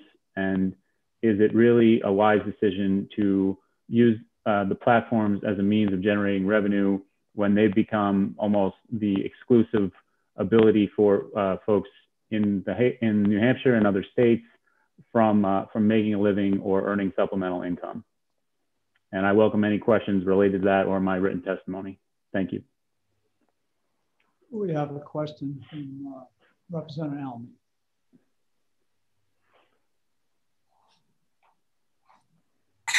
Thank you, Mr. Chairman. Uh, Mr. Olson, did you um, do you have any idea how many, much business Turo does in this state yet? Because when we discussed this last year, as I recall, there wasn't there he could wasn't sure we he had any customers at all in New Hampshire. Um, uh, they were just trying to make sure we didn't set a precedent, which apparently I, has been set. I, I don't believe that's correct. I think the number from at least last year was around 4,000 residents utilizing the platform. I can only imagine it's grown. Um, you know, I think you find that cars have become pretty expensive and almost useless piece of, of property for some people, but you know there are others who like to travel and find it the most affordable means of obtaining uh, a car that they may not otherwise have. So I don't think it's correct to say there are no customers in in New Hampshire, and I imagine there may be someone from Turo testifying today. If not, um, that information can readily be um, given to you. But in general, I would say New Hampshire does have many people using Turo and, and using it to uh, to supplement their income in some respects. Thank you. Any further questions? I don't see any hands raised. So then, thank you, Mr. Olson. Thank you. We're going to go to Maura Weston, who's a lobbyist for Turo. Maura. I don't believe she's on. I haven't seen her name yet. Raise your hand if you're Maura Weston. Looks like she might be MMW. All right, then we will go to, there's two people from the DRA. They're both going to testify. Wait a minute. Carollynn Lear and Devin. One moment. I, I believe we do have Maura Weston. We do. Okay. And, uh, you turn her on. Yep. She just came on. Okay, yes, Maura is on. I'm sorry, my computer is labeled MMW. I apologize for that. Um, can you hear me? Yes, we can. Wonderful, thank you.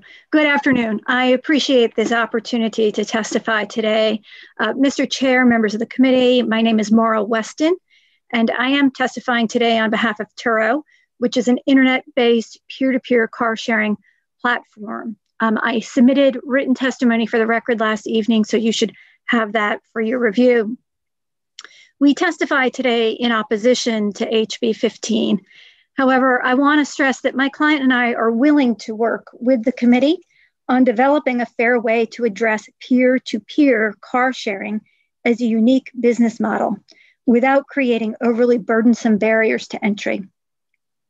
Turo is an internet platform that provides a service, a service so that car owner hosts can list their vehicles for sharing with guests in need of a vehicle. Turo's peer to peer car sharing marketplace enables New Hampshire citizens to share their personal car with neighbors or members of their community. This marketplace, as I said, provides a service. It's an economic opportunity for New Hampshire car owners to earn a small amount of extra income. It also provides drivers in search of mobility options or a specific type of vehicle a solution. When you think about the implications of this bill, think about the New Hampshire citizen who's the host. Think about perhaps the college student who may only need to use a car two days a week for his or her internship and wants to offset a bit of their debt. Or think about the family who's cleaning out their basement and may perhaps like to share a pickup truck for a day, but otherwise couldn't afford one.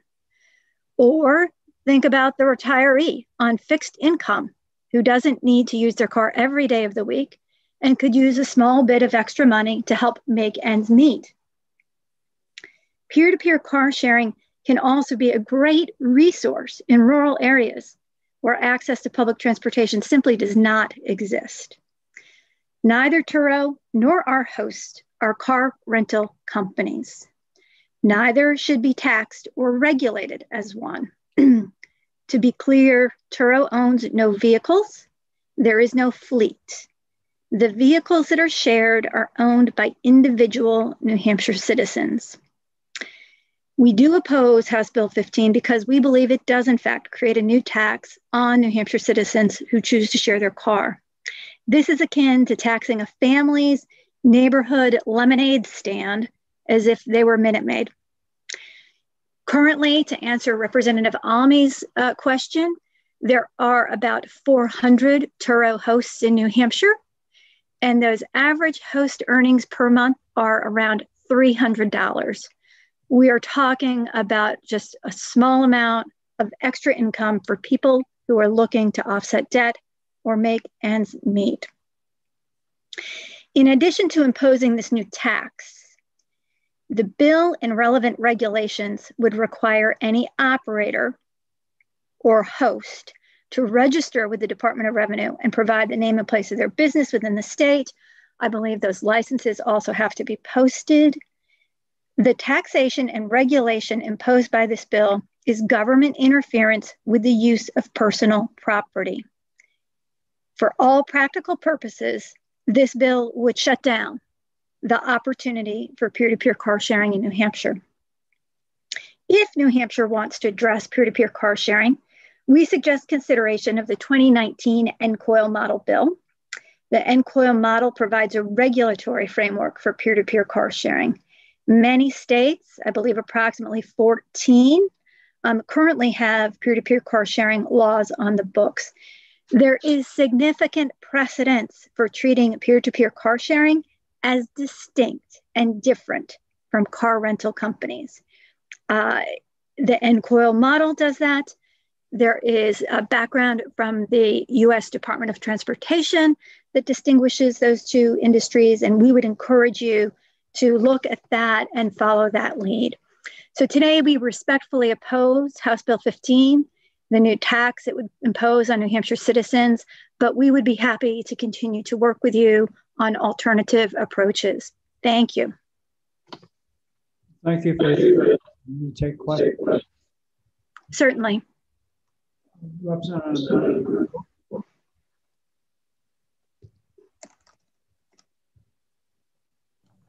Did you, I'm sorry, did you call on me, Mr. Speaker, or Mr. Chairman? Well, I call on Representative Amanda. Okay. Okay. Sorry, you're sorry, Chairman. You're you're just you're a little fuzzy. You're hard to hear. Um, but thank you. Um, Ms. Weston, thank you so much for your testimony. I'm just going to be really honest. I've been in the hospitality industry for over 25 years, and I'm actually a customer of Turo. I'm having difficulty with your testimony just because Turo is known as the Airbnb of cars. And the fact that you both have a very similar business model of not owning a fleet, not owning, and then Airbnb doesn't own any hotel rooms or any rooms. You're both providing services. Um, I stay at Airbnbs when I travel and I use Turo. So I'm very familiar with both services. Airbnb pays taxes. Um, they pay into the meals and rentals tax.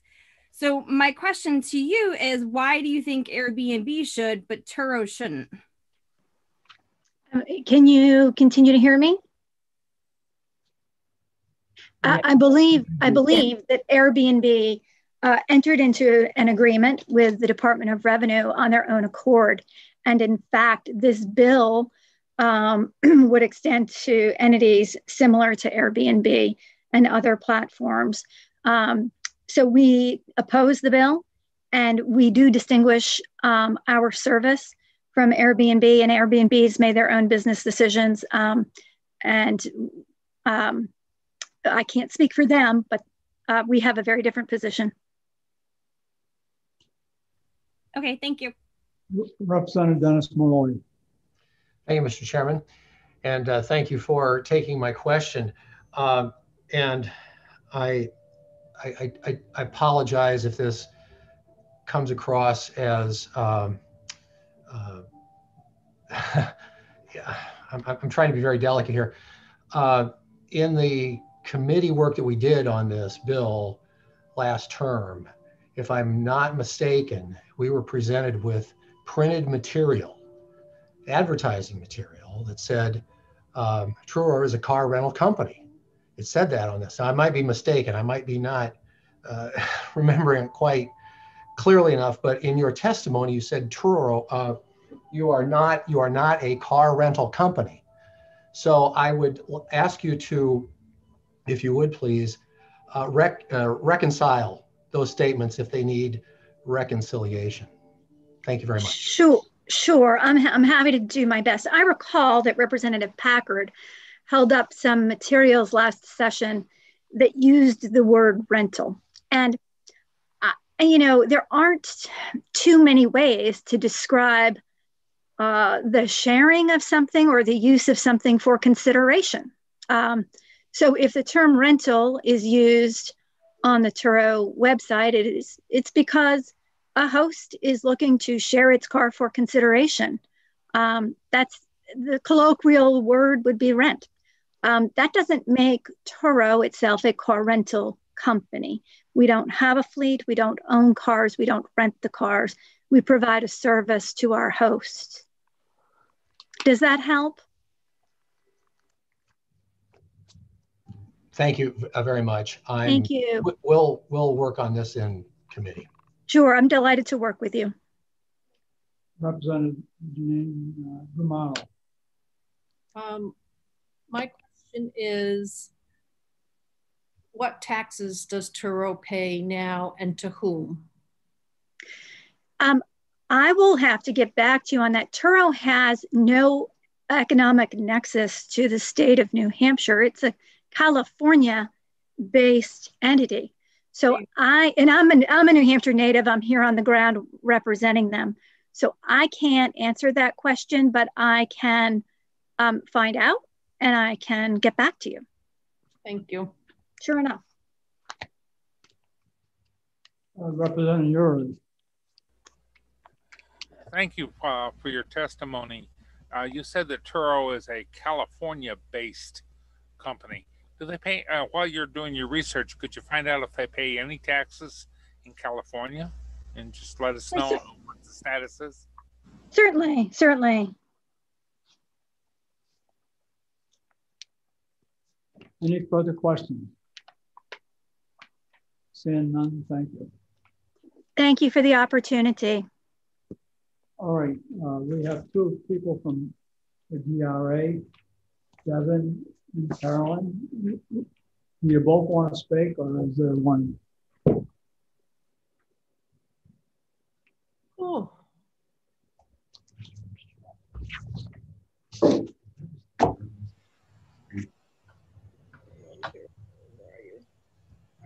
Does DRA, does DRA want? Hello, Mr. Chair. Carollynn Lear, Assistant Commissioner at the Department of Revenue. I apologize. I couldn't answer your question because I wasn't yet unmuted. Um, very happy to just quickly uh, talk to you about House Bill 15. Um, as you all know, um, we've been talking about this issue with you for a while. Um, since the creation of room sharing and car sharing platforms, really every state in the US has been dealing with the issue of the application of their rooms and meals or other taxes to these platform facilitated transactions, and particularly which party, the platform or the property owner, is obligated and to collect obligated to collect and remit the M&R tax um, to the state. And additionally, whether the tax applies to the entire price paid by the consumer, um, as is currently stated in the New Hampshire M&R statute. Litigation over this issue has occurred in every single state, um, and New Hampshire was one of the last states to receive a decision from our state Supreme Court in the Priceline case, which was decided about three years ago, where New Hampshire lost that case. It was a really, it was really an instance where the um, the the pace of technology and um, businesses changing how they operate wasn't kept up with by the statute. Um, the proposed legislation would require room and car rental facilitators to collect and remit the M&R tax for the transactions they facilitate and clarifies that the tax applies to the full price or consideration paid by the consumer. Um, these transactions facilitated by these third party platforms have always been taxable in New Hampshire. This bill simply clarifies that it's the platform that's liable for um, collecting and remitting this tax. I think this is important, and uh, Speaker Packard talked about this in his testimony that these transactions have always been taxable. Um, the question has just been is it the platform or the property owner that must collect and remit? We think that the proposed legislation will improve compliance um, because the obligation of collecting and remitting will fall to the small number of platforms instead of the tens of thousands of property owners um, in New Hampshire that are currently using these platforms. And generally, these platforms are the party that also receives the money, um, including the tax from the consumer. So it seems only appropriate that they should be the party um, submitting the tax to the state. Um, so we think that the proposed legislation could result in an increase in revenue due to better compliance um, and overall will serve to help us more efficiently and effectively administer the tax. And to answer any questions.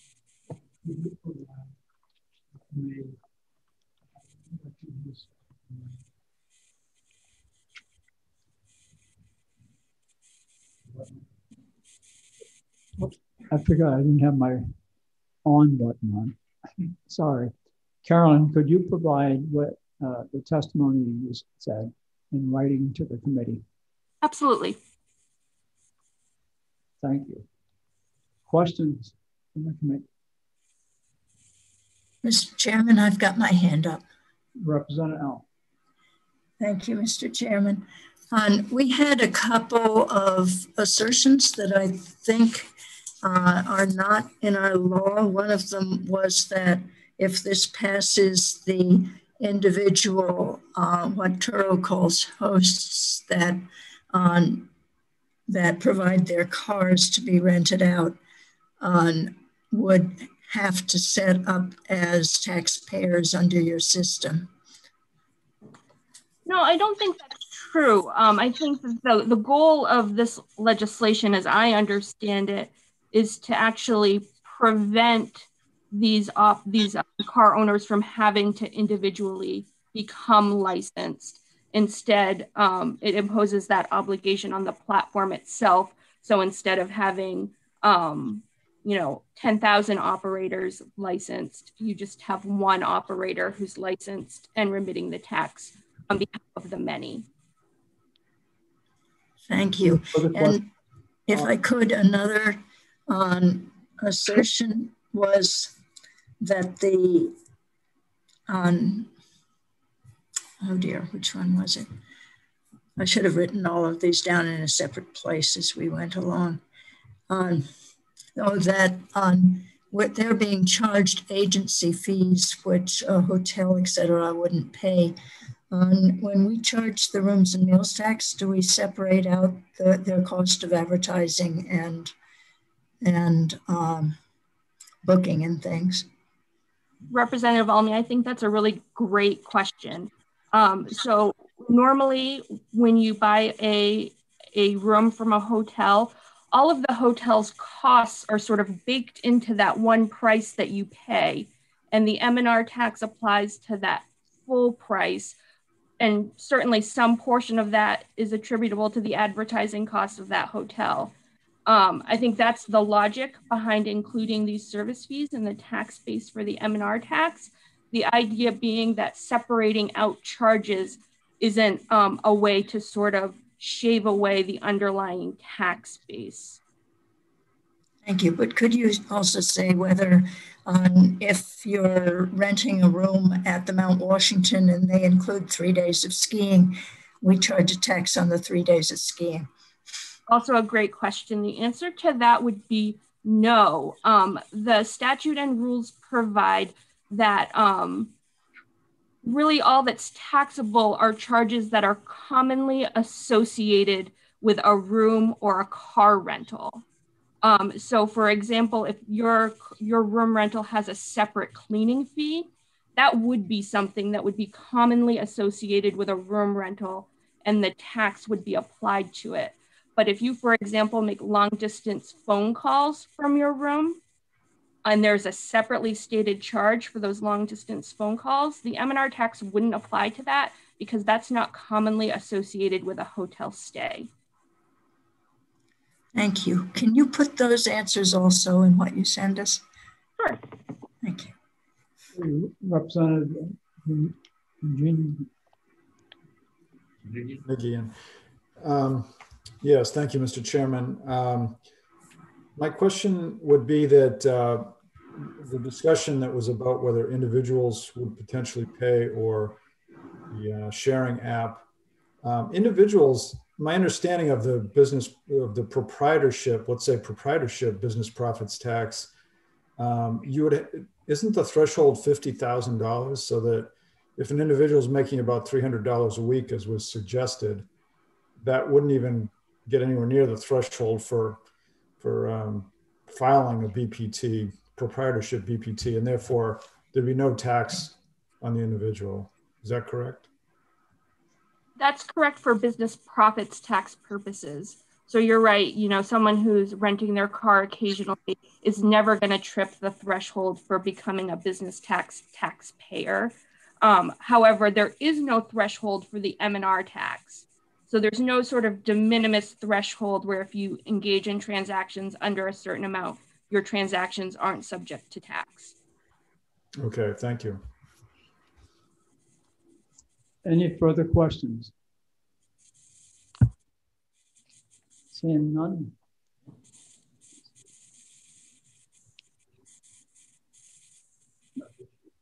The, uh, on the blue sheet, we have Terry Roy signed up in opposition. Christopher Gilrein, representing TechNet, opposes, and Eric Rothburn, member of the Public supports the bill. Anybody else want to testify for or against the bill? Not, and I'm closing the public hearing on House Bill 15. Finally, thank you.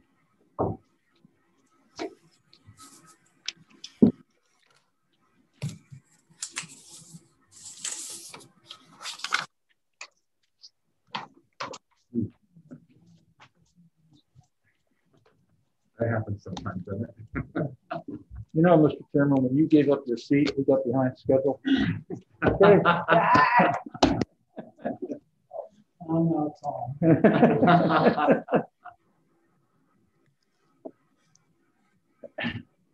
Okay, I want to open the public hearing on House Bill 281-FN, and that relative to the tax expenditure report and relative to delaying the enactment of the single sales factor under the business profits and business enterprise tax. The prime sponsor, Representative Abrami, is going to introduce the bill. Representative Abrami. Thank you, Mr. Chair. Um, we're leaving the best for last, I would say, and uh, the most complicated for last. I'm the only speaker on this other than the DRA, so just bear with me here. Uh, I want to try to use this as a moment for the new members to try to understand uh, market-based sourcing and single sales factor if we can. Uh, and then we'll have more discussions and work sessions on this. Uh, but I'm here to introduce, uh, first off, for the record of the State Rep Pat Abrami, Rockingham 19 Stratham. Uh, I'm here to introduce House Bill 281. Uh, Representative, Representative Ames is the co-sponsor of this bill. Uh, this is a very much a bipartisan bill from our work from last year. Another one of those bills that we worked on as a, as a group and, and came to our conclusions. If, if anything, this is a, a philosophical bill, House versus Senate. The Senate has a different position on this bill, and we have one on this bill. Uh, the bill does four things. It amends the tax expenditure, uh, amends which tax expenditures must be reported upon each year within the tax expenditure report. And I'll explain that in a minute. Delays the implementation of single sales factor under the BPT from taxable periods ending on or after December 31st, 2022, which is next year's. So it's not in effect right now, it'll be in effect next year, uh, to periods ending on or after December 31st, 2026. You know, after I, the more I review this bill, uh, that, that may be a little bit far, far out and something we want to talk about as we, we proceed here. The third thing is for that period, meaning the, the, that the period between 22 and 26, reverts back to, the bill also reverts us back to the apportionment methodology being used for tax, tax uh, periods that uh, ended on or after, on uh, December 31st, 2021, which is really this year's current methodology, which for the first time includes market-based sourcing. That's all important to know that this is the first time this year that we, we're including market-based sourcing. I'm going to explain what market-based sourcing is in a minute. And the final thing it does is it, it, it amends the duties of the Legislative Com Commission on Apportionment. So let's pause a minute and talk about apportionment. Uh, what is apportionment and why is it needed? So if you, you owned a business in New Hampshire and you only did business in New Hampshire, you only had brick and mortar in New Hampshire, you had employees employed here, and you only sold in New Hampshire your product, you wouldn't have to worry about apportionment because you'd be 100% of, of your profits would be taxed under New Hampshire law. But that's not what most businesses, even smaller businesses, do have a reach into even the surrounding states like Maine and Massachusetts, Vermont. So uh, bigger companies have reach across the country and internationally as well. So th there needs to be a way of apportioning the profits of a business across all the states that they, in one way or another, do some business in or have a, a presence in. So that's what apportionment is. So let's talk about the history of apportionment. Years and years ago, uh, it was very simple. Most states all used the same methodology. They used the one, one the, the formula was based on one third where your sales were, were one, one third on where your tangible property wa- was, and one third of where your payroll was. And basically each, each state used the same methodology. So it was pretty fair and consistent approach to uh, apportionment. Now, with time though, many states started to game this and they decided that how can we maximize the revenue coming to our state? And uh, for those of you, and I remember when I was first heard about this, I said, well, why, why isn't there a uniform approach across all states? The federal government has stayed away from this question. The only way that would happen is if they decided to have a law that says that the states will have the same uh, formulas. Uh, but there's no directive from the federal government on this, just in case you're curious. Even New Hampshire, uh, a while back, took the step of changing that one third, one third, one third by doubling up on the sales portion of it. So, not this, uh, currently, including tax period this year, our apportionment is one half on sales, one quarter on tangible property, and one quarter on payroll. So let me let me pause here and just touch on the the first uh, point of the bill, uh, which is the expenditure report, and then we're going to go back to the history here. Uh, so this this thing called a tax expenditure report that the DRA puts out every year, and we in Ways and Means take a look at that. Several years ago, uh, they presented, and I asked uh, I asked the question because if you go to if you go to the bill uh, that section is on uh, page one, lines three to 10. It, it, basically is the language of, of the what's required of the expenditure report. And you can see we took out, uh, we crossed out the weighted apportionment factors under RSA 77. That was put in years ago to monitor when we want to double sale, double sales, double sales. And it, it got to a point where no one was really looking down at me. We wanted to monitor the progress of that. And it was the Sideri said, we really don't need it anymore. I was the fellow who filed the bill, simple bill. The original bill was just to get rid of that sales that, that piece in the expenditure report. Now, it'll become clear that that bill became the vehicle, that bill became the vehicle for other things as time marched on here. So so let me continue. Now, I'm trying to piece this all together. About three or four years ago, we received a Senate bill uh, that was filed by uh, Senator Birdsell. Uh, something about forming a commission to study market-based sourcing. And the reason she filed it is she had a constituent, constituent, we'll just call him Al. Well, Al had a business that brokered food across the country. But all his business was based in New Hampshire. And market-based sourcing has to do with services. How do you how do you apportion services like his, where he's a broker, but he brokers his products to other states. That, that, let's use turkeys because that's because he did food. So he would he would buy turkeys in in the Carolinas and sell it to supermarkets in in, uh, in Maine. The reason I'm using Maine is you have to see why in a minute. So, so we, uh, so we had this, we had this commission, we had this commission that was uh, made up of, uh, of a variety of people. I'll get to that in a minute. But here's the difference between what we do, we were doing and what we do now. We did cost of performance. And what cost of performance is, is where the service is performed gets the tax benefit. So New Hampshire, it was where the people doing the brokering in this case, or if you're a computer company, were doing from their offices in New Hampshire, but providing service to another state, a company in another state, all of that tax was apportioned to New Hampshire. What happened to Al uh, several years ago is that Maine went to market-based sourcing. So what's market-based sourcing? Where the benefit is where market-based sourcing emphasizes where the benefit is received. The person, the, the, the state that in which the, be, the company is that receives the benefit is, is where the tax benefit goes. So it's just the opposite.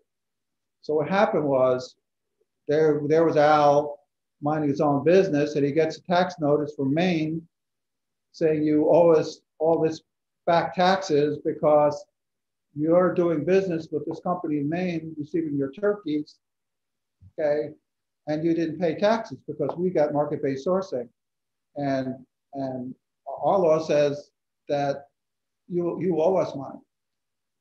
So, uh, so, so there's a situation where both Al, uh, Al, you know, New Hampshire collected a tax from him, and Maine collected a tax. He was double taxed for this. So what happened was we did form this commission. Representative Major and I were on it. Uh, Representative Lovejoy uh, was on it.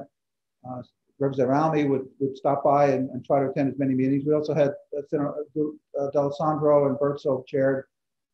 We had Commissioner Stepp on it, but we also had I, what I would characterize as probably the two of the best, uh, one of the uh, two of the best tax accountants and tax lawyers in the state on this commission uh, to go through this. We actually extended this commission to, to make it a year and a half. Uh, we went through it all, and we concluded at the very end that that market based we should go to market based sourcing. So, market based sourcing is now in effect this year. Okay, this taxable year that ends any periods ending December 31st of 2001 forward are are we, we are now market based sourcing. So this year, for the first time, will be out from under being double taxed. That's all fine and good.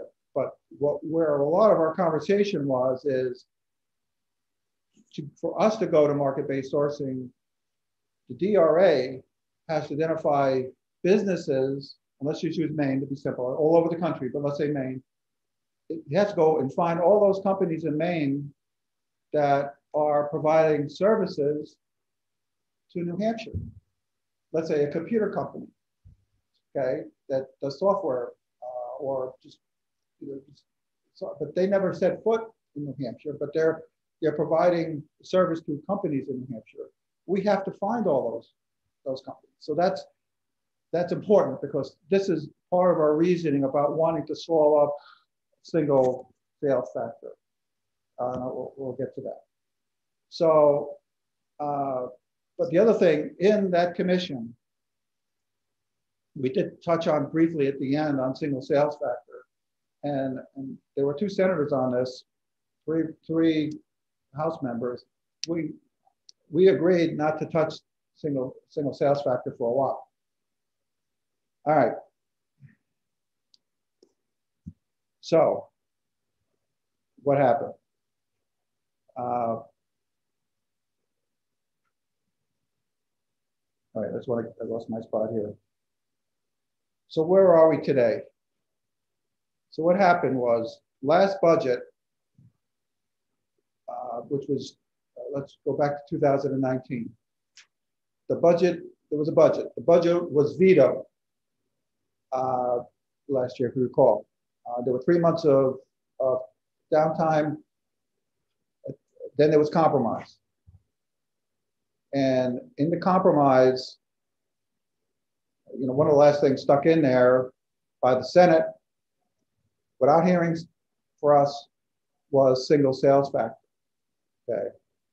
Now, to appease us, they put, uh, they created a, a, a, joint committee, three, three House members, four House members, three senators. And they were supposed to meet twice and then they, they were supposed to vote. They were supposed to vote uh, whether to rescind this, the single tax. Okay. Again, then the virus hit. There was they never met the first time, and then when they tried, and Representative Almy, you can chime in later about this, but my understanding is that uh, this all blew up in a technicality that it was basically against our rules to have a committee rescind something in the budget without going to the House floor or the Senate floor. It was, it wasn't allowed, although it was in the, it was, it was in what we all thought we were gonna do. So, so what, what happened was, uh, it, right now, as we sit here, single sales factor is coming in um, uh, for the taxable periods ending December, uh, uh, beginning on or after December 31st of 2022. So what this legis uh, legislation does is, is we're basically reversing that. We, we're saying we want to delay that. And why do we want to delay that? Uh, again, the, the, real thing here is that, that we want to delay it to, to let single market-based sourcing settle in for that one year. And then, and then have a baseline of what happened to the, our business revenues. And then give us time to dig more. And then we're also giving time for the DRA's computer system to do its thing, the new computer system we had talked about. We get more information on it. So we want to buy some time. It isn't like we're against single sales factor. We just don't want to go on blindly. The reason we don't, I say we, this is, I'm, I'm speaking for the for the uh, committee and means from last year, not this, this one, but last year we, we were concerned that if we make a mistake on this one. It could be a major mistake. You got to understand that. What it, oh, I didn't explain what single sales factor is. Single sales factor is you, you take away where the people are, you take away where the plant is, and you're left with your portion simply on sales. So if your sales are out of state, the out of state uh, uh, state gets the credit for, not not so. When you look at our upside down triangle for business taxes, we have a lot of large companies that, re that represent most of our profit, profit tax. And what, what we're concerned about is a lot of them are manufacturers. When you look at the biggest ones like uh, BAE, uh, they're an aerospace, you know, they don't sell here. They sell, you know, to all over the country. So where we are concerned about what the impact this is going to be. Other states, because one thing we grapple with in the commission with data, we want data. I know Representative Major, we want data to see what, what this is going to do to us. Unfortunately, the data we really want is very hard to get at. Okay. Um, so, so we want to be cautious. Other states, when we asked about how, how did other states decide to jump in, no data, they decided to jump in. So, uh, but though all those other states have an income tax and a sales tax, this is our major tax, business taxes. We, we all found out the last two weeks. So we're just trying to be a little cautious here. We're, gonna, we're, we're making an attempt uh, to, to uh, slow this down a bit so that we can actually evaluate the impact of this. I don't think the play is going to be here in the House It's really going to be when it gets to the Senate, uh, because the senators are going to have to agree with this slow down. Now, I had a call, a Zoom meeting yesterday. His uh, Bill Ardinger, one of the probably one of the top tax guys in the state, uh, reached out to me, set up a Zoom. Was on schedule. We just we met he, he was he was saying, "Oh, you got to really do this, guy. You, you got to really let sales, sales factor go forward." And I said, I explained to him, "Now, we're in the house, we're a little more cautious than that." Um, but what he said, uh, we'll, let's pass this on, is that 30 states have done this now. So, is it just a matter of time before New Hampshire does it? Probably yes. I mean, 30 states. Um, I'm, not quite sure if we're surrounded by a single sales factor. We'll find that out right now. Um, so again, this is our attempt to slow it down a bit, uh, this bill. Uh, the other thing the bill does is it, it that, that, that committee, that joint committee, we've uh, reactivated it and said, let us, it'll be the committee that monitors uh, the progress of uh, market-based sourcing and going forward. So that's the big picture of what's going on. And, um, and I'll take questions.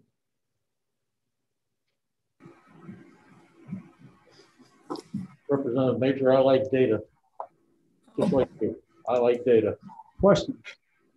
Um, Thank you. My hand is up, and you'd also said that maybe I should say something as well. Representative Almy. Thank you, Mr. Chairman. Uh, first of all, this is just historical at this point, but on that special committee uh, was told during, we were told during the budget negotiations that uh, it was constitutional for that special committee to uh, remove the part of the budget that was about single sales factor. Uh, six months later, the same person told us that it was not constitutional and we couldn't do it. Or three months later, whatever it was. No, it was a year. Uh, so, so anyway, we are what we're trying to do is what we really wanted to do back when we did the special committee, which was to to delay it so that we can have the time to know how much money we're going to lose.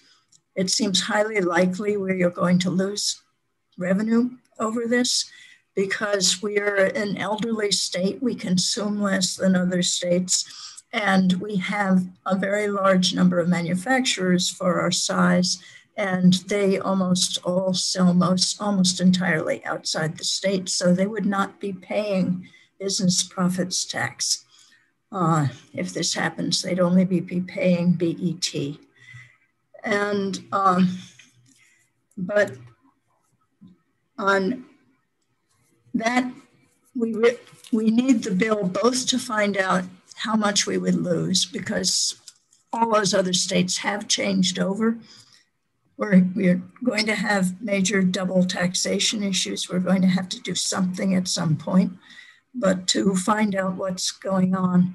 And the reason it goes to 2026 is that um, the DRA in orientation told us that they had just, they were just finishing bringing out a new online tax system. They also have a tax uh, analysis system that is in place now.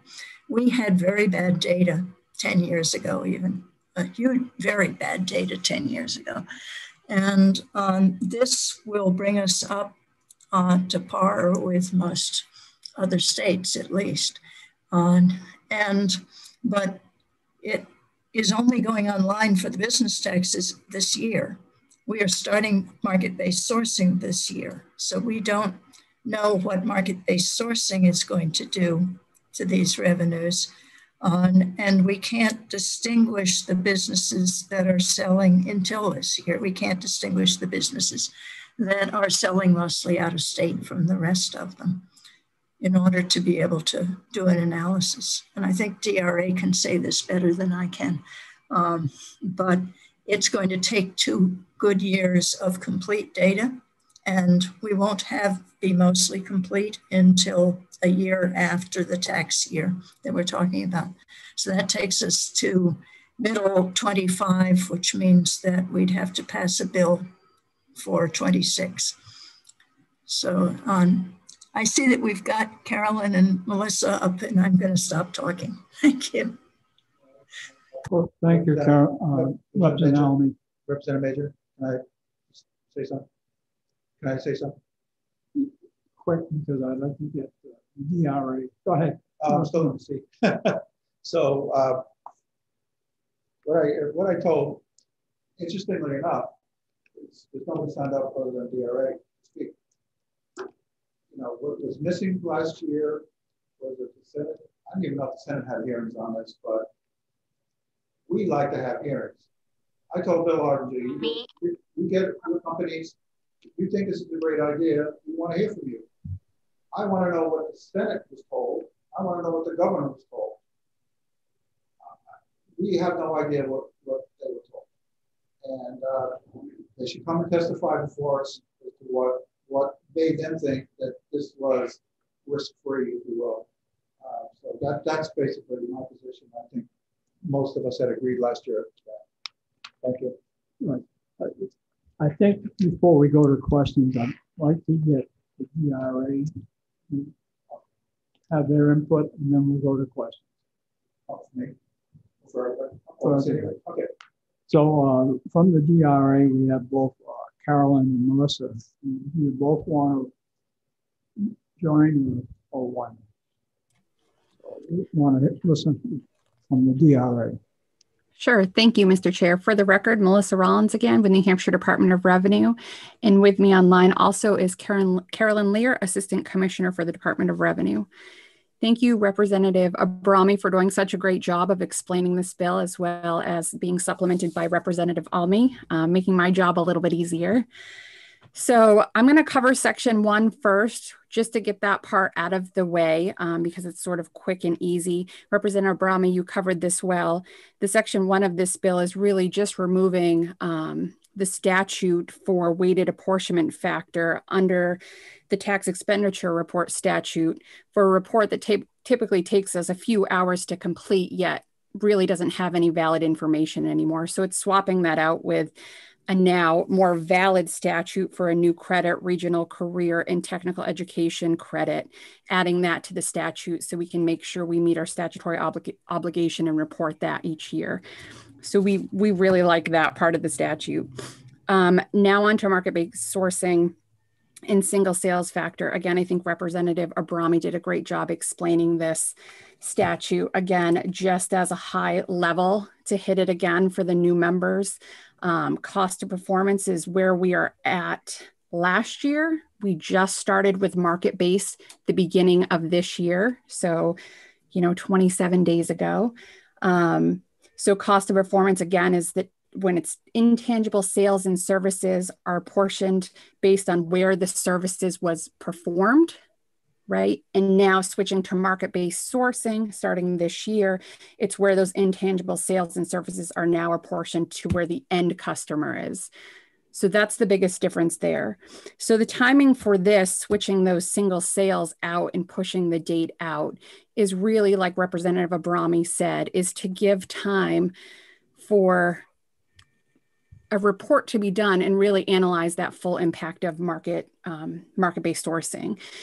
I think, again, Representative Almy also alluded to this. With market based sourcing, you're now sort of switching your customer base. You're pulling in new customers based on those sales being to the end customer. We didn't have those before. So we're pulling in this new customer base that we didn't have previously. And we're also losing some because it's people who were now based at where they perform and they only outsource. Um, outside of New Hampshire, we're losing those. And there's no way for us to identify that fiscal impact at this point. So, in order to get a fiscal impact, we really need the implementation um, pushed out some before single sales comes in. With current law, having single sales start is fine. We can administer that, yet it does um, sort of make the situation a little bit murky because you have these new taxpayers and now they're filing single sales and we don't know which impact is due to which apportionment change. So it does sound like it's pushed out far when we say December 31st, 2026. However, it's important to note that a tax year doesn't complete until two years later, and that's because of fiscal year filers. So we won't have, for just market based sourcing alone, we won't have a complete tax year on market based sourcing until August of 2023 and that will be our first year. And then it adds another year in there to sort of get us that compliance going of getting those new taxpayers on board to file market-based sourcing. So then when we can file our anticipated report which is in section 3 of the bill which is due november 1st 2024 we now have relevant data because at that point we should have the bulk of these market-based sourcing taxpayers into our system. And we can do that analysis to say, hey, what would it look like now if we switched from that three factor apportionment, which we are currently at, again, payroll, property, double weighted sales, where we switch it over to that uh, single sales factor. So that's the reason for that push out. And then it gives you time to implement the bill and see what the um, fiscal impact is and decide if you if you want that bill. I think I covered everything I wanted, but happy to answer any questions if I missed something. Now that we've heard from the three experts, um, do we have any questions? Panelists? On the attendees?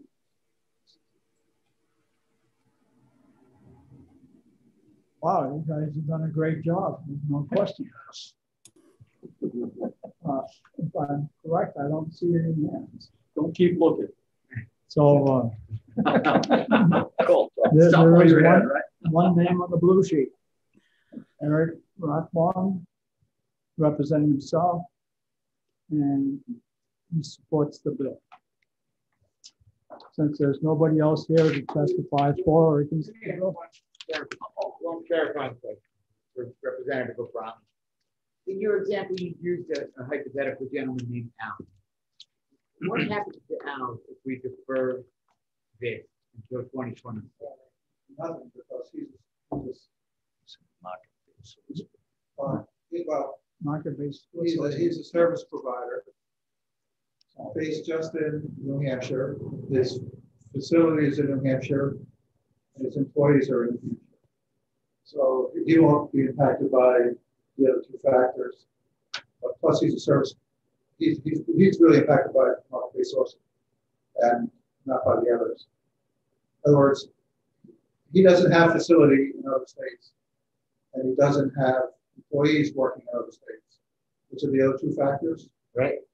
So he's basically sales, but he's he's a different kind of sales in that he's he's uh, service. He's providing service, sales of service. Essentially, where he was paying taxes to two states, now he doesn't pay the taxes to two states. He'll he'll pay he'll pay taxes in Maine. He'll pay no taxes in Hampshire. This is the kind of thing we get nervous about. That he- won't pay if we go to right now he's paying some taxes. But but we go to a single sales factor, he won't be paying any, any tax. Is that is that correct? Melissa? Melissa, It's it's a little bit hard for me to hear, so I couldn't hear the original question or the response. Sorry about that. Remember Al? We all remember Al, right? He was Yes. So um, his his business is a service business. All his facility is based in, in New Hampshire. His building. His employees are all in New Hampshire, and uh, and he but he sells to other states without the product. He's buying in other from other states, selling a product. Never stuck the, the product never touched the base in New Hampshire. Those. He's just a broker. So the question is, if will single sales going to single sales factor impact him? I think it will. He will. He'll pay no tax in New Hampshire. Well, he'll pay the apportionment tax. He'll pay the apportion. Well, he will any of the apportionment in that scenario. Okay, he, he's a service company uh, with all his physical plant here and all his payroll here. What will happen to his taxes? And from New Hampshire. Hi, Representative, Representative Abrami. This is Carolyn Lear, Assistant Commissioner at the Department of Revenue. I think certainly single sales factor would impact um, this hypothetical taxpayer who has um, New Hampshire employees and property because currently his um, tax base is in part being dictated by his New Hampshire um, employees and property. That makes up two thirds of how we calculate his tax liability. Going forward, single sales factor would be the only way we would um, calculate his New Hampshire tax liability. So his New Hampshire um, employees and property would no longer um, dictate his overall tax liability. Um, that being said, I think the unfairness that this hypothetical taxpayer was um, concerned with initially was mostly the market based sourcing versus cost of performance inconsistency among the states, and not so much the um, sales factor. Follow up uh, with that, um, basically he wouldn't be paying any tax in New Hampshire, correct? If we went to single sales factor? If a taxpayer who has no um no clients in the state and is providing services to you know if their business is the provision of services to clients and his clients are all Right. New Hampshire states, he probably does not have a liability in New Hampshire under single sales factor. It's a two-tier thing for Al. This problem was solved when we went to my source. And now we, we're not really sure about, but we know that it will affect him with single sales. It'll affect us. Right. Right. We're gonna lose that revenue. And we want to know how many. of those How many owls are out there? Should we be doing? How many owls are out there in New Hampshire that are gonna not have that liability? But also how many SAMs are out there from other states that are gonna, that we can tax? Okay. Now, That's done now. Could, could I just, Another question. yes, thank you. Um, so I couldn't remember, he wouldn't have to pay BET either. So he would be paying nothing at state level, only his property tax uh, to, to take care of his employees, to take care of his public safety, to take care of a whole range of other government services that he uses in the state. He'd be paying them to Maine. I was just turning into a discussion, Mr. Chair, but uh, Melissa, or, or uh, well, uh, would, would, uh, he would, he has employees here, so he would probably still be paying some BET, wouldn't he?